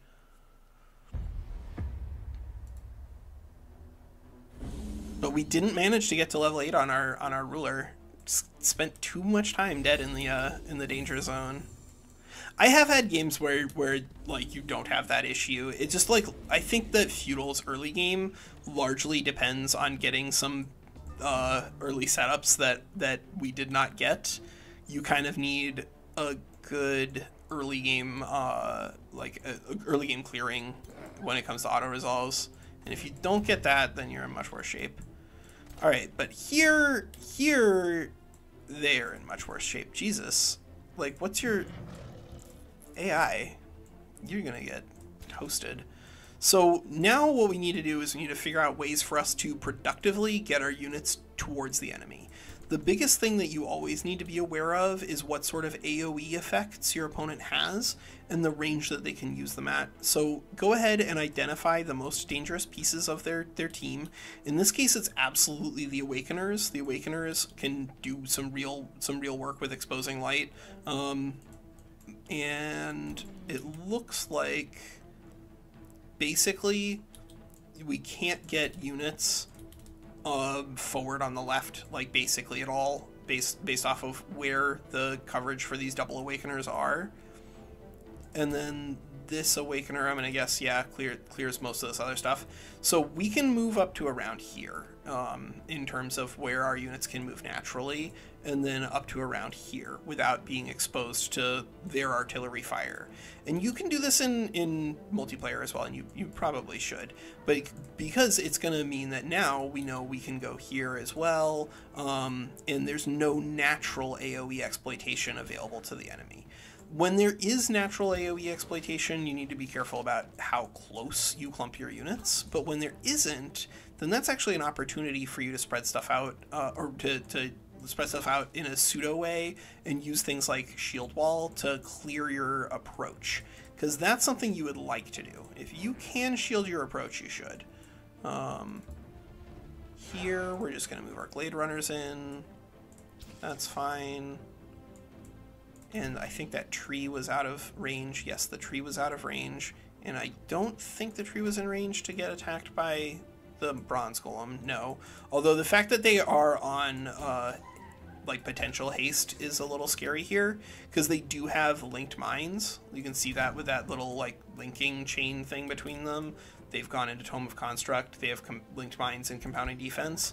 So they might have a way to haste their entire army here, in which case um, moving this hero up is not like great value, but it is at least a, um, a bulwark hero. So that's going to give us the opportunity to bring a knight in and, or a, a shield wall hero, and then shield wall it. And that's preserved the HP for later. Our Snow Spirit is probably just gonna harass this side. Um, it has access to Freezing Burst, which means that it's going to do the most work it can against units that have low status resistance. And this is where the enemy has most of their tier 1 units, so just putting it over there is good value. Um, I guess we could try to get a mana unchained off here. That's that could be pretty good. We got we got some tier threes. Can we get mana unchained onto the other hero? We can get it onto the other hero. All right, I'm here for it. I am here for it. So in Mana Unchained, this is this is the uh, astral ability that utilizes like just doing damage. I think the best. Blink, Blink is strong, um, but this might be stronger.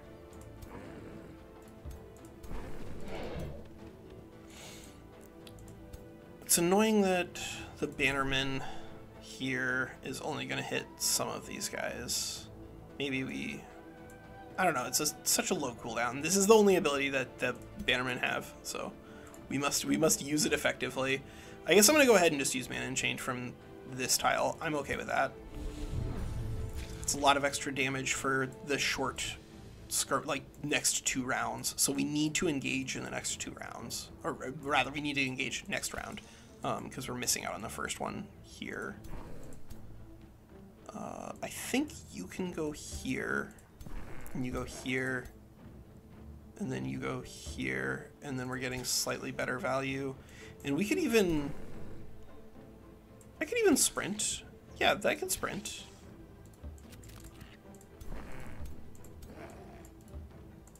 Because we need to get much value out of these bannermen as we can.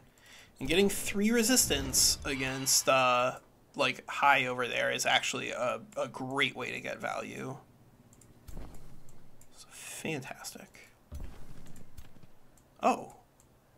Oh, oh boy, they can get five resistance because they that one can actually travel to both parties. Well, well, knight, well, you are going to have a nice time. I can't promise you that anybody else on this team is going to have a nice time, but you are going to have a nice time. Hello, Pico. Uh, yeah, you're gonna walk on the keyboard, huh? Alright, well, that's, that makes sense. Alright, let's go here. Let's, uh, let's get our bolster off. And then we will gain our frigid belch. And now it was, it was like right here, so we need to actually move one tile back out of the way. Um, oh no. Pico, get out of there. Alright, so we need to go here. And then we need to go like here or something like that to get out of the way of, of these bad boys, right? Yeah, that, that looks about right. And then, and then, you know, we're not going to do the AI thing and just like pointer butts in the wrong direction. We will we will attempt to face at the enemy in so much as it is possible. But now, like, we're going to present opportunities to the enemy to exploit AoE, but there are a couple of things when it comes to that. First, not all AoE exploitation is is the same. Like, if somebody uses um, something on you that causes weakened in an AoE that's annoying, but it's not going to end a fight. Whereas, like, if we can get the AoE to, or the enemy to just uh, go in and dive on this Grimbeak Crow, then I think we're going to be in pretty good shape um, in terms of being able to fight out the rest of the fight. And so, like, just just be aware of the value of the things that you're including in an AoE clump and the danger presented, like what sort of units can actually exploit it because here there's there's nothing. Nothing is in range to actually hit us with AoE stuff except for their spells. And if they're doing that, then they're committing spells uh, early on in the fight, and that gives us the opportunity to respond productively. Alright, you go here, and you go here, and our, our heavy cav is gonna flank. We're gonna do some we're gonna do some flanking. I think that's it. I think everybody else is just defending. Yep, that's what it looks like. So what we're to try to do here is overwhelm um, this this right flank because that's where all of their weakest units are, and that's just like where the terrain dictated that most of our guys could go. Eric Rex is moving. Oh no! Hastened. Oh no! there it is. So it's a good thing that we got a lot of people in, in uh, defense mode because we're about to get chomped.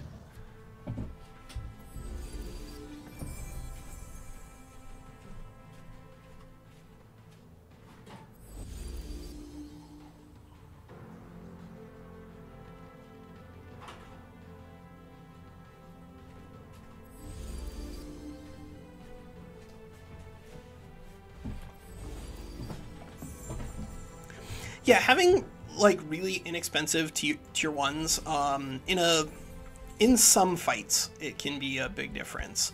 The thing is, is that like broadly, you want units that actually scale pretty well, and the um, tier one units do not scale particularly well.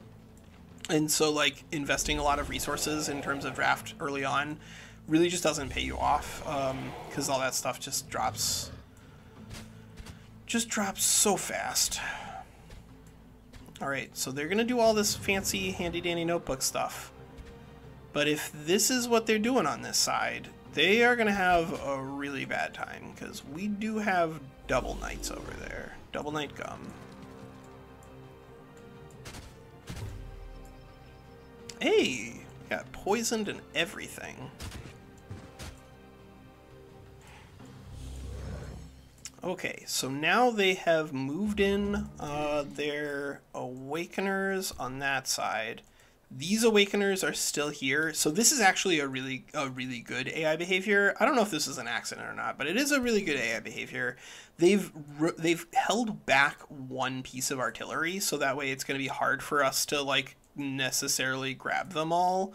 Um like with just one unit in terms of adjacencies and so this thing can cover like anyone who's trying to come in to disrupt this one which is like the really dangerous one because this one now has the ability to essentially AOE whatever it wants to. Um, we're gonna we're gonna fix that here in just a second, but it that is a dangerous part of their their tool, um, their tool set here, and so we might need to do something about that. We might need to might need to remove that awakener before it gets an opportunity to chew through an army. Well, in that case, let's find out what we got. So we have Mark of Invulnerability, we have Call to Glory, and we have Ice Coffin. Ice Coffin is going to be the thing that's going to give us the most value if we want to just freeze that Awakener and clear for everybody else to come in. That might be where we go. Um, that's that's not an inherently unreasonable thing to do. Uh, but I think what we'd rather be doing is disrupting this Awakener with, with melee stuff. So is there a way for us to do that? Is there a way for us to do that? So if we shoot this guy with a bow, there's a 60% chance to slow. This is where Glade Runners do benefit a lot from having more units. Or more unit enchantments, at least. I guess we'll send the Grimbeak Crow here. Um, that pulls off one, one retaliation off of that guy. Wow. All right, but we got the blind on their Awakener. That means that this thing is going to do a lot less damage with Spirit Bolts, and because it's adjacent to someone, it's not going to be able, until until they kill this thing. They're not going to be able to use the uh, the exposing light. And if we can get another unit like there for some reason, then I, I think we can get get it through. So we need to kill this. Uh, is what it boils down to. It, God, this thing is so bulky. This is crazy. Seven defense. Where's your damage, Feudal? Where is your damage? Alright, so you do have... Oh, you don't have Stand Together because we didn't even get Signets down. So there's no point in trying to get those guys together. It's just the, the Knights. This might be, um... This might be uh, time for us to blink, honestly. Like, if if I can't come up with another way for us to get something adjacent to this Awakener other than the, the Crow then Blink looks like the best thing for us to do. And we could even use that as an opportunity to consume chaos if we can get enough enough debuffs on these guys, because consume chaos can do a lot of damage. Let's see if we can do some more debuffs, I guess.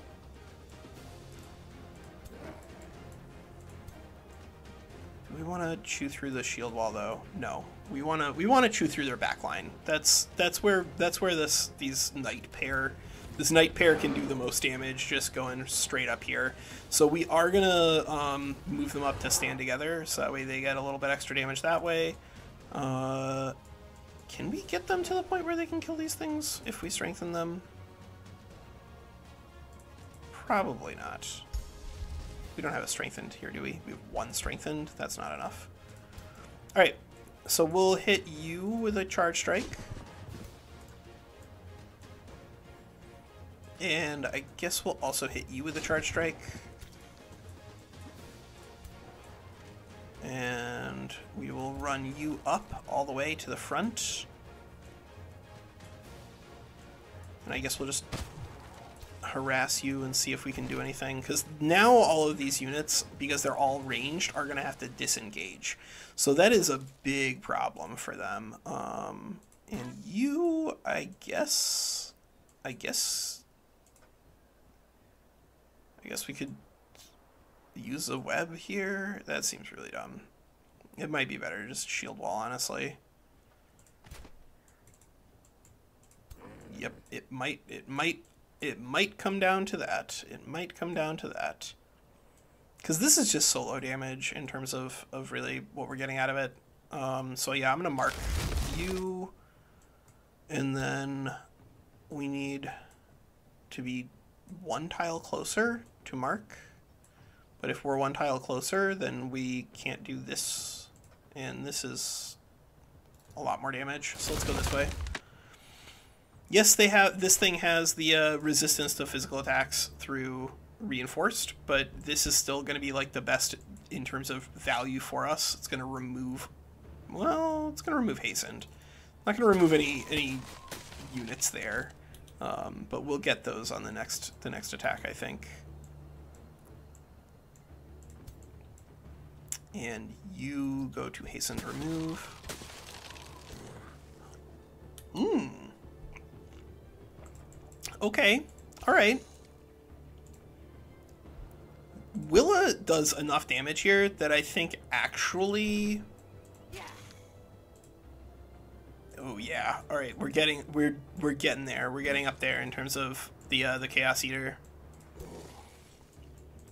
Let's see what else we can do to apply obnoxious bonuses. Yeah, we're gonna we're gonna consume chaos something. Um, this does look like a pretty reasonable place for us to go. I'm just trying to see if there's anything else we can do to apply even more um, debuffs first. Because this is like Sunder defense, for instance, and that's that's a nice little a nice little bonus. Uh, here's here's another thing that we could do. We just we could just throw a banner of healing right here. I don't even hate doing that.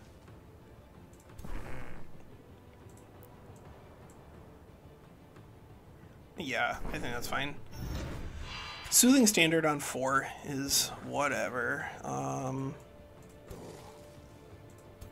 you are not close enough to do that attack, but we are close enough that we could go run straight up to their face and defend right next to this first strike retaliation legendary daylight spear.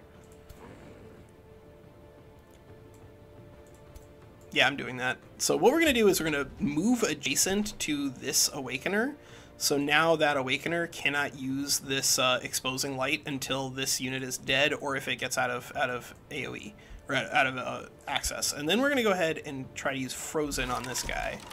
Um, probably should have done that first, but whatever. Like, you're not my real dad. Um, and now we've gotten this unit in a defensive posture covering this so it can't use its AoE attack and then I'm going to ch charge in here and smash the, uh, the archer. Hey, Jonathan, how's it going? Yeah, so we got that out of the way. And now I think what we're going to do... Let's see if we can use a, a frigid belch productively on one of these guys. I think I think a frigid belch freezing um, a daylight spear that deals a million damage is almost certainly going to be worth our time. Yeah, yeah, let's go for it. Good. Frozen, frozen. This is what we want to see. So now we're, we're gonna need to get a position where we can use uh, our Mage Lock and Killing Momentum and kill the, probably this Dusk Hunter and then take another shot at something.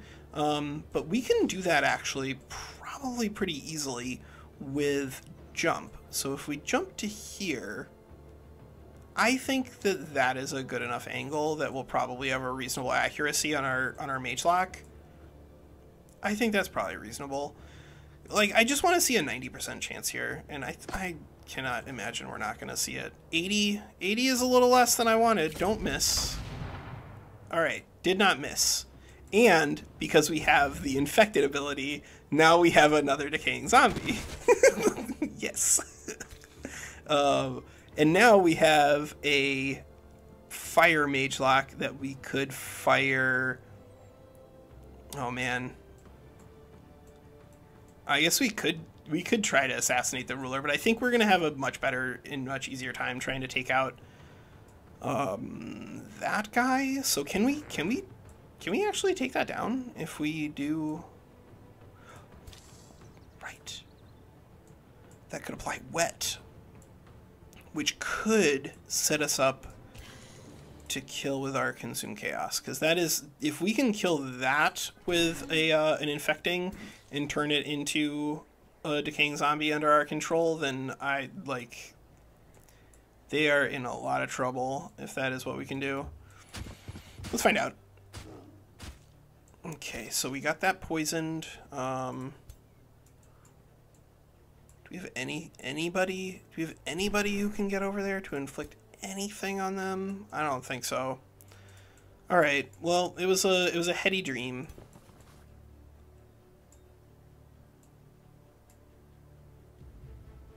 Minus three morale. Minus three morale.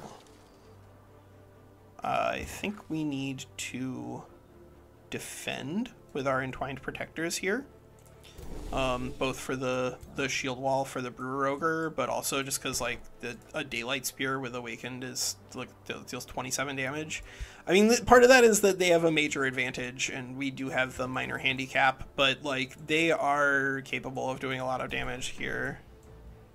That is, of course, also like a, an indirect part of the uh, the experience here with our, our feudals. But whenever we play like a stronger faction, um, you'll you'll notice that we we can usually get away with uh, the current settings without it being a problem. I could if I am willing to become poisoned and be and become adjacent to a, a copper bronze golem, then we can get close enough that we can shoot the awakener. That cannot be worth it. Sorry, buddy.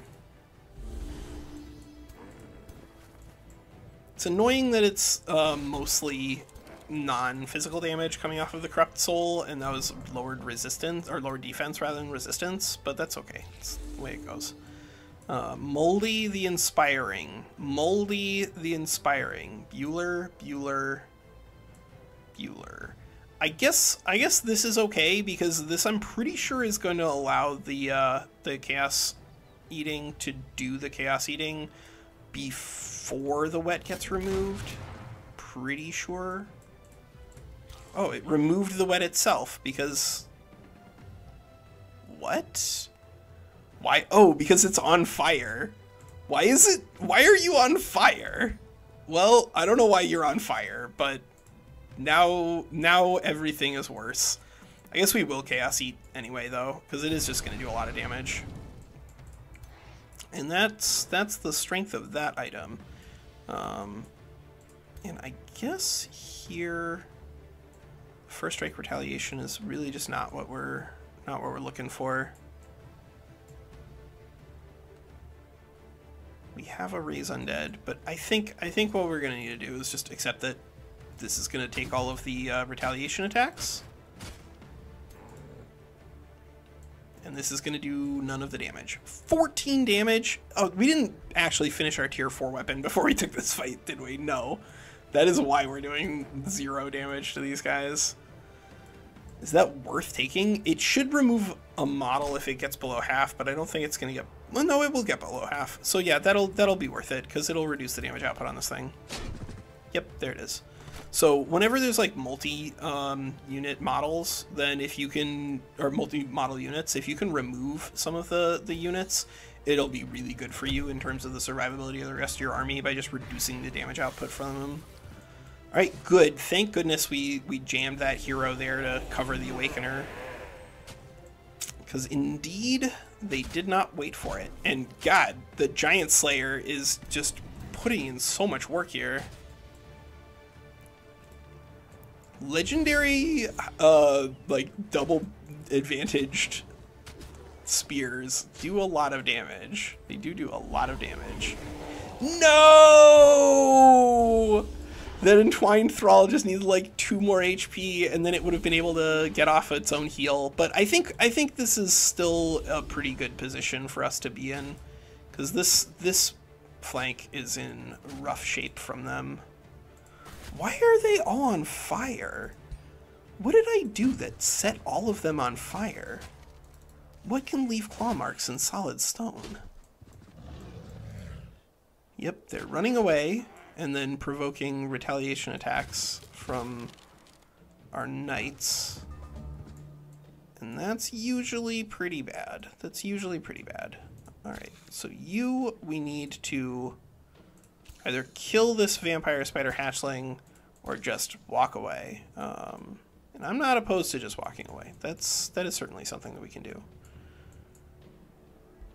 All right, so what what can we do about this middle here? We've got um, a soothing banner, which could could be worth it, but it would probably require us to do something like this and pull the defender back, and therefore pull a an attack off of the daylight spear. Um, and you know that's okay. I'll, I'll do that. Like the, we're taking the we're taking the retaliations onto this defender, which is not an important part of the the combat, um, and leaving it so that those retaliations are not there for more important attacks. Uh, and the soothing standard, I don't think is going to hurt either. To give those guys a little bit more in terms of real survivability. Uh, you could deal 24 damage. I don't hate that. I think that's fine. Um, yeah, let's go for it. So we got us slowed, and once we get enough slowed, then the retaliations are just gone. Um, one is not enough. We could kill we could kill the Awakener here though. I like that. Let's just take the Awakener out. Because now we get extra value um, in terms of increasing our morale from killing stronger units. And that means that if we can move here and take this guy out with a Mage Lock, not only does this give us the killing momentum and give us uh, another zombie, but again, that's another high tier unit. So we've lost one so far, they've lost three. And the more high tier units that we can pick off, uh, the more the morale is going to become a problem for everybody else who's still on the field.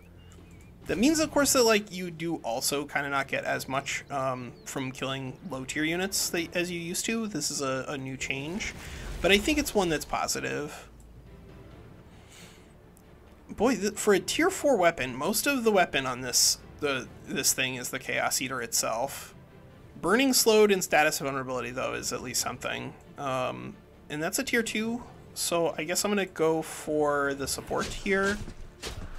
Just to try to get that thing off the board. Can you kill? You can kill... Oh no, you can't kill that one? Really? Can you? Ah, you can. So why does this one get it and that one doesn't? This one has star blades and that one doesn't. So pay attention to what what options you got available to you. In this case, we actually had a, an extra kill by just moving different units in different directions. Um, yeah, we'll do this. Go go take that that archer out because this is just a melee strike for 11 Boom. And now we can maybe freeze? I don't even hate that. There's no zone of control also out of this guy because it's a uh, an archer unit. So even though we didn't get it, now there's kind of like nowhere for this archer to go. Um, this is one of the one of the problems with ranged units. Where is this archer supposed to go?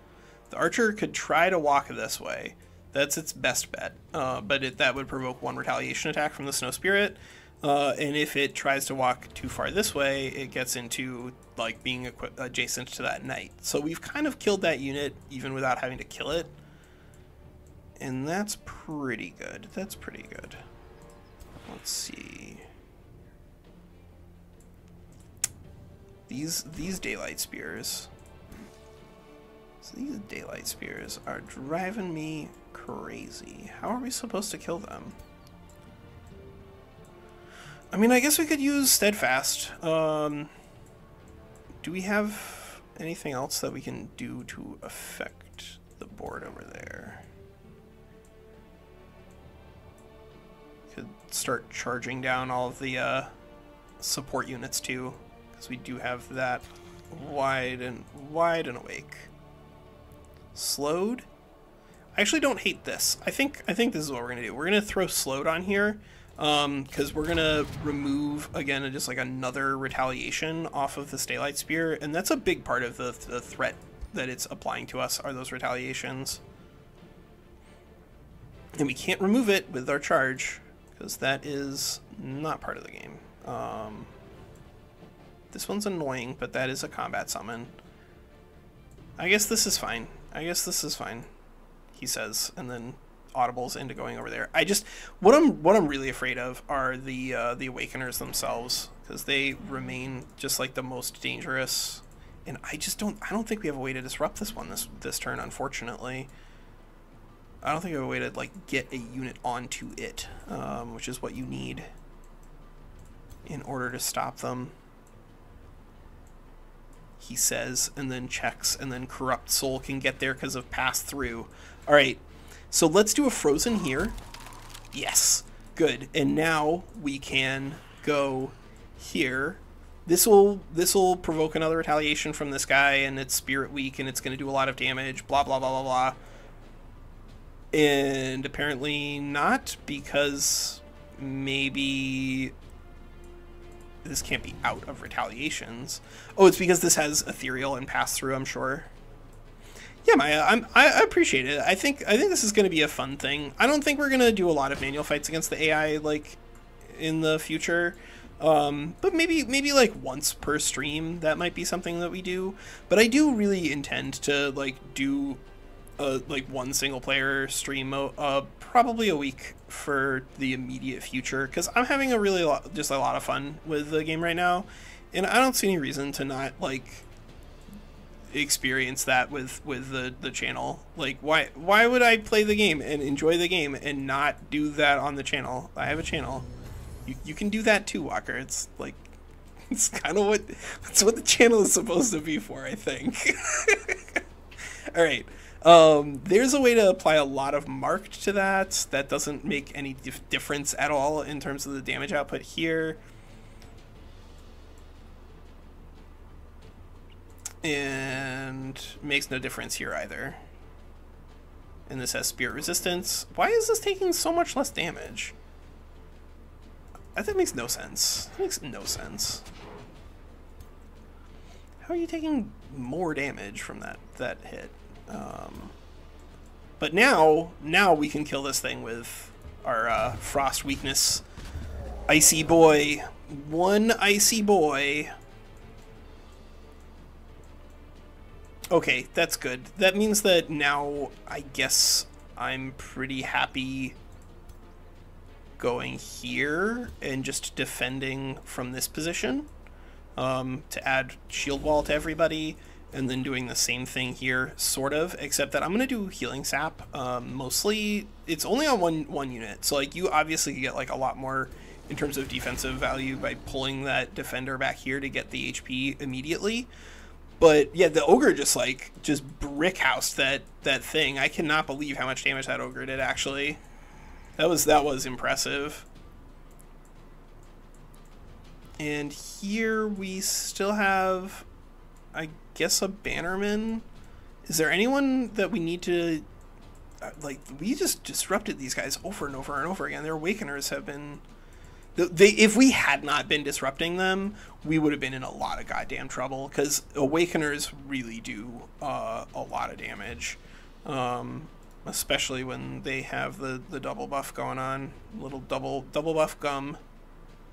I guess I'm gonna do the resistance here. Probably doesn't make a difference. I think this thing is gonna chew through those guys in one turn anyway, but the spirit weakness just got offset a lot by throwing a bunch of uh, bolstered resistance on there. And if it can, if we can make it so that it doesn't die in one turn of auto attacks, then that would actually be great. And here, um, I guess I could just go straight in on this guy because this is not a, a, a summon. This is an actual unit that's here on this fight. So if we can kill that, then it's gonna continue impacting morale. And nine defense Oh, we're gonna lose two of that because that is from shield warded.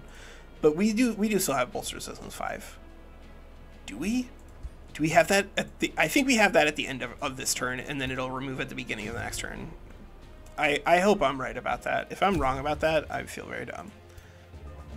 All right, good. I am right about that. So now we have infinite resistance for whatever the support units want to do. Oh no, they killed our they killed our uh, little snow spirit that we added in on that combat. It's okay. The snow spirit was there to die. Don't don't don't do it. Don't do it. Don't kill don't kill my corrupted soul. I know that you're high and that I brought something that's weak to to spirit against you, but don't do it. That's be very rude and we wouldn't invite you back.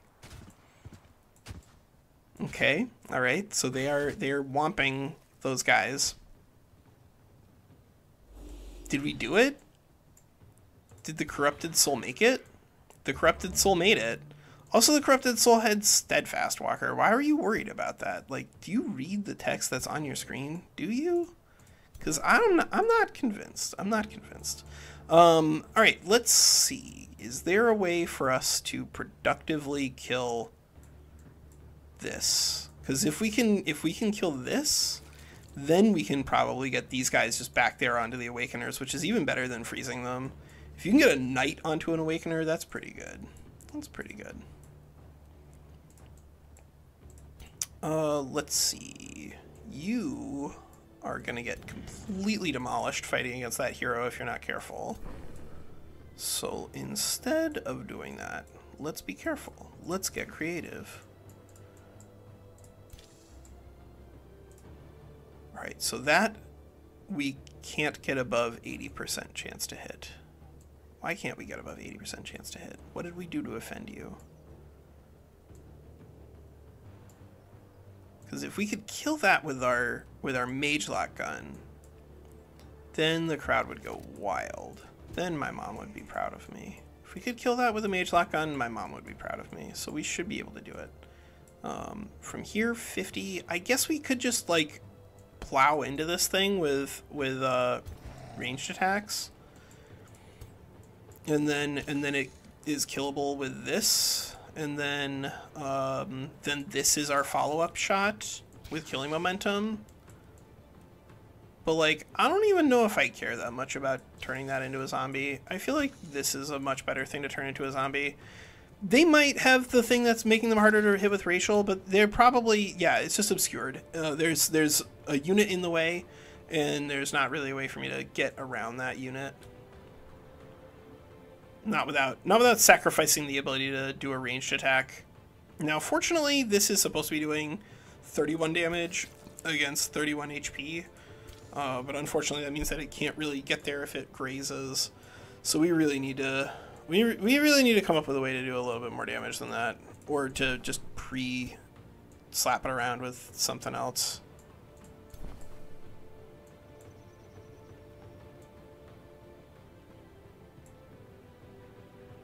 Alright, here's what we're going to do. I'm going to do an ice coffin on the daylight spears. Yes, because those are going to be obnoxious.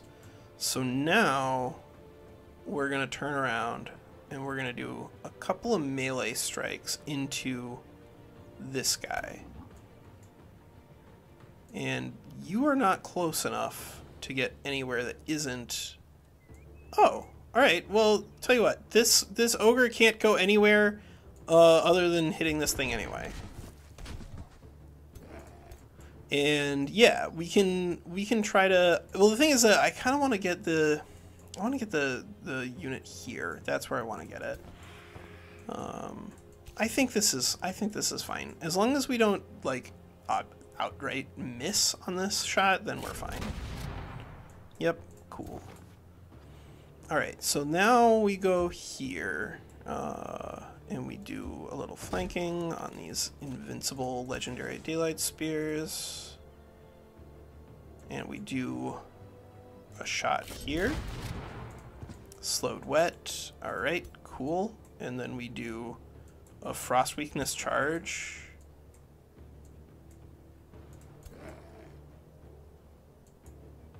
Yep.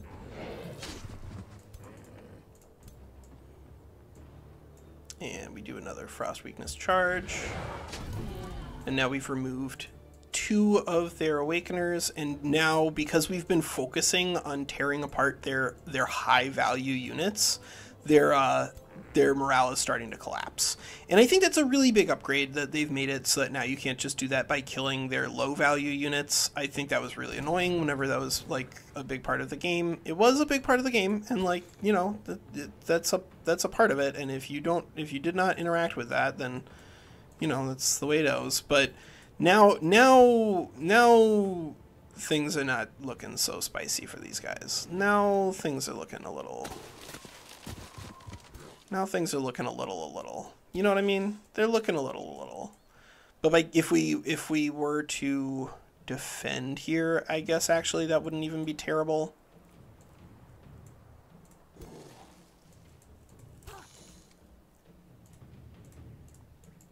Yeah, I think that's fine. I think a, a defend on that spot is defensible. Ha ha ha ha. Um, and then I think we're going to use you to do a little more punishing damage on... Oh, this doesn't have enough uh, slowed. So we yeah, we can do, do here. Slow you. Alright, well that's fine. Sundered defense is, I think, the new hotness. I think that's what we're... I think that's what all the, the young, young people are into put comment below if you are are a hip young person into sundered defense. If that's if that's what floats your boat. There we go.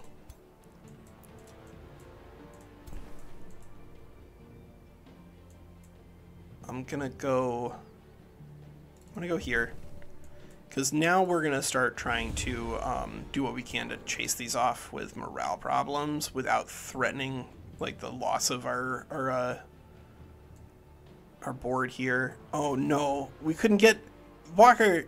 Did you manage an Awakener all game long, only to like stop managing it on the literal last turn where it could use an attack? Is that what you did? Because that's that is what it looks like. That is what that looks like. Embarrassing. You just you just you just embarrassing. You just embarrassing yourself. All right. Um, let's go here. Let's just start charging down these melee guys. Bam. You can uh, launch an attack here, but if we stand a guy in the way, then that's not the case anymore. And if we get a crit and we kill this thing, which we won't, um, yeah, then we can break away with no problem. It's okay. Look, you, you're you're wildly overestimating how much damage you're going to take from this this attack walker if you think that that you can't move a an entwined protector here and just shield wall this.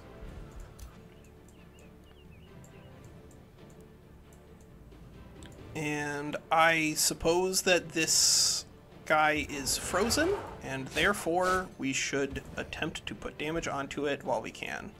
I can't believe I can't believe I did that. I mean, I can't believe I did that because it is like very normal skill issues. But God damn it, Walker! Like that. This is this is exactly the sort of AOE opportunity that that I wanted to avoid offering to the enemy. tried to manage all combat, and then just like, and then just like was lazy, just lazy. Like I could have, I could have walked all the way over to there. I could have walked into that zone of control. Why didn't you walk into that zone of control, Walker? Why aren't you more like your brother? He would have walked into that zone of control and then not lost the corrupted soul. He's an actuary. what are you talking about, Walker? but uh, you, we're gonna win this. We are gonna we're gonna have a lot more like incidental losses of stupid stuff than we probably needed to, but we are gonna win this fight. And I think we're gonna get through it with like all of the pieces that we would need in order to uh, follow up by defeating the remainder of whatever army they have because the we have enormous defensive scaling here. We haven't used it yet in this fight, but we have a mass rejuvenation, which means that like if if we were to have a fight with a follow-up army um, that we would be able to immediately just clump all of our units together, heal, and then it would not be an issue uh, that we have guys coming in at like half HP Oh, this will apply marked. Sure. No, it won't. Walker, why would you why would you say that? You know it won't apply marked. 66% chance. 66% chance it happens every time. Um, God damn it. Are we going to have to charge you this way? Is that the plan? I guess we're going to charge you this way. That is the plan.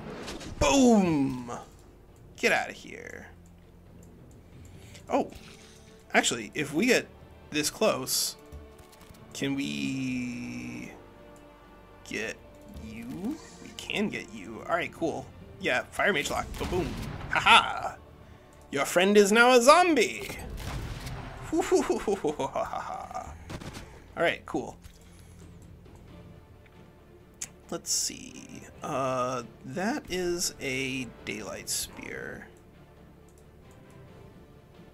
means we are going to need to tear apart brain cell deficient build suggestions. Yeah, absolutely. Like, go. I would say post anything on on um on like on the channel in the community thread whenever I start posting stuff, because like I'll I'll probably leave it up to people to vote on for next week um, again. But if you have a build that you want me to try out, like I, I'm down for it, especially if it's something that I think is going to be interesting. Or are they routing? Oh man, they're routing. All right, it's time for revenge. I want to kill as many of these suckers as we can. Oh, you already did that, Walker. Walker, just end the fight. Like, it's the fight's over. God, jeez. You do this every time. Walker, you can't you can't just talk to yourself in the third the third person all all day for a stream. That's not a stream idea.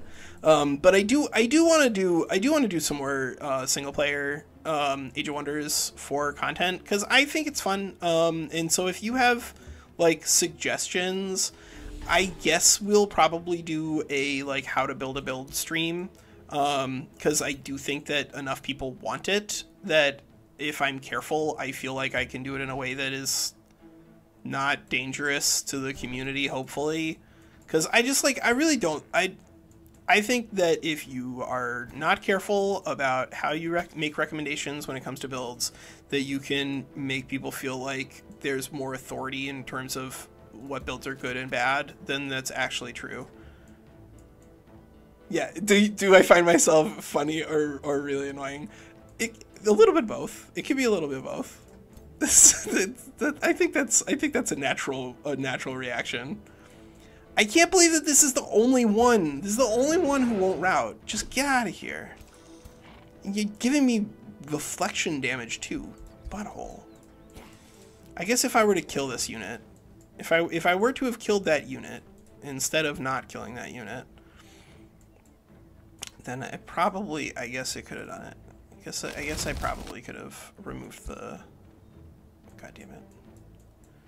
Whatever. Frozen. Frozen.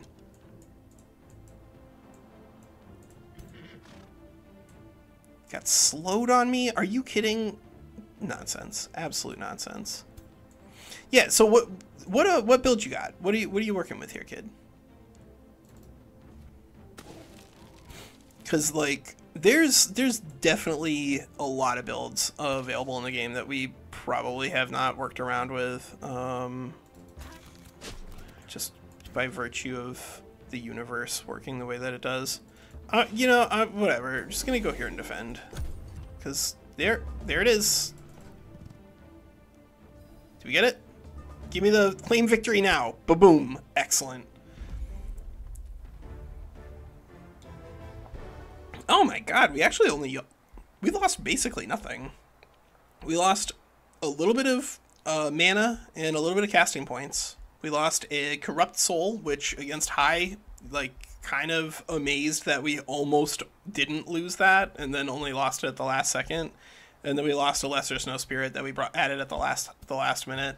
So like now they've got eight units here. We could kill that pretty easily and then finish this. Um, but because because we are trying to get through as many of these as possible. Thank you, Pico. Um, I think we, I think I'm going to call it there for this for this feudal druidic terraformers ex- exploration. I think we could try it again and see different ways to, to make it work, but unfortunately, I, I'm gonna I'm gonna see if it shows up in auto resolves. But the ones that we looked at the AI would just like n- never use the steadfast mechanic, and that's a big part of what makes feudal work in a, in a manual combat scenario. I think if the AI had a little bit of logic in regards to like the headliner buffs, the buffs that are supposed to be the thing that make the faction good, like if Reavers, if the AI regarding um, marked was a lot more respectful, then it would probably make Reavers a lot better. And I think if the AI regarding the utilization of Steadfast as a buff were better, then it would make Feudal a lot better. Because, like, here, if we hadn't lost some of those units at the beginning of the game, then I think we could have easily gotten into Defenders pretty quickly, because I've had some runs where that has happened. And then whenever you get Defenders early, it makes your Ancient Wonder fights a lot easier, and it makes your infestations easier. And, like, they don't necessarily make it so, you know, you have insanely, insanely high um, knowledge per turn. But, like, that's not an unreasonable number um, and and hopefully if we if we keep refining feudal we can come up with something that's that's like maybe useful. Um yeah Balors from chaos affinity zero. Yeah Balors are incredible. So let's see here. We got a question in chat before we before we sign off here. Zero is is asking, uh, you can get to a turn 40, it still isn't strong enough because chaos tomes are mediocre. Um, yeah, no, it, it is absolutely salvageable. So the first thing that you should know, of course, is that if you're getting good value out of your Balors, you're getting value out of your Balors with, with this, with Sunder the Earth. Sunder the Earth is going to do an outrageous amount of damage, and it's going to inflict three Sunder defense on everybody on the other side.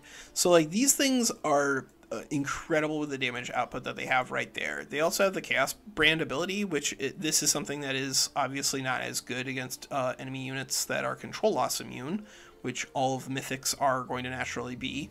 But if they if you're fighting against enemies that aren't um, immune to Chaos Brand, then that is also just a very powerful tool to have available to you.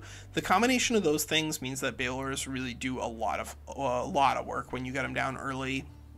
They do have problems with Death Explosion because that makes it so that like Tome of Oblivion can take these guys out by just you know oblivioning them once and then uh, and then they explode and then they don't come back because they exploded but Balor is actually they they do perform um, the chaos tomes that you would want generally to get there on a on a quick order path is that you generally want to go through Tome of Pandemonium so that way you can pick up Chaos Eaters.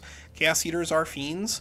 You don't have to do that anymore because now um, in fight for power in the Tome of the Demon Gate, you also get access to Demonkin, which means that you have fiend types on all of your racial units. And because another really powerful chaos to Tome, Tome of Devastation gives you War Breeds. If you take uh, the Demonkin and you have War Breeds in play, then you can turn your War Breeds with Fight for Power into Balors. But you, in order to get there, so you don't need you need six chaos tomes or six chaos affinity in order to pick those up. That's sort of like the real downside is that it is sort of a, a narrow a narrow band of tomes that you're that you want to look at. Like Tome of Revelry still is pretty good.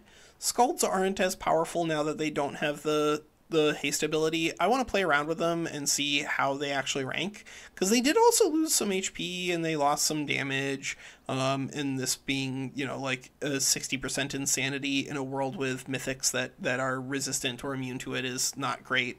But like the the these guys here, this is a pretty a pretty solid tome. Um, generally, dragons is too slow, but some sometimes you can make dragons work. If you're gonna do dragons, then you're probably going into order though, and you're picking up the the stuff there. Irreplaceable units like the Imperium Balor.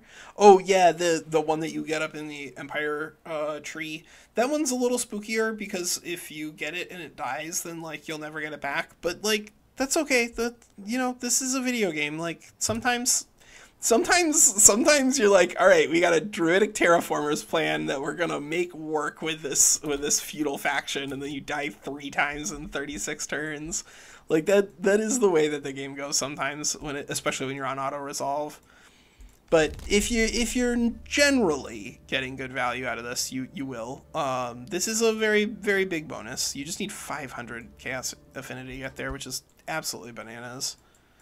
It's very it is very very big. Uh it's it's just that yeah in in auto resolves uh especially like this this one unit alone is generally not going to be enough. Um when it comes to auto resolves you really want to have things that are going to perform well on their on on their own. Yeah it's a chunky boy. It should be able to to do whatever it wants to. Uh but yeah i think that's going to be it for today Tomorrow we are going to be doing um, multiplayer stream. I think we're going to continue with our multiplayer streams from last weekend. We haven't quite like nailed that down, but we'll we'll have that conversation probably this evening. Um, I think I think Balor's are the thing is they're just so they're so early. They're so early. They're the earliest tier fives that you can get pretty much although now they are really competing with uh, the Tome of the Reaper and Summon Reaper.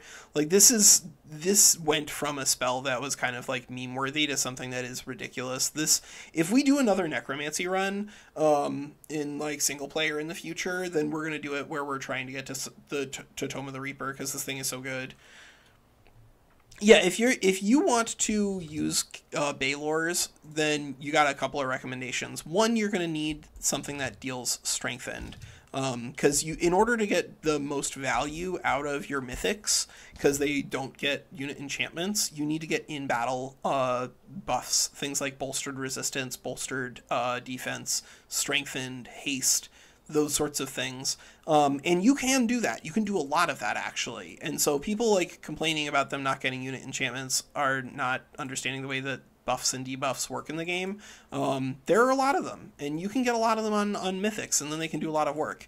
But if you're doing that, you do need to make sure that you have the tools necessary to actually support them.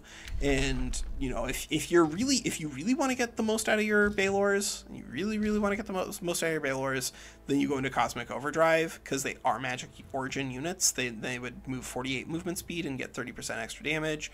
So like then your your Balors move uh, basically up an extra tier in terms of their damage.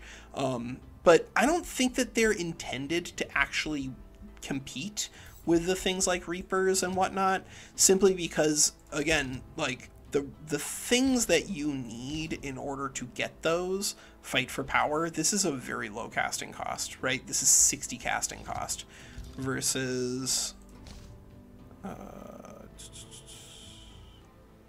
where, where's the casting cost on this? It's underneath your your little pop out chat thing, Walker. This is like 200 something. Let me see, let me see what it says under here. Yeah, that's 200 casting points. And so like the the dimension in terms of resources that you're competing with um, when it looks at like Balor's versus everybody else is that those are a lot easier to spam. You can get like four or five really, really quickly if you come into your tier fours with a reasonable number of, of Chaos Eaters built up. And now, because you don't need just Chaos Eaters built up, you can also get there with just Demonkin Warbreeds or Demonkin tier fours, uh, like Transmuters or whatever. You can you can get a lot of uh, a lot of Balors really quickly. Yeah, Balor would probably be best um, in Barbarian. That's a pretty good one, just in terms of like getting damage down and and getting your your economy grown. Uh, you want to build a really really big economy ASAP, so that way you can just get them out on the board and and fight people because they do drop off in comparison to other tier fives. Uh, other tier fives can definitely outscale them pretty quickly. It's but if you get your Balors 15 turns before their tier fives, then it doesn't matter because if your Balors are out there eating their their empire, uh, then their economy is gonna is gonna fall apart. It's not gonna be great. Okay, well that's that's me for today. Um, hope you guys have enjoyed our first single player build stream here with Druidic Feudal. I think next time uh, we're probably gonna do like Tome of Mist Industrious because that that was the thing that was second. But if you got if you got questions like throw them up on the on the channel. I will gladly answer them. And um, if we are trying to look for a way to do Balor's as a build, then then we could do that. We could we could go back and, and try to try to reverse that math. I just think that they're generally a little worse on the current patch just because of the the big buffs to, to other mythics. All right, that's Walker. Take care.